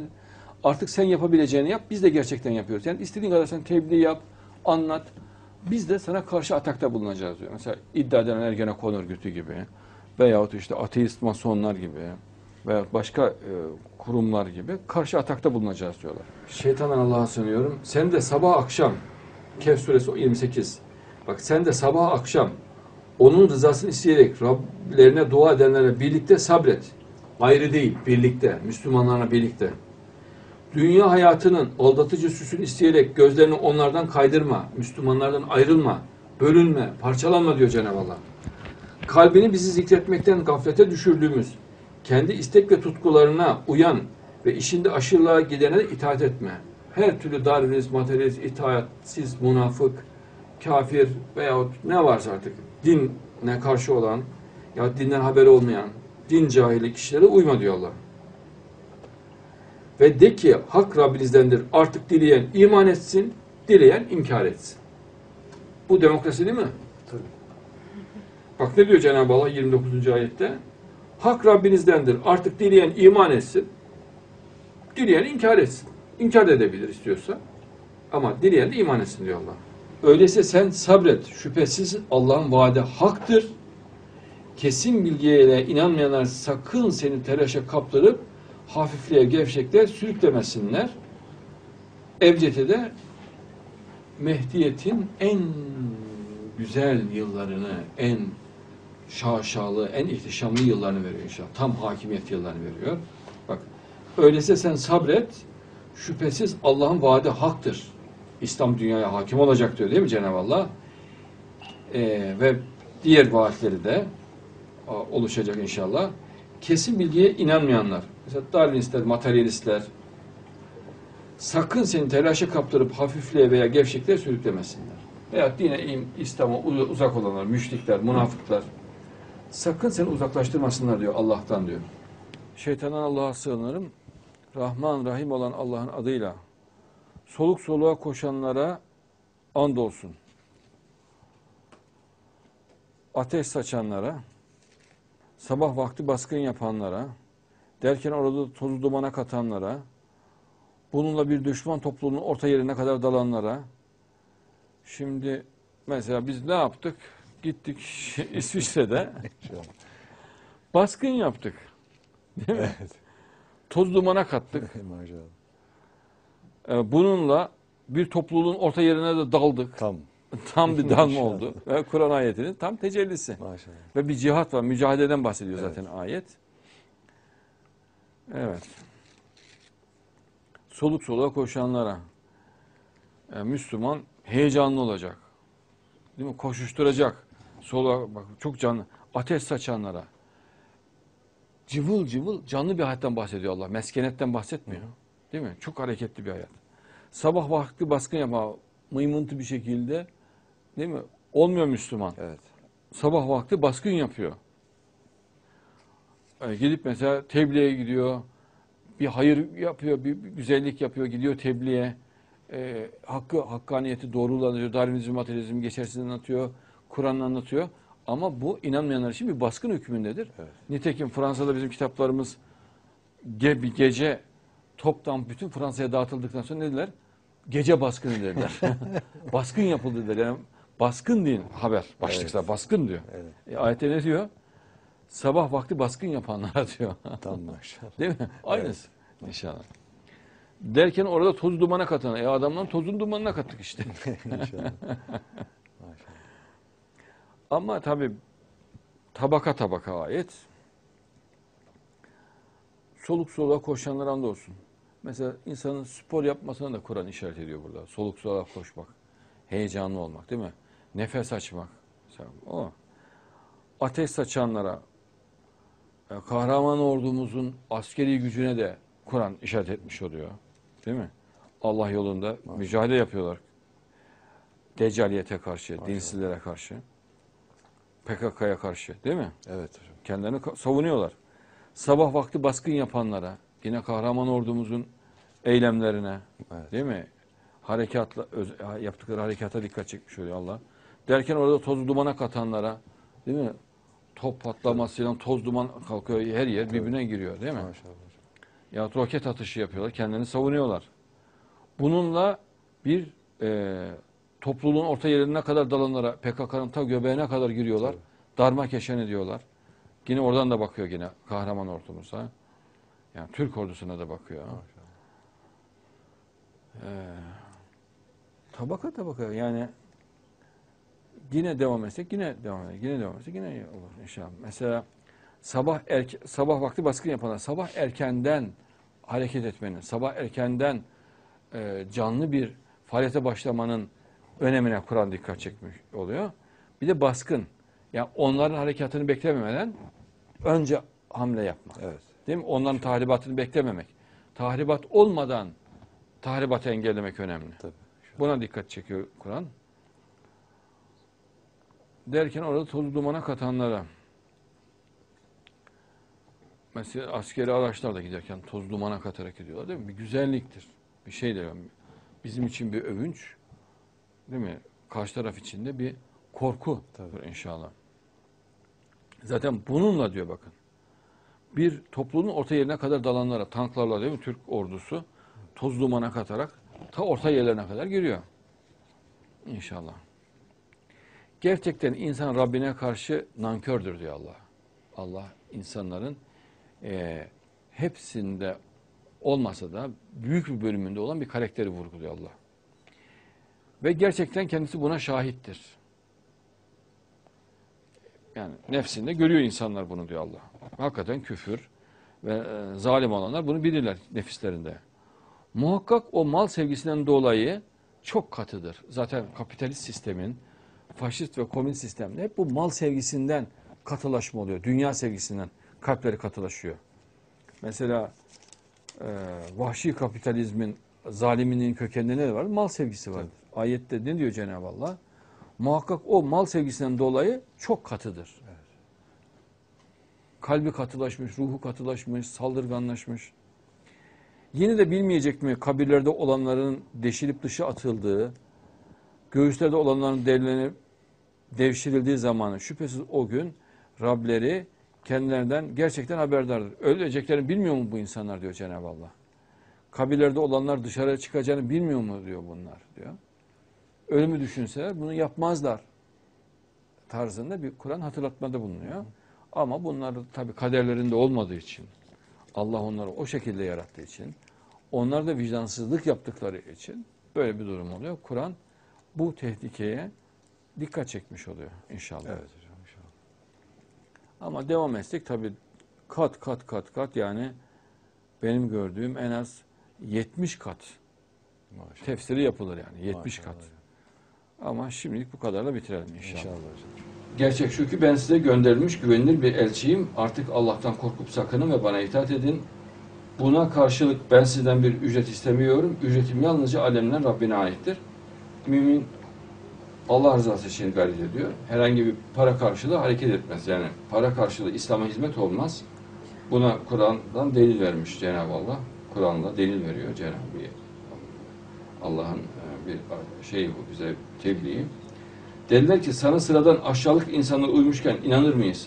Bak Mehdi cemaatine de aynı suçlamalar olacaktır. Yani sıradan insanlar, kötü insanlar diyeceklerdir. İnşallah. Bakın aynısını burada görüyorsunuz. Nuh peygamberin kavmine söylüyorlar. Dediler ki sana sıradan aşağılık insanlar uymuşken inanır mıyız? Yani "Aa, boş adamlarsınız diyor. Siz, siz kimsiniz ki diyor. Beğenmiyorlar yani inşallah.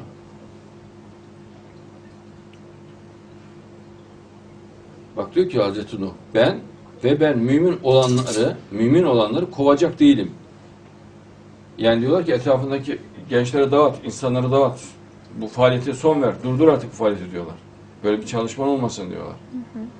Nuh da diyor ki ve ben mümin olanları kovacak değilim. Allah'ın kulları onlar diyor. Allah rızası için benim yanıma geliyorlar. Niye kovuyum diyor. Ben yalnızca apaçık bir uyarıcıyım, tebliğciyim. Mehdi'nin talebelerinin dağılması için de uğraşacaklardır. Fakat başarılı olamayacaklardır inşallah. Mehdi'ye de öyle baskı olacaktır. Fakat Mehdi asla kabul etmez tabii inşallah. Siz daha iyi bilirsiniz hocam inşallah. Hadisi şerifte de baskı olunca daha da genişlediği Tabii. işaret var Mehdiyet'in. Mehdi'nin diyor sırtı dövülür diyor. Mehdi'nin sırtına diyor vurdukça Mehdi gittikçe genişlemeye başlar diyor. Büyür diyor. Yani bir insan dövülünce genişlemez. Buradaki Evet. kastedilen müteşabih tabii cübbeli olsa öyle anlar. Tabii. Tabii. Müteşabih yani ünlü şanı yayılır. Yani Evet, ona basın şanı. saldıracak, televizyonlar saldıracak, radyolardan saldıracaklar. Bir kısım insanlar dedikodu yapacak, fitne fucu çıkacak ama onun üstüne baskı arttıkça onun ünlü şanı ve gücü artacak. Yani onlar istese de istemese de hizmet etmiş olacaklar Mehdi'ye. Bu anlaşılıyor inşallah. Şeytandan Allah'a sığınırım. Ee, bunun üzerine onu ve onunla birlikte olanları insan ve hayvanlarla yüklü gemi içinde kurtardık Hazreti Nuh için. Sonra bunun ardından geri kalanları suda boğduk. Gerçekten bunda bir ayet vardır ama onların çoğu iman etmiş değillerdir. Ee, gerçekten bunda bir ayet vardır sözü 2010 tane veriyor Ebced'i. Maşallah. Bakın Nuh'un gemisinin bulunduğu tarih. Bakın Nuh, Hazreti Nuh'tan bahsediyor. Bak ben yalnızca apaçık bir uyarıcıyım diyor. Dediler ki eğer bu söylediklerine bir son vermeyecek olursan Nuh'u tehdit ediyorlar. Gerçekten taşa tutulup kovulacaksın. Yani şu anda da ne yapıyorlar? Basın yoluyla ya televizyonlarla değil mi? Ba- Bir kısım Müslümanları taşa tutuyorlar. Bazı televizyonlar, bazı basın. Ee, onu etkisiz hale getirmeye çalışıyorlar. Dedi ki Rabbim şüphesiz kavmim beni yalanladı. Bakın Mehdi de yalanlanacak. Hazreti Nuh da yalanlanmış. Bundan böyle benimle onların arasını açık bir hükümle ayır ve beni ve benimle birlikte olan müminleri kurtar. Ki bakın Türkiye hakikaten ekonomik krizi en e, rahat değil mi? Atlatan, evet. Tolere eden diye mi? Gerçi süslü bir söz ama bir ülkedir inşallah. Etkisi o kadar şiddetli olmadı. Olmayacağını söylemiştik daha önce zaten. Az olacak etkisi demiştik. Bunun üzerine onu ve onunla birlikte olanları insan ve hayvanlarla yüklü olan gemi içinde kurtardık. Sonra bunun ardından geride kalanları suda boğduk. Gerçekten bunda bir ayet vardır diyor Allah. İşte bu da 2010 tane veriyor. Ayet yani hocam siz daha iyi bilirsiniz inşallah. Ayet yani delil demek. Tabii. Delilin bulunduğu Tabii. anlıyoruz. Evet. Gerçekten buna bir ayet vardır. Tabi e, burada kastedilen birinci anlamı, zahir anlamı e, bu durumda, meydana gelen bu olayda bir ayet vardır, bir delil vardır. Yani e, insanlar zulmederlerse Allah helak eder, edebilir. Buna işaret ediyor. Ama ikinci anlam olarak da geminin bulunmasında bir ayet var. İnşallah. Kur'an buna işaret etmiş oluyor. İnşallah. Şeytan Allah'a sanıyor. Biz bu Kur'an'ı senin dilinde kolaylaştırdık, kolay hale getirdik. Takva sahiplerine yani samimi olarak İslam'ı yaşayanlara müjde vermen, yani cennet müjdesi, ahirette e, Allah'ın rızasını kazanmaları müjdesi, e, İslam'ın dünyaya hakimiyeti müjdesi ve birçok. Ve direnen bir kavmi uyarıp korkutman için. Direnen yani direnme şöyle hakkı görüyor, kabul etmiyor. Hakkı görüyor, kabul etmiyor. Yani vicdani bir direnme bu. Yani vicdanlarına uymamak. Ayette de geçiyor. Vicdanları kabul ettiği halde diyor, zulüm ve büyüklenme dolayısıyla reddettiler diyor Allah. Bir zulüm, yani zulme yatkınlık ve büyüklenme, enaniyet. Yani kendini yüce görme e, duygusu nedeniyle e, yapmadılar, direttiler diyor Allah. Direnen bir kavmi uyanıp korkutman için biz onlardan önce nice insan nesillerini yıkıma uğrattık. Şimdi ise onlardan hiçbirini hissediyor veya onların fısıltılarını duyuyor musun? E, tabii ki e, insanlar onların ne e, hissedebiliyor ne de fısıltılarını duyuyor. Ama bakın burada Kur'an'da şuna da işaret var. E, bu hislerin saklandığı anlaşılıyor. Yani bütün hislerin ve fısıltılar yani bütün konuşmalarında durduğu anlaşılıyor. Yani sonsuza kadar yok olmaz. Biz duyamıyoruz. Normalde ses dalgaları biliyorsun ayrıca fizik anlamda da yok olmaz, kaybolmaz. Durur. Evet. Ee, işte biz onu apaçık ayetler olarak indirdik, Kur'an'ı. Şüphesiz Allah dilediğini hidayete yöneltir. Şeytandan Allah'a sığınırım. Yani kimin de hidayete yöneltiyor, kimini küfre yöneltir Allah. Yani delalete düşürtür. Gerçekten iman edenler, Yahudiler, yıldıza tapanlar, Sabiler, Hristiyanlar, ateşe tapanlar, Mecusiler, şirk koşanlar, şüphesiz Allah kıyamet günü aralarını ayıracaktır. Doğrusu Allah her şeyin üzerine şahit olandır. Şeytandan Allah'a sığınıyorum. Görmedin mi ki gerçekten göklerde ve yerde olanlar, güneş ve ay, yıldızlar, dağlar, ağaçlar, hayvanlar ve insanlardan birçoğu Allah'a secde etmektedirler. Birçoğu üzerine azap hak olmuştur. Allah kimi aşağılık kılarsa artık onun için bir yüceltici yoktur. Aşağılıktır artık diyor Allah. Şüphesiz Allah dilediğini yapar. Şeytan Allah'a sığınırım. Firavun dedi ki bırakın beni Musa'yı öldüreyim de o gitsin Rabbine yalvarsın yakarsın. Sanki bırakın beni bakın. Tam sokak kavgalarına yapar ya kabadayılar falan bırakın beni tutmayın falan. Tam it uslubu yani böyle. bırakın beni. bırakın beni. Lan zaten sen devletin başında olan adamsın bırakın beni. yani tam klasik kaz yani bu e, Firavun. Musa'yı öldüreyim de o gitsin Rabbine yalvarıp yakarsın. Yani öldürdükten sonra gitsin Allah'a yalvarsın ne istiyorsa gibisinden söylüyor. Bakın e, bu sözünü Allah ona geri aldırdı. Bu e, Firavun'un bu sözünü bak Musa'yı öldüreyim de o gitsin Rabbine yalvarıp yakarsın. Allah onu yalvarıp yakarttırdı. Denizin içinde yalvardı. Değil mi? Evet. Harun'un ve Ra- Musa'nın Rabbine teslim oldum dedi. Kurtulmak istedi. Evet. Ama Allah kurtarmadı. Ee, bedenini kurtaracağım seni dedi. Can, e, ruhunu alacağım dedi Allah. Evet. Değil mi? Evet. Bak çünkü sizin dininizi değiştirmesinden şimdi bizde millet bize niye reaksiyon gösteriyor? Çünkü adamlar dinini değiştirmemizden korkuyorlar. Adamın dini Darwinizm, materyalizm, bir pagan dini, eski bir Sümer dini, putperest bir din. E zaten bizim aleyhimize gazete yazıların en son hep Darwinizmden biter. Evet. En son orada noktayı orada koyarlar. Der ki işte Darwinizme karşı mücadele ediyor falan peşmeken. Avrupa basında da hep öyle. Aleyhimize yazı olduğunda hep konu Darwinizmdir. Bak ne diyor adamlar? Çünkü diyor sizin dininizi değiştirmesinden yani Darwinizmi, materyalizmi yıkmasından o zaman da Darwinizm var çünkü. Firavun'un devrinde. Darwinizmi, materyalizmi yıkmasından ya da yeryüzünde fesat çıkartmasından korkuyorum. Fitne çıkartıyor. diyor. Kargaşa.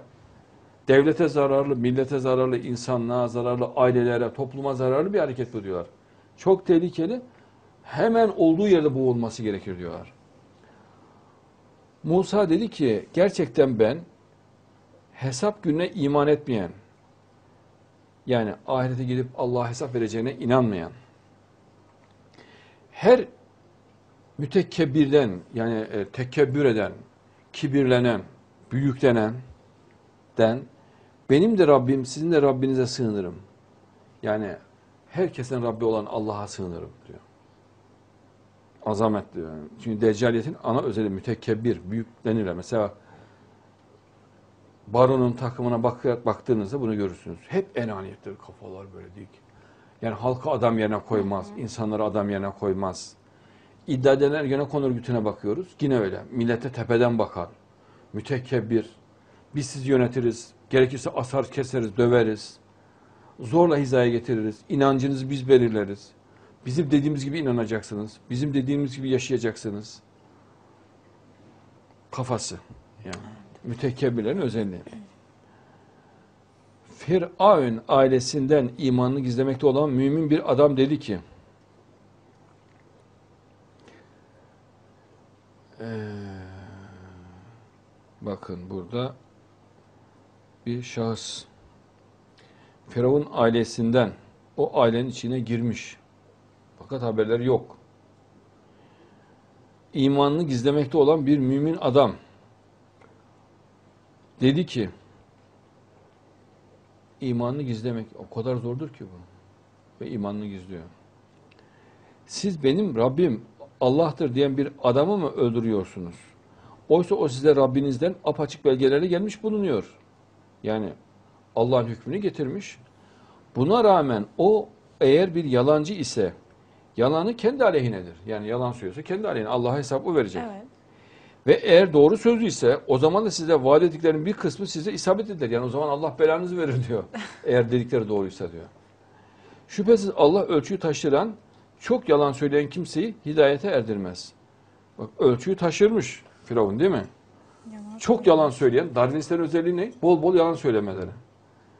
Firavun da Darwinist, o da bol bol yalan söylüyor. Bakın hiç tarihte değişmiyor sistem. Çok yalan söyleyen kimseyi hidayet edemez. O zaman Allah ona iman nasip etmez diyor. Cenab-ı Allah. Firavun ailesinde imanı gizlemekte olan mümin bir adam.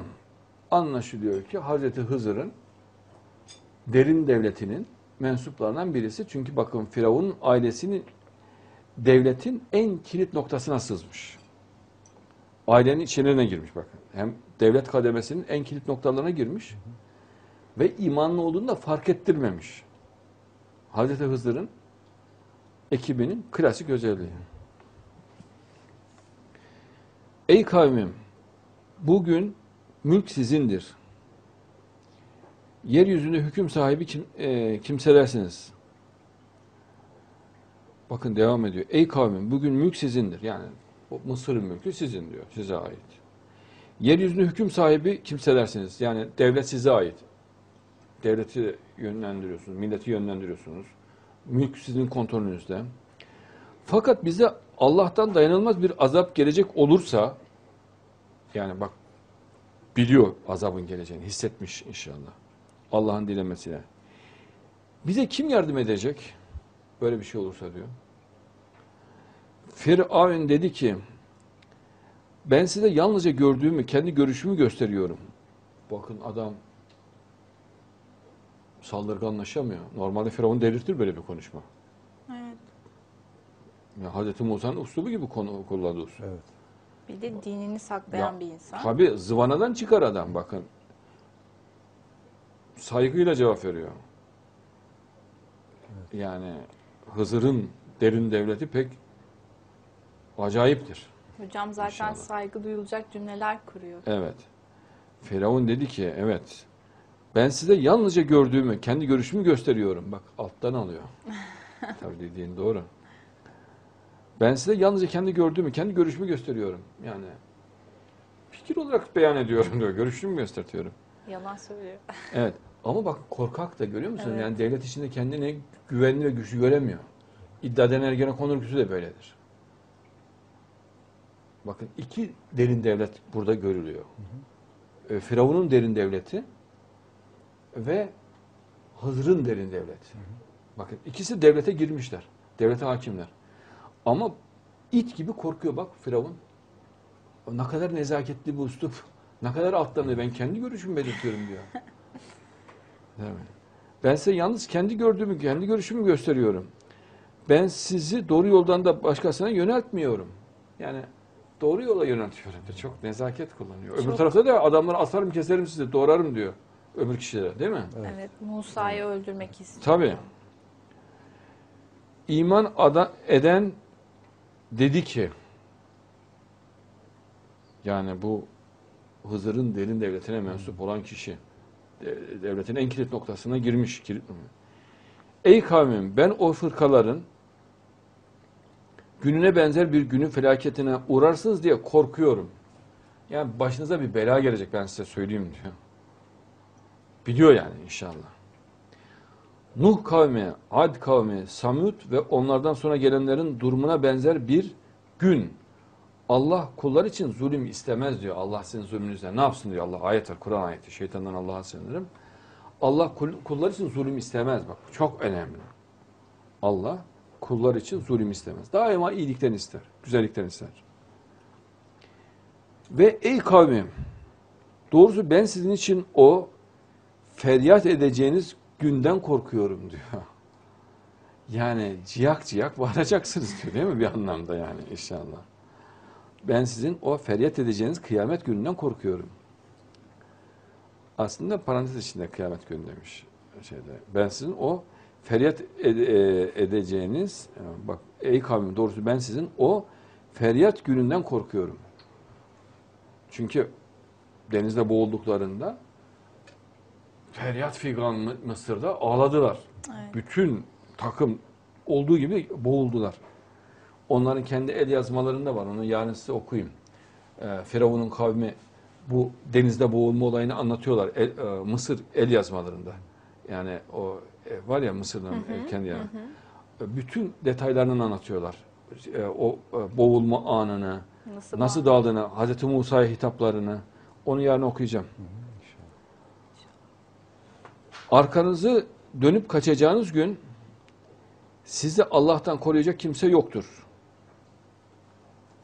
Ha, bak işte Allah alem Çok güzel söyledin. sırf kıyamet değil kastettiği şey Allah alem. Ee, o Firavun'un e, so- uğrayacağı sonu da e, biliyor Allah alem.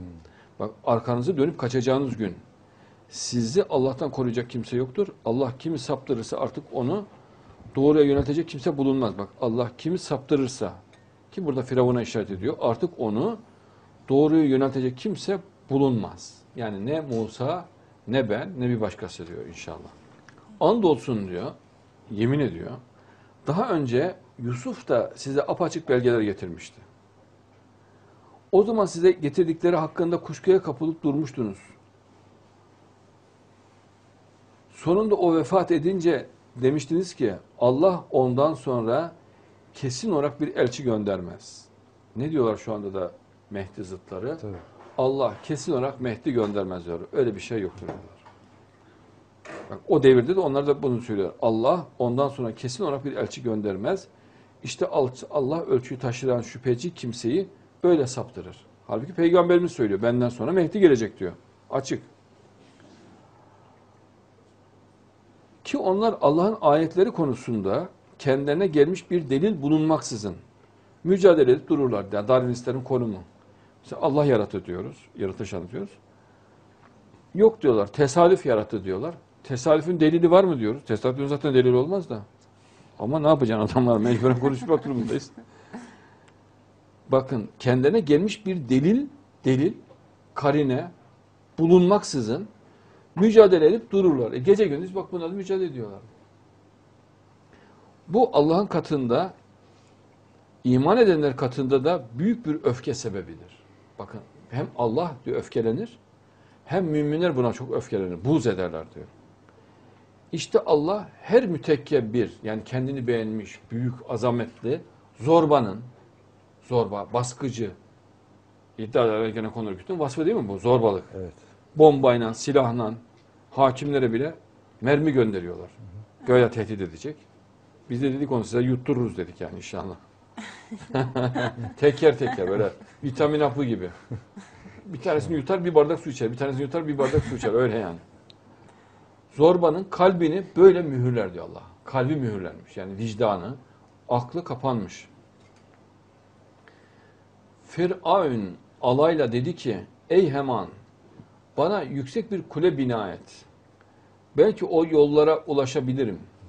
Yani Allah'ı gökte biliyor ya bazı tipler de var öyle. Allah gökte bir yerde duruyor diyorlar. Haşa. Firavun da aynı kafada. O da gökte bir yerde durduğunu zannediyor Allah'ın. Ey Haman eee, Haman o zaman eee, kule yapan usta. İnşallah. Kule ustası. İnşallah. Bu Haman eee 1300 seneden beri bilinmiyordu. 1400 seneden beri bilinmiyordu. Öyle mi? Haman evet yeni anlaşıldı Haman. Yani Mısır yazmalarında anlaşıldı. Haman denildi. Yani bu kule yapanlar, kule ustalarına Haman deniliyor. Evet. Ey Haman diyor. Yani bir şahıs ismi değil bu. O e, ustanın ismi. Yani us- o ustalık türünün ismi. Kule ustası inşallah. O mesleğinin adı. Evet mesle evet. Ama bakın yeni e, birkaç sene oluyor bu fark edileli. Yeni yeni anlaşıldı. Kur'an'ın bir mucizesidir bu. Bana evet, bana yüksek bir kule bina et. Belki o yollara ulaşabilirim. Göklerin yollarına diyor. Gökte hakikaten yollar var ama onun anladığı anlamda yollar değil inşallah. Böylelikle Musa'nın ilahına çıkabilirim. Çünkü ben onun yalancı olduğunu sanıyorum Hazreti Musa'nın. İşte Firavun'a kötü ameli böyle çekici kılındı ve yoldan alıkonuldu. Firavun kendi hilali düzenini yıkım ve kayıptan olmakta başka bir şey olmadı. Bakın Firavun'un hilali düzeni yıkım, yıkım ve kayıp. Ta olmaktan başka bir şey olmadı. Ne oldu? Ne var ne yoksa hepsi yıkıldı ve kayıp. Malı mülk her şey kayboldu suyun içerisinde. Boğulup gittiler. İman eden adam dedi ki, bakın o şahıs yine orada. Ey kavmim, siz bana tabi olun. Ben sizi doğru yola iletip yönelteyim. Yani çok muazzam bir cesaret ve muazzam bir ifade. Bak, ey kavmim diyor, siz bana tabi olun. Ben sizi doğru yola iletip yönelteyim. Vazifeli oldu anlaşılıyor. İnşallah. Ey kavmim gerçekten bu dünya hayatı yalnızca bir meta, kısa süreli bir yaralanmadır. Şüphesiz ahiret asıl karar, e, kılınan yurt odur. Bu dünya geçicidir diyor ama ahiret sonsuzdur. Asıl, asıl karar kılınan yerdir diyor. Kim bir kötülük işlerse kendi mislinden başkası ceza görmez. Kötülük yaptığında aynısına karşılık alacaklar diyor Allah. Mesela adam öldürdüyse aynı acıyı, aynı azabı ona Allah sonsuza kadar tattırıyor. Bir kötülük yaptıysa karşılığını veriyor Allah. Ee, kim de erkek olsun, dişi olsun, bir mümin olarak salih amelde bulunursa, samimi davranırsa, işte onlar içinde hesapsız olarak rızıklandırılmak üzere cennete girerler. Yani bir limiti yok diyor Allah. Sonsuz nimet verilecek diyor Allah. Ey kavmim ne oluyor ki ben sizi kurtuluşa çağırıyorken siz beni ateşe çağırıyorsunuz. Ben sizi kurtuluşa çağırıyorum ama siz de beni ateşe çağırıyorsunuz diyor. Cehenneme çağırıyorsunuz diyor. Siz beni Allah'a karşı inkar etmeye, yani o zamanın Darwinist materyalist düşüncesini kabul etmeye, hakkında bilgim olmayan şeyler, delil olmayan, hiçbir açıklaması olmayan şeyleri ona şirk koşmaya çağırıyorsunuz. Yani tesadüfün e, her şeyi yarattığına inanmamı istiyorsunuz diyor. Ben ise sizi üstün ve güçlü olan, bağışlayan Allah'a çağırıyorum. Bak. Üstün, güçlü, bağışlayan Allah'a çağırıyorum. İmkanı yok. Gerçekten ben, beni kendisine çağırmakta olduğunuz şeyin dünyada ve ahirette de çağrıda bulunma yetkisi, gücü ve değeri bağışlaması yoktur. Yani böyle bir gücü yok diyor tesadüfün. Yani yaptığınız ilahın, putperest düşüncenin hiçbir gücü yok diyor. Şüphesiz bizim dönüşümüz Allah'adır. Yani ölüp herkes Allah'ın yanına gidecek, Allah'ın katına gidecek.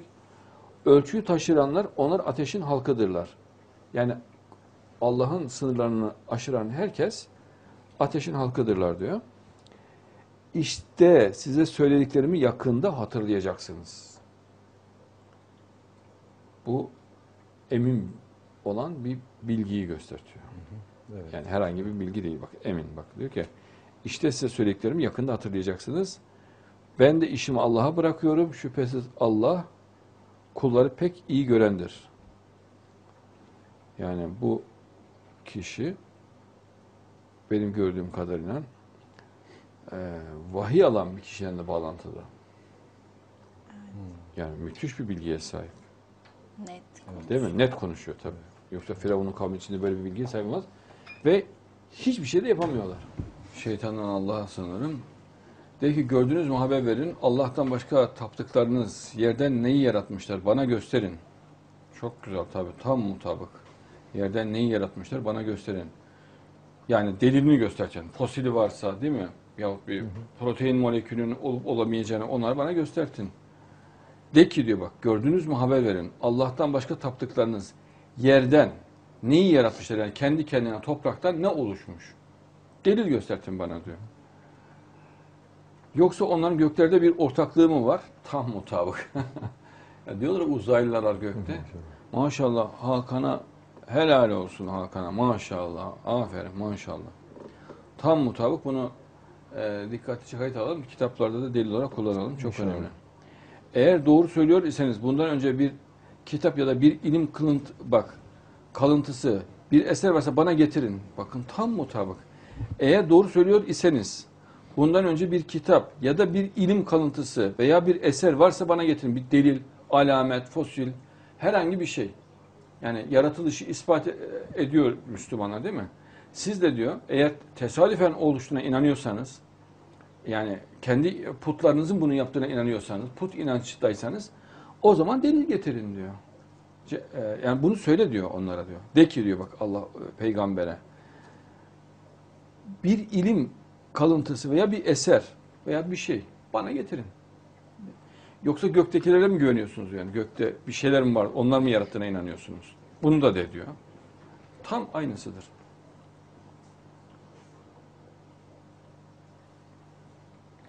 Allah'ı bırakıp kıyamet gününe kadar kendisine icabet etmeyecek şeylere tapandan daha şaşırıp sapmış kimdir? Yani hiçbir zaman için tesadüf ilah olamaz. Kur'an ona işaret ediyor. Oysa onlar bunların e, tapmalarından habersizdirler. Yani madde bunların inancından habersiz. Atom onları ilahlaştırdığını bilmiyor.